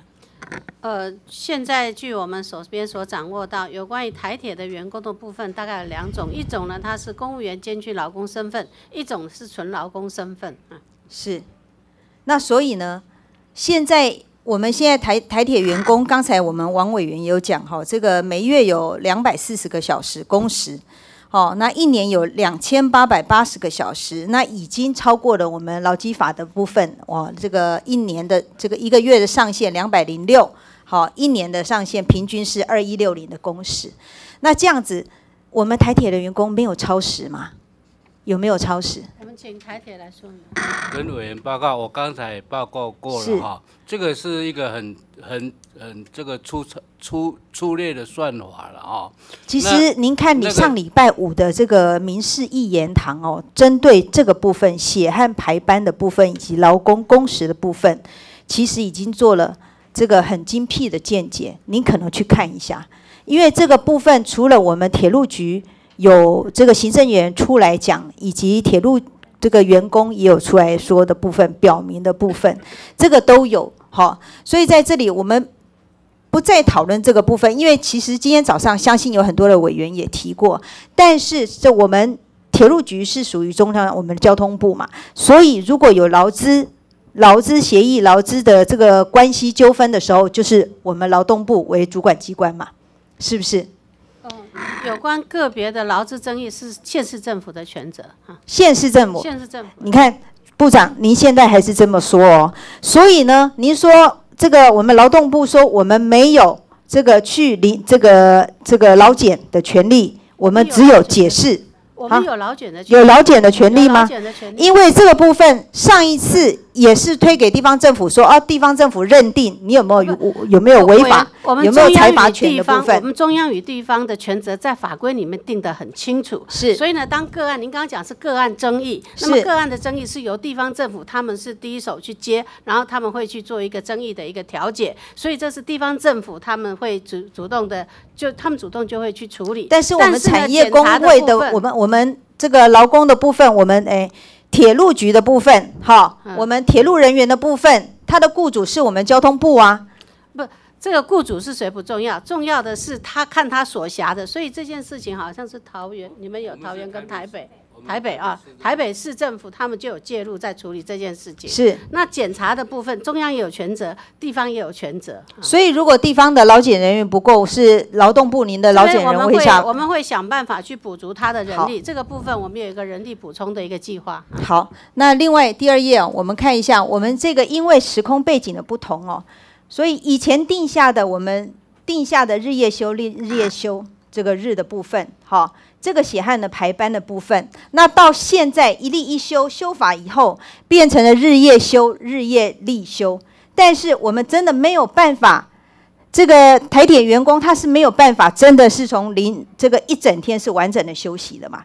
所以是不是这个部分也应该我们台铁的部分是不是再修正一下，比较符合我们现在产业工会是或者是我们铁路工会？他们的认定嘛，因为以前老铁路人那时候的时空背景，我能加班，我尽量加班，我使命必达，那是一个，那是那个年代的状况。可是现在有很多人观念改了，也有很多人退休了，所以是不是我们应该因应着现在产业工会、现在工会的成员不同的时候，我们来这个定定比较符合的排班机制？呃，跟委员报告，事实上确实，我们现在啊，这个工时的部分呢，我们定有一个符合现在新修订啊这个劳基法规定的这个标准啊，这个法令规定。你符合，但是现在的劳基法，那有没有符合工会的需求呢？但但是现在就是要跟工会再来协商了。那这个部分协商是从。劳基法修改以后，到现在陆陆续续已经协商五遍了了哈。那大部分的已经哦都有一个结论了哈。那至于站务的，就是运务处里面站务的这些同仁的部分哦，还需要再进一步再去协商。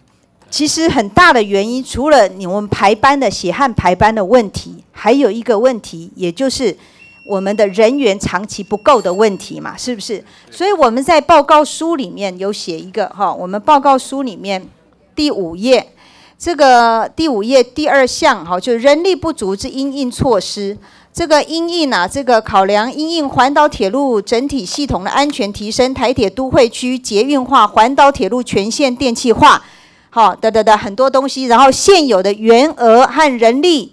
已经无法负荷未来新增的业务，所以我们人力的补足的部分，因应新增业务的部分，我们还要再加强人力的补足嘛，对不对？另外是每一年逐年退休的人员，这个的缺口还是要补足嘛。所以您的人口的缺口是越来越多，是不是？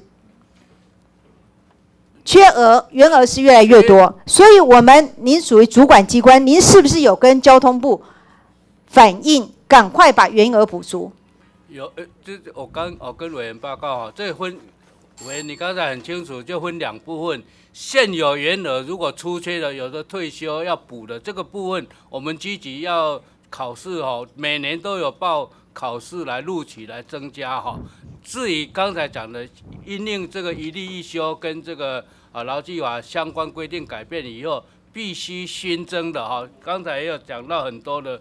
这个是很多业务要增加两千五百三十八个人的部分哈。呃，交通部现在也很积极在协助我们啊，其实到行政院去来争取这样子。其实啊，这个副局长，我们真的应该要做专案的处理，你才有办法把人员很迅速在几年内赶快把它补足嘛。第一个，第二个是我们是不是这几年的退休的人员，我们本来就应该有一个预估预估值，那你每一年你就必必须把它填满，再加上我们因应新业务的部分要填满。否则，永远我们台铁一第一个永远是血汗劳工，第二个是永远人员都不足，第三个他的薪水永远都不满足他他们的现状，他们的要求。所以台铁的问题是不断不断的会产生。如果现在没有当机立断，赶快在三三五年赶快把它解决掉的话，你永远还是在这里。所以我们这个提成表有吗？现在铁路局对于我们人员的不足，两种方式的补齐以外。这个这个部分已经有做的这个提成表了吗？有吗？有，我们我我们早上也有很多委员提及，我们答应在六月底以前会有一个整体的一个哈这个我啊周详的一个方案出来，到时候我们报到委员会。六月底，好。六月底以前，那个主席可不可以再给我一分钟，好不好？还有我们有关于这个工业四点零哦，我们企业上哈，这个为了现在一例一休发生了很多问题以后。我们这个企业为了降低成本，还有这个把效率也提高，没有另外才没有劳资争议的部分哦，所以现在要这个有些有些已经做了机械化了。哈，就像这个我们现在看的，我们的和大、上银科技、红泉，它全部通通因应一例一休，具体的做法就是加速自动化。所以在加度加速自动化的部分，我们就会产生了有很多失业潮。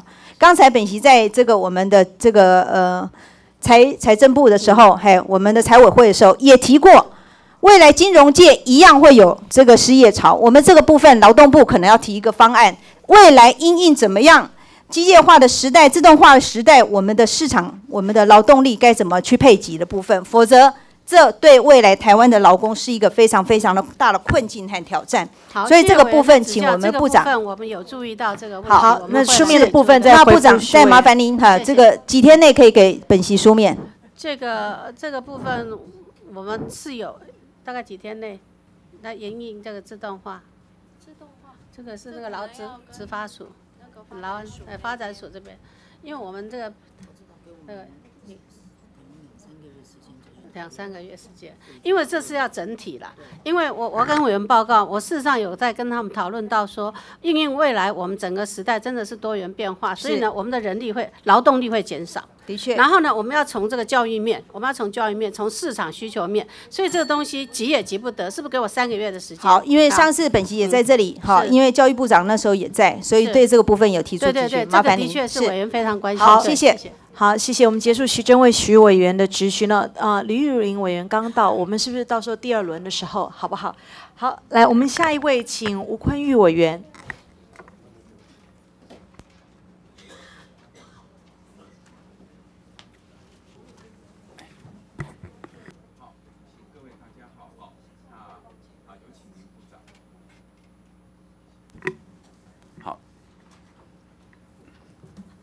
啊，吴委员您好。嘿，林部长，午安哈。啊，不好意思，我知道您站 一个早上了，但还是要请教您哦。好，谢谢。今天大家都针对台铁的员工，那我有一个议题，就是有关于派遣、派遣啊、派遣工那个劳工的问题哈，想请教您，就是好，目前啊派遣劳工哈逐年人人数逐年增加了，那除了但是好像没有什么法令可以来保障他们的权益，好这方面，尤其呢，我我想，好当然劳动形态多元化嘛，那但是啊，我们这些派遣派遣人员要怎么样来保障哈？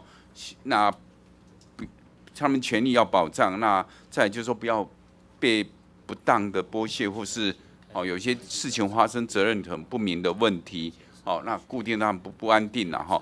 那这一些过去的检查里面发现，还是有很大的部分还是会违反劳动条件相关的法令。好，那不晓得这边未来劳动部有什么规划没有？好，跟委员报告，委员一直以来对于这个派遣派遣劳工的权益相当的重视。那这个部分呢，同样的我们也发现到，对于派遣劳工的确会有刚刚委员所说的一些呃问题发生。但是呢，要跟委员报告就是说。呃，派遣劳工跟那个全时劳工它是不一样的。全时劳工因为它有整套的一个法律规定来保护，所以它保保护比较周延的。那么对于派遣劳工的部分，当然今天如果我们有一个专法来呃保护它，但是相对的不晓得是不是也有一些人来跟我们反映说，如果有我们有一个派遣专法，是不是就鼓励派遣？那这样的话，对于这个全时，特别是我们现在鼓励一个，我们也在发展一个所谓的工作卡，也就是说，我们希望对一个这个呃每个劳工来讲，他能够对他的这个整个人生的规划，他的职能规划能够有一个延续性的。那所以呢，我们并我们也认为说，这个派遣的这个部分对于他的权利会不会有影响？那现在各方呢都有不同的意见。那目前呢，我们也都持续在了解各方的意见。那也开了，也也大概也邀集了相关的单位，有机会我们就来请教他们。那未来我们还持续朝这一个方向，我们来推动，我们再跟委员来多请教。好，谢谢尤其现在因为一例一休执行的结果。可能这段时间哈，隔一段时间可能稍微整理一下，是不是？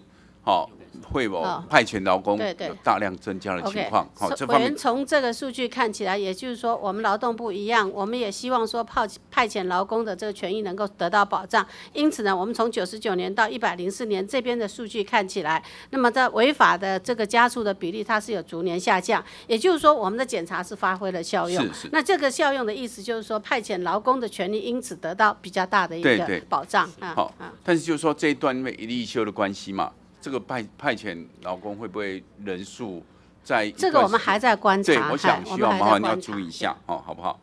好，那好，我想这个是好，未来也可以参考啦。就是说，我们有没有什么指导原则，或是说契约可以来提供？好好，如果不利专法，那看怎么样来做，来进一步来保障这些派遣。谢谢委员。委员，您现在在这个画面上是所呈现的，有一些呢人事总处他已经有了，那有一些呢，因为也有公务机关也有派遣的哈，是所以呢有一些劳动总部呃劳动总处呃不人事总处这边，对不起，人事总处这边他有一些规定，我们这边也有一些规定。那这些呢，我们其实是 update 的，我们随时都是会在看看是不是符合市场的需求是，是如果有不妥适的地方，我们就修正好。那这部分我们也跟人事总处这边来保持联系。啊好好好，那我我想这个就是我们当然是希望正规哈、正常的那个符合劳基法的这种全职劳工越多越好，但是我想这有时候在国际上也是哈、就是说派遣派遣的人员越来越多了。那所以为什么希望说我们要注意这方面的事情哈、不然会会啊、这方面的工作人员就缺乏权益的保障，那就不是很理想。那接下来就是说我们劳基法啊、有所谓八十四条之一的使用嘛哈，那有些业别我们当然是可以使用，但是那当然也要在劳资双方协议下，但是怎么去规范它？因为现在只是核备嘛哈，那在地方政府往往没有适当的规范，那怕说会不会有腐烂的情况？嗯，跟委员报告，因为呢，这是我刚刚也一再的说明，这是从八十五年以来，那么我们就是呃有这样的一个机制。那当时是应用有特殊的行业，它有特殊的需求，那么因此呢，是由行业他们自己来提出来，提出来之后，我们就经过一套程序。是我想今天讲了很多次。那么经过这样的程序之后呢，我们公告它是可以适用弹性的工时这样子的一个一个一个行业，然后呢。个别的事业单位，那么它需要用到这个弹性工时的时候，它还要再有一道程序，也就是说，它内部它必须要跟他的工会、跟他的劳资的这个会议啊，跟他的劳工都讲好了。对对讲好了之后呢，他再到地方政府去核备。那就算是核备了以后，这个劳工每一个都还要再同意，因为他还在跟劳工在签一个劳动契约。我们一直这样，劳动契约是个别的，没有错所以呢，每一个劳工必须要在呃他同意之下跟他签订这个劳工契约。那当然是不是会有腐烂，这个我们在持续我们会去对对了解。但是呢，只要是说他有违法的地方，那这个地方我们还是会依照相关的规定啊，对他来做一个纠正的这样相关的就一些事项目前我们。看了一下，就是说中央有一些指引的，比如说保全人员或社会福利机构的工作人员，但其他的比较没有这方面的资讯。所以如果说未来中央能够针对某一些行业制定一些指引，给地方政府参考，可能会更理想。这样，因为这个也是中央跟地方权限的哈。中央我们是定参考指引，那么地方呢，它是去核备。那我们为什么刚刚我说要跟地方的这些劳动劳工局长他们来见面，就是我们希望我们大家对一些看法哈，这些看法我们大家交换意见，交换意见哈。好好，谢谢。好，谢谢，谢谢我。好，谢谢。我们结束吴坤玉委员的质询。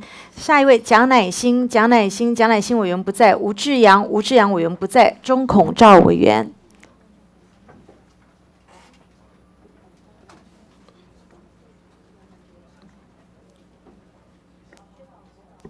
谢谢主席。啊、有请部长。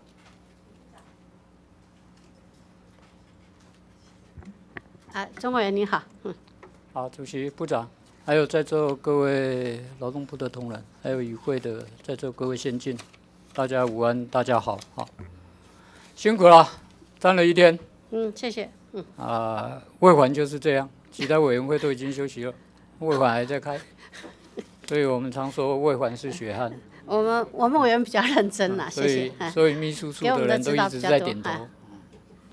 所以讨论到工时的部分，可能魏环也要做先行做讨论。好，对，我知道，因为我上次来，你赶快叫我，赶快时间到了。好，那我们到就我想早上针对不管台铁工会的相关的员劳工的权益事项啊，包括一律休之后修法之后新制新法的一个上路啊，其实我想问部长的是对于周休二日的事情细则相关的一个处理了，因为毕竟新法上路之后啊，劳动部也先也特别宣示啊，在新法上路之前有宣宣宣传辅导。跟检查三阶段来落实所谓的周休二日。那周休二日实行初期，为避免中小企业对于相关的法令的认知不足，或相关的法令的函释没有完成，衍生相关的检查上的一个争议，所以劳动部就要去做一个强化的一个宣导、辅导等措施，用循序渐进的方式来检查相关的工作。那规划第一百零六年第一季就是所谓的先导期，那第二季就是所谓的辅导期，第三季是所谓的检查期，是吗？是。那因为上周也有县市长啊特别提到，县市首长说地方老板被地方老板骂，他也帮蔡总统背了好多的 黑锅。啊，想问部长的是，这一次不是有宣传跟辅导，那到底是在哪个方嗯方向出了出了差错？呃，跟委员报告一下哈。有关于刚刚委员所提的，在我们的周休二日新制施行之后，那么为了要让我们呃全体的这个劳雇双方都能够呃很适性的来调试这个新的一个规定，所以呢，劳动部定有一个三阶段的一个。一个一个工作，那么第一个呢，就是刚刚说的宣导是一三个月，辅导三个月，检查是六个月。那么因为呢，这个宣导期即将在这个月就期满，那在这当中，我们的确做了相当多的一些工作，就是宣导的工作。我们也请这个行政院所有相关的有关的行业的这些目的事业主管机关协助我们一起来做这些宣导。那么宣导除了说我们告诉他新的规定之外，我们也希望利用这段时间能够收集相关的这些问题。不短。那么第。二阶段就是辅导，因为我时间时间短哦，我知道你有很多话要陈述，因为毕竟一例一休哦，面对了这么多的问题，你也你也想一一做解释啊。我只想问的就是这一段时间有没有做了开发？这段时间针对新法修正部分，我们没有开发，所以因为我们重在辅导，是旧旧的法规嘛？对对对，旧的法规本来就要开发嘛，是代表的意味着它原来就是违法嘛。所以你们开发怎么会背了黑锅呢？没有背黑锅啊，那个是可能是有一些误会我是说一些一些地方首长说啊，其实他也不晓得。啊，劳动检查权啊，基本上在一般不是院辖市，他基本上他是没有劳动检查权，他只能够去查查劳动条件。是，因为像南投来讲，它是属于中彰投的治安治安分署啊，去做中区。去做做查查嘛。所以有些的地方首长啊，或者一些民众不晓得，还以为他们基本上都有所谓的啊劳检权，所以劳检权跟劳动条件的一个查查基本上是不不太一样。对这个部分，我们宣导不力，我们在努力啊。可能有一些县市政府还对这个，所以我们会找。劳动可能要跟，因为基本上我觉得他们地方是都有一些的行政主管机关，行政主管嘛，行政主管就应该跟他的县市首长报告啊。对。所以劳动部的劳检处的开罚，给他罚单本来就是正常啊，因为他们有劳检处嘛。嗯。所以你们开了罚，当然回到地方政府来开，那因为那个收入也是回到地方政府啊，也不会回到你劳动部啊。不会。啊，对啊。所以这一部分可能在说明解释上，可能要要再要再强化哈。第二个，我就是针对于休息日，劳动部有做了一个函释了哈。劳工同意于休息日的一个出勤的时候，啊，因故未能依时数履行劳务时，雇主应要求实际的一个时薪时数啊，给薪并给付加班费了。但是如果当天没有出勤的话，请依劳工应请假事有归假，或者说。当天的出勤，啊，是因为病假或者请事假，啊，就就应该请事假就请事假，该请病假就请病假。我想检视这个立法的目的啊，任何的补充，包括补助的一个规定，都不应该违反母法的一个立法的本本意嘛。所以休息日当时立法就是要能够让劳工能够实质所谓的周休二日嘛，对。所以你觉得这个弹性化？我我这个问题，我们目前也正在请教这些啊专家学者跟相关的人等哈，所以这部分我们再跟委员多请教哈。是下一张，部长，下一张。立法目的啊，OK。劳工请假，请事假病假会影响全勤，对不对？嗯。因为当他休息日，因为你们的解释突然跑出来，当他休息日的时候，他可能做了两个小时之后。然后他要给他，还是要给他多少？没未满四小时以四小时计算，但是其他的时间他要请病假，对不对？他要请病假，请病假不是这样就结束了，因为他后面会影响到他的全勤奖金。我病假搞不好可以给你扣个八百，但是我的全勤奖金一千八，当个月当月份就报销了。鲍委，我们在呃。在处理这种事情的时候，我们也会考虑到这个部分啊。的确，我们有考虑到，呃，如果要请他请事病假的话，的确会影响到他的全勤，因为有些公司的确会有一些。如果我如果我请退休假呢？嗯，这个。如果当天我们双方已经约定我要休息日出勤加班，本来就是用特休假，本来就不会影响到他的全勤的。啊，不会影响到他的全勤。不，只有刚刚的那个。但是他他拿到的钱是一点五倍。他的出勤，他的出勤比请他比他请休假，你一个病四家病假是会影响到他全勤，嗯，但是特休假他请特休假会扣他一天的钱而已，嗯，但是相对的他领到的加班费的，如果依照现行的法令的新修的法律的规定，他会拿到一点五倍。这个要综合来考虑了。我们我们所以，我我的意思说，休息日的一个出勤的加班情形哦，所以我们有提了一个案子，也感谢主席也有一个联署嘛，就是请对于休息日的一个出勤加班，是不是要再去做一个严厉的一个规范了哈？我的想法是说，劳资双方本以诚信啊、诚信信用的履行的一个原则告知，本来就要告知后取消加班的约定，就应该回归到加班的休息日。我想劳工不用再再再为了这个这个请假的事由哈。今天有个提案，我们会按照提案的这个内容，我们来。我本来还要跟你讨论一下变形公司，就留在下一次了，因为两周四周八周哈，好，谢谢。没有关系，我会再排，我还要再排。我没关系啊，你不排我也会问。部长，所以你听到现在你就知道说，其实还是有很多。部分你们可能当时思考的不够清楚，还是要尽速的去做一些解释。确实，这是你们需要解释清楚的地方，否则资方不知道怎么付钱给劳方。哦，哦，还有一句话，好。就有法律的规范在做违法，不会是因为一例一休之后的实施之后的违法，相关的法令都已经规范在那边，只是有些的雇主他都误解。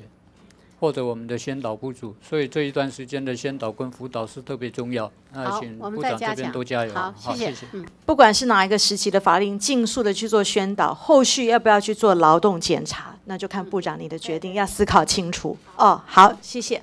好，呃，我接下来把它念完哦。来，陈廷飞，陈廷飞委员不在；邱志伟，邱志伟，邱志伟委员不在；赖世宝，赖世宝委员不在；钟嘉宾，钟嘉宾委员不在。好，来，呃，最后一位，请吕玉玲李委员。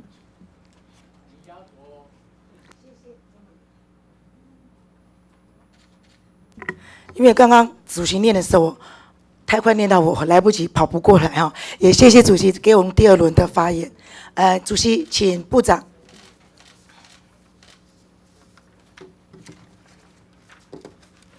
哎，委员您好。部长，我们一立修在这个。呃，宣传期、辅导期的这段时间哦，到现在，我们现在有个统计的数字啊，我要提供给部长一下，就是大概我们加班费没有增加，反而减少，占了百分之二十一点一，而我们的生活的消费啊，反而提高了将近百分之四十点一，而一月份的薪资平均起来倒退了十七年。这个数字，身为劳动部长，您看了一例一休上路这样子的数字，利益我们立法的原意的美意有做到吗？是人民有感吗？非常有感，叫苦不堪言。部长，您的看法呢？嗯，谢谢委员关心这个事情。我想在周休二日之后呢，呃，是不是这个物价上涨就是直接因为周休二日所引起？我觉得这个我们必须要再观察、再评估。那么至于说这个主计总处所所公布的这个受雇员工的薪资调查，是不是说呃刚刚委员所说的呈现一个倒退？这个部分我是不是请我们呃？这个你先不用解释，因为我时间不够。我告诉你的就是，你看到一定有很多卡卡之在难行的，好，尤其劳动环境、劳资的问题，请好好的重新检讨，寻求共识，好不好？好，寻求共识是我们现在在追求，在努力，赶快的从上而下，从跟地方都要做一个讨论。好谢谢我知道你三月、四月份都在盘，跟劳动局做一个沟通对对，这个是很好的哈，赶快做好不好？好，谢谢。那今天有很多委员特别呃，针对我们的劳基法四周弹性工时的制度，可以让我们的劳工连续二十四天仍然上班，而且不违法，提出了很多的异议。但是林部长，您却回答说劳工可以拒绝，这表示说您是希望劳工自己去跟雇主讲，是不是这样子？不是，我跟委员报告，这是我们在一个整个制度里面，刚刚我已经讲过很多次，在制度里面，就算它是我们呃劳动部核定的可以适用这个弹性工时的这个行业，那么每一个事业单位，他自己要实施这一个弹性工时的时候，他还是要经过他们的工会，要经过他们的劳资的会议啊，如果没有工会，就要经过可是劳资。会议部长您您看看而且呢还要经过劳工的同意，所以劳工劳工的同意嘛对，所以劳工是可以拒绝如果因为的个人的因素，他不同意可以拒拒绝嘛？他是可以拒绝的。好，那昨天有个高雄一个保全的例子啊，他连续工作一百天都没有休息。那部长你也认为说，他当初就应该跟他的雇主讲，他可以拒一百绝。天绝对是违法的，我们会去了解。好，可是他跟老板讲的，反了他的老板告他，嗯，告所以对呀、他的他的老板就告他啦。所以我听到这一席话，说老公可以拒绝，那我想请问部长，台铁针对三百七十名的员工，这些员工他拒绝了，但是被台铁记过，那台铁有没有错？这个部分是不是请台铁说？因为他是不是啊请假？他是不是你说可以跟老板讲吗？可以拒绝这个，他拒绝反而被你记过了，那台铁你错喽。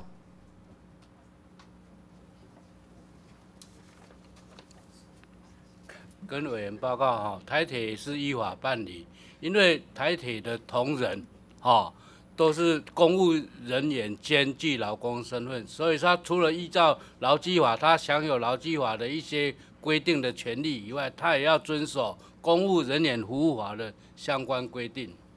可是你这样子的说法，不是可以拒绝吗？那拒绝又被记过，这个情形就等于说，我如果跟我的老板讲，我不是失业的劳工，我就被开除，要不然要签一个我自愿离职，这样子的说法，就让我们认为说，你千篇一律的降州劳工劳资，我们自己沟通还可以拒绝，这等于是越说啊，我们上千万的劳工越听是越伤心的嘞，部长。你你有没有更好的一个说法，让我们劳工的权益可以好好跟我们老板去说，还不会失业？那就是说，我们觉得这个，在我就职的时候，我也提到，我觉得我们的劳工的这种对话的能力，我们会来协助他们逐渐来加强啊。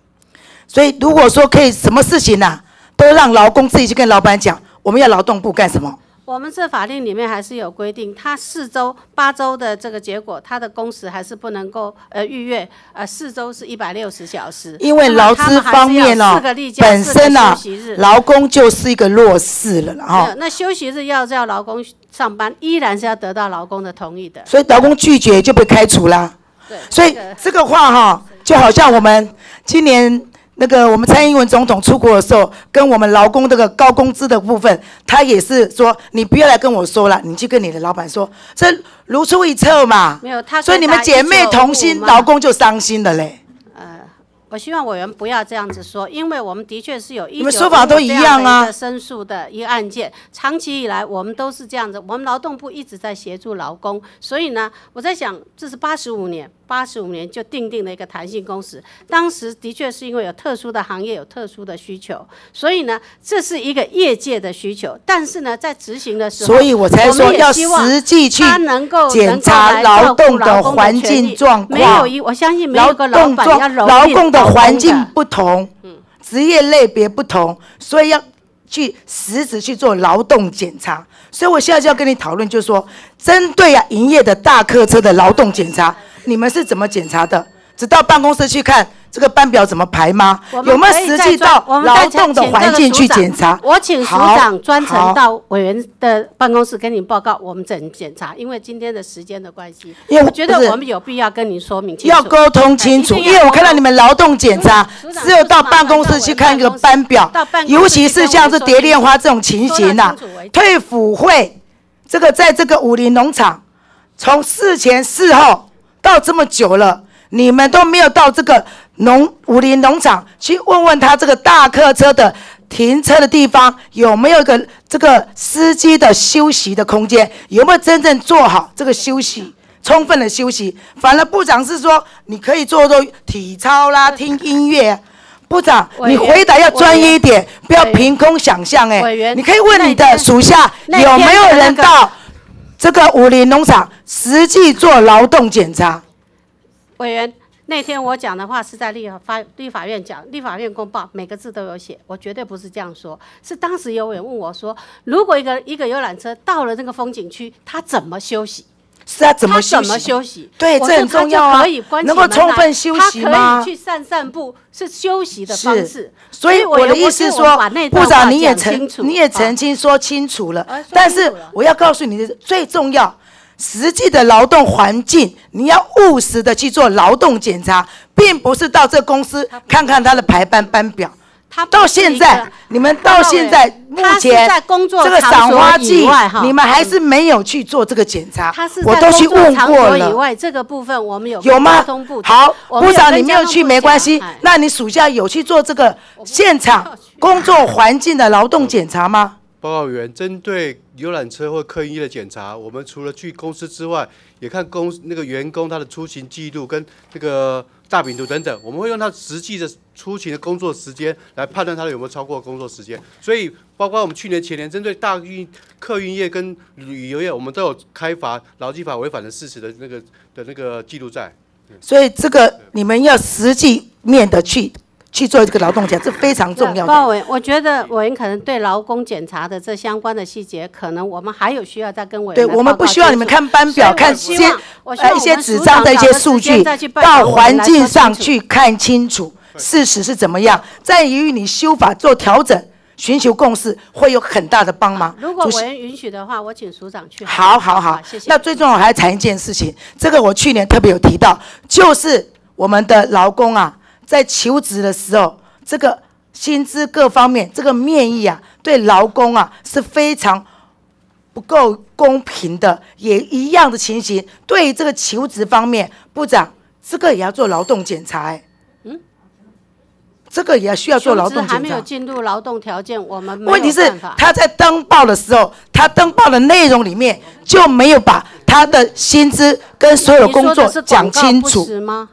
不是，啊，也就是说，一般的劳工在求职的时候，现在就在一个呃人资主管的那个呃主管里面，他就特别讲说，你不要急着啊，应征的时候不要急着讲这三个问题。这三个问题说，你不要问老板薪资多少啊、要不要加班，一年休息多少。如果你这样讲的话，你这工作一定得不到，而且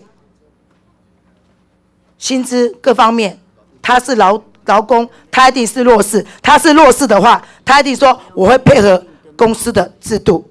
这一方面，我希望部长就可以给他们做一个呃，在考核上，在审查上给他们做一个保障，不然他不可能问嘛，他不可能问嘛，对不对？委员的这个问题我没有完全很掌握，或许我们找个时间是没有关系，那个部长，好好这个部分在就业服务法的修正案，我们有提出来哦，嗯就是希望未来的广告求职的部分，可以把薪资的那个范围 range 我们也把它登出来。要登出来了。对，是这时候请个 range 对对就把对对 range 登出来，好不好？对不起，好，因为老公不可能自己问了，对他的工作反而没有得到了哈。谢谢，好不好？谢谢谢。好，谢谢委员，谢谢。好，呃，我们就结束今天所有的答询了。我想部长今天还是有几个重点。如果针对于二二这个四周的弹性工时的部分，如果劳动部这个血汗工时二十四天，当然大家都不希望有这样子的排班的状况。但是如果有第一个，劳动部打不打算休？不打算休，那劳动部在劳资过程当中的协调。的劳动部这边如何拿出更多的手段去保障？如果谈不成，对劳方资方，特别是对劳工的部分，一定要有一定的保障。那未来当然在今天台铁的部分排班的部分，我还是希望由劳动部未来可以介入做更多的辅导，因为按照目前排班的方式，其实对于劳工也难怪台铁永远留不住劳工，每年有将近三成的离职率。哦，这个不只是台铁要去检讨的地方，包括工作职场环境，我也希望劳动部可以介入更多的辅导，毕竟是国营事业。好，那我也跟委员会做报告啊，明天是空屋的公听会，呃，原则上我第一轮会先让这个学者专家来去做呃一些呃讨论哦，那第二轮十点半之后就可以开放给委员来去做后续的呃答询，也欢迎其他委员有意见要来去做说明，来去询问或答询的部分，呃，也欢迎大家在明天公听会十点半左右前后左右来来到这个我们委员会的现场。好，那呃非常感谢大家，特别请呃部会稍稍微注意一下，我们刚才临时提案文字有去做调整的地方，务必请把文字再提上来。陈颖委员那个十一案，我有做过文字调整了哦。好，也谢谢大家，大家辛苦了，谢谢。呃，今天呃答询全部结束了，王玉明委员、徐祯卫委员。有做书面质询列入我们今天的刊登公报哦，那也请这个有要求这个呃答复的部分，请两周内答复。委员另要求其期限者，重新锁定。本次的会议到此结束，现在散会，谢谢大家，部长大家辛苦了，感谢你们。好，谢谢大家谢谢，谢谢。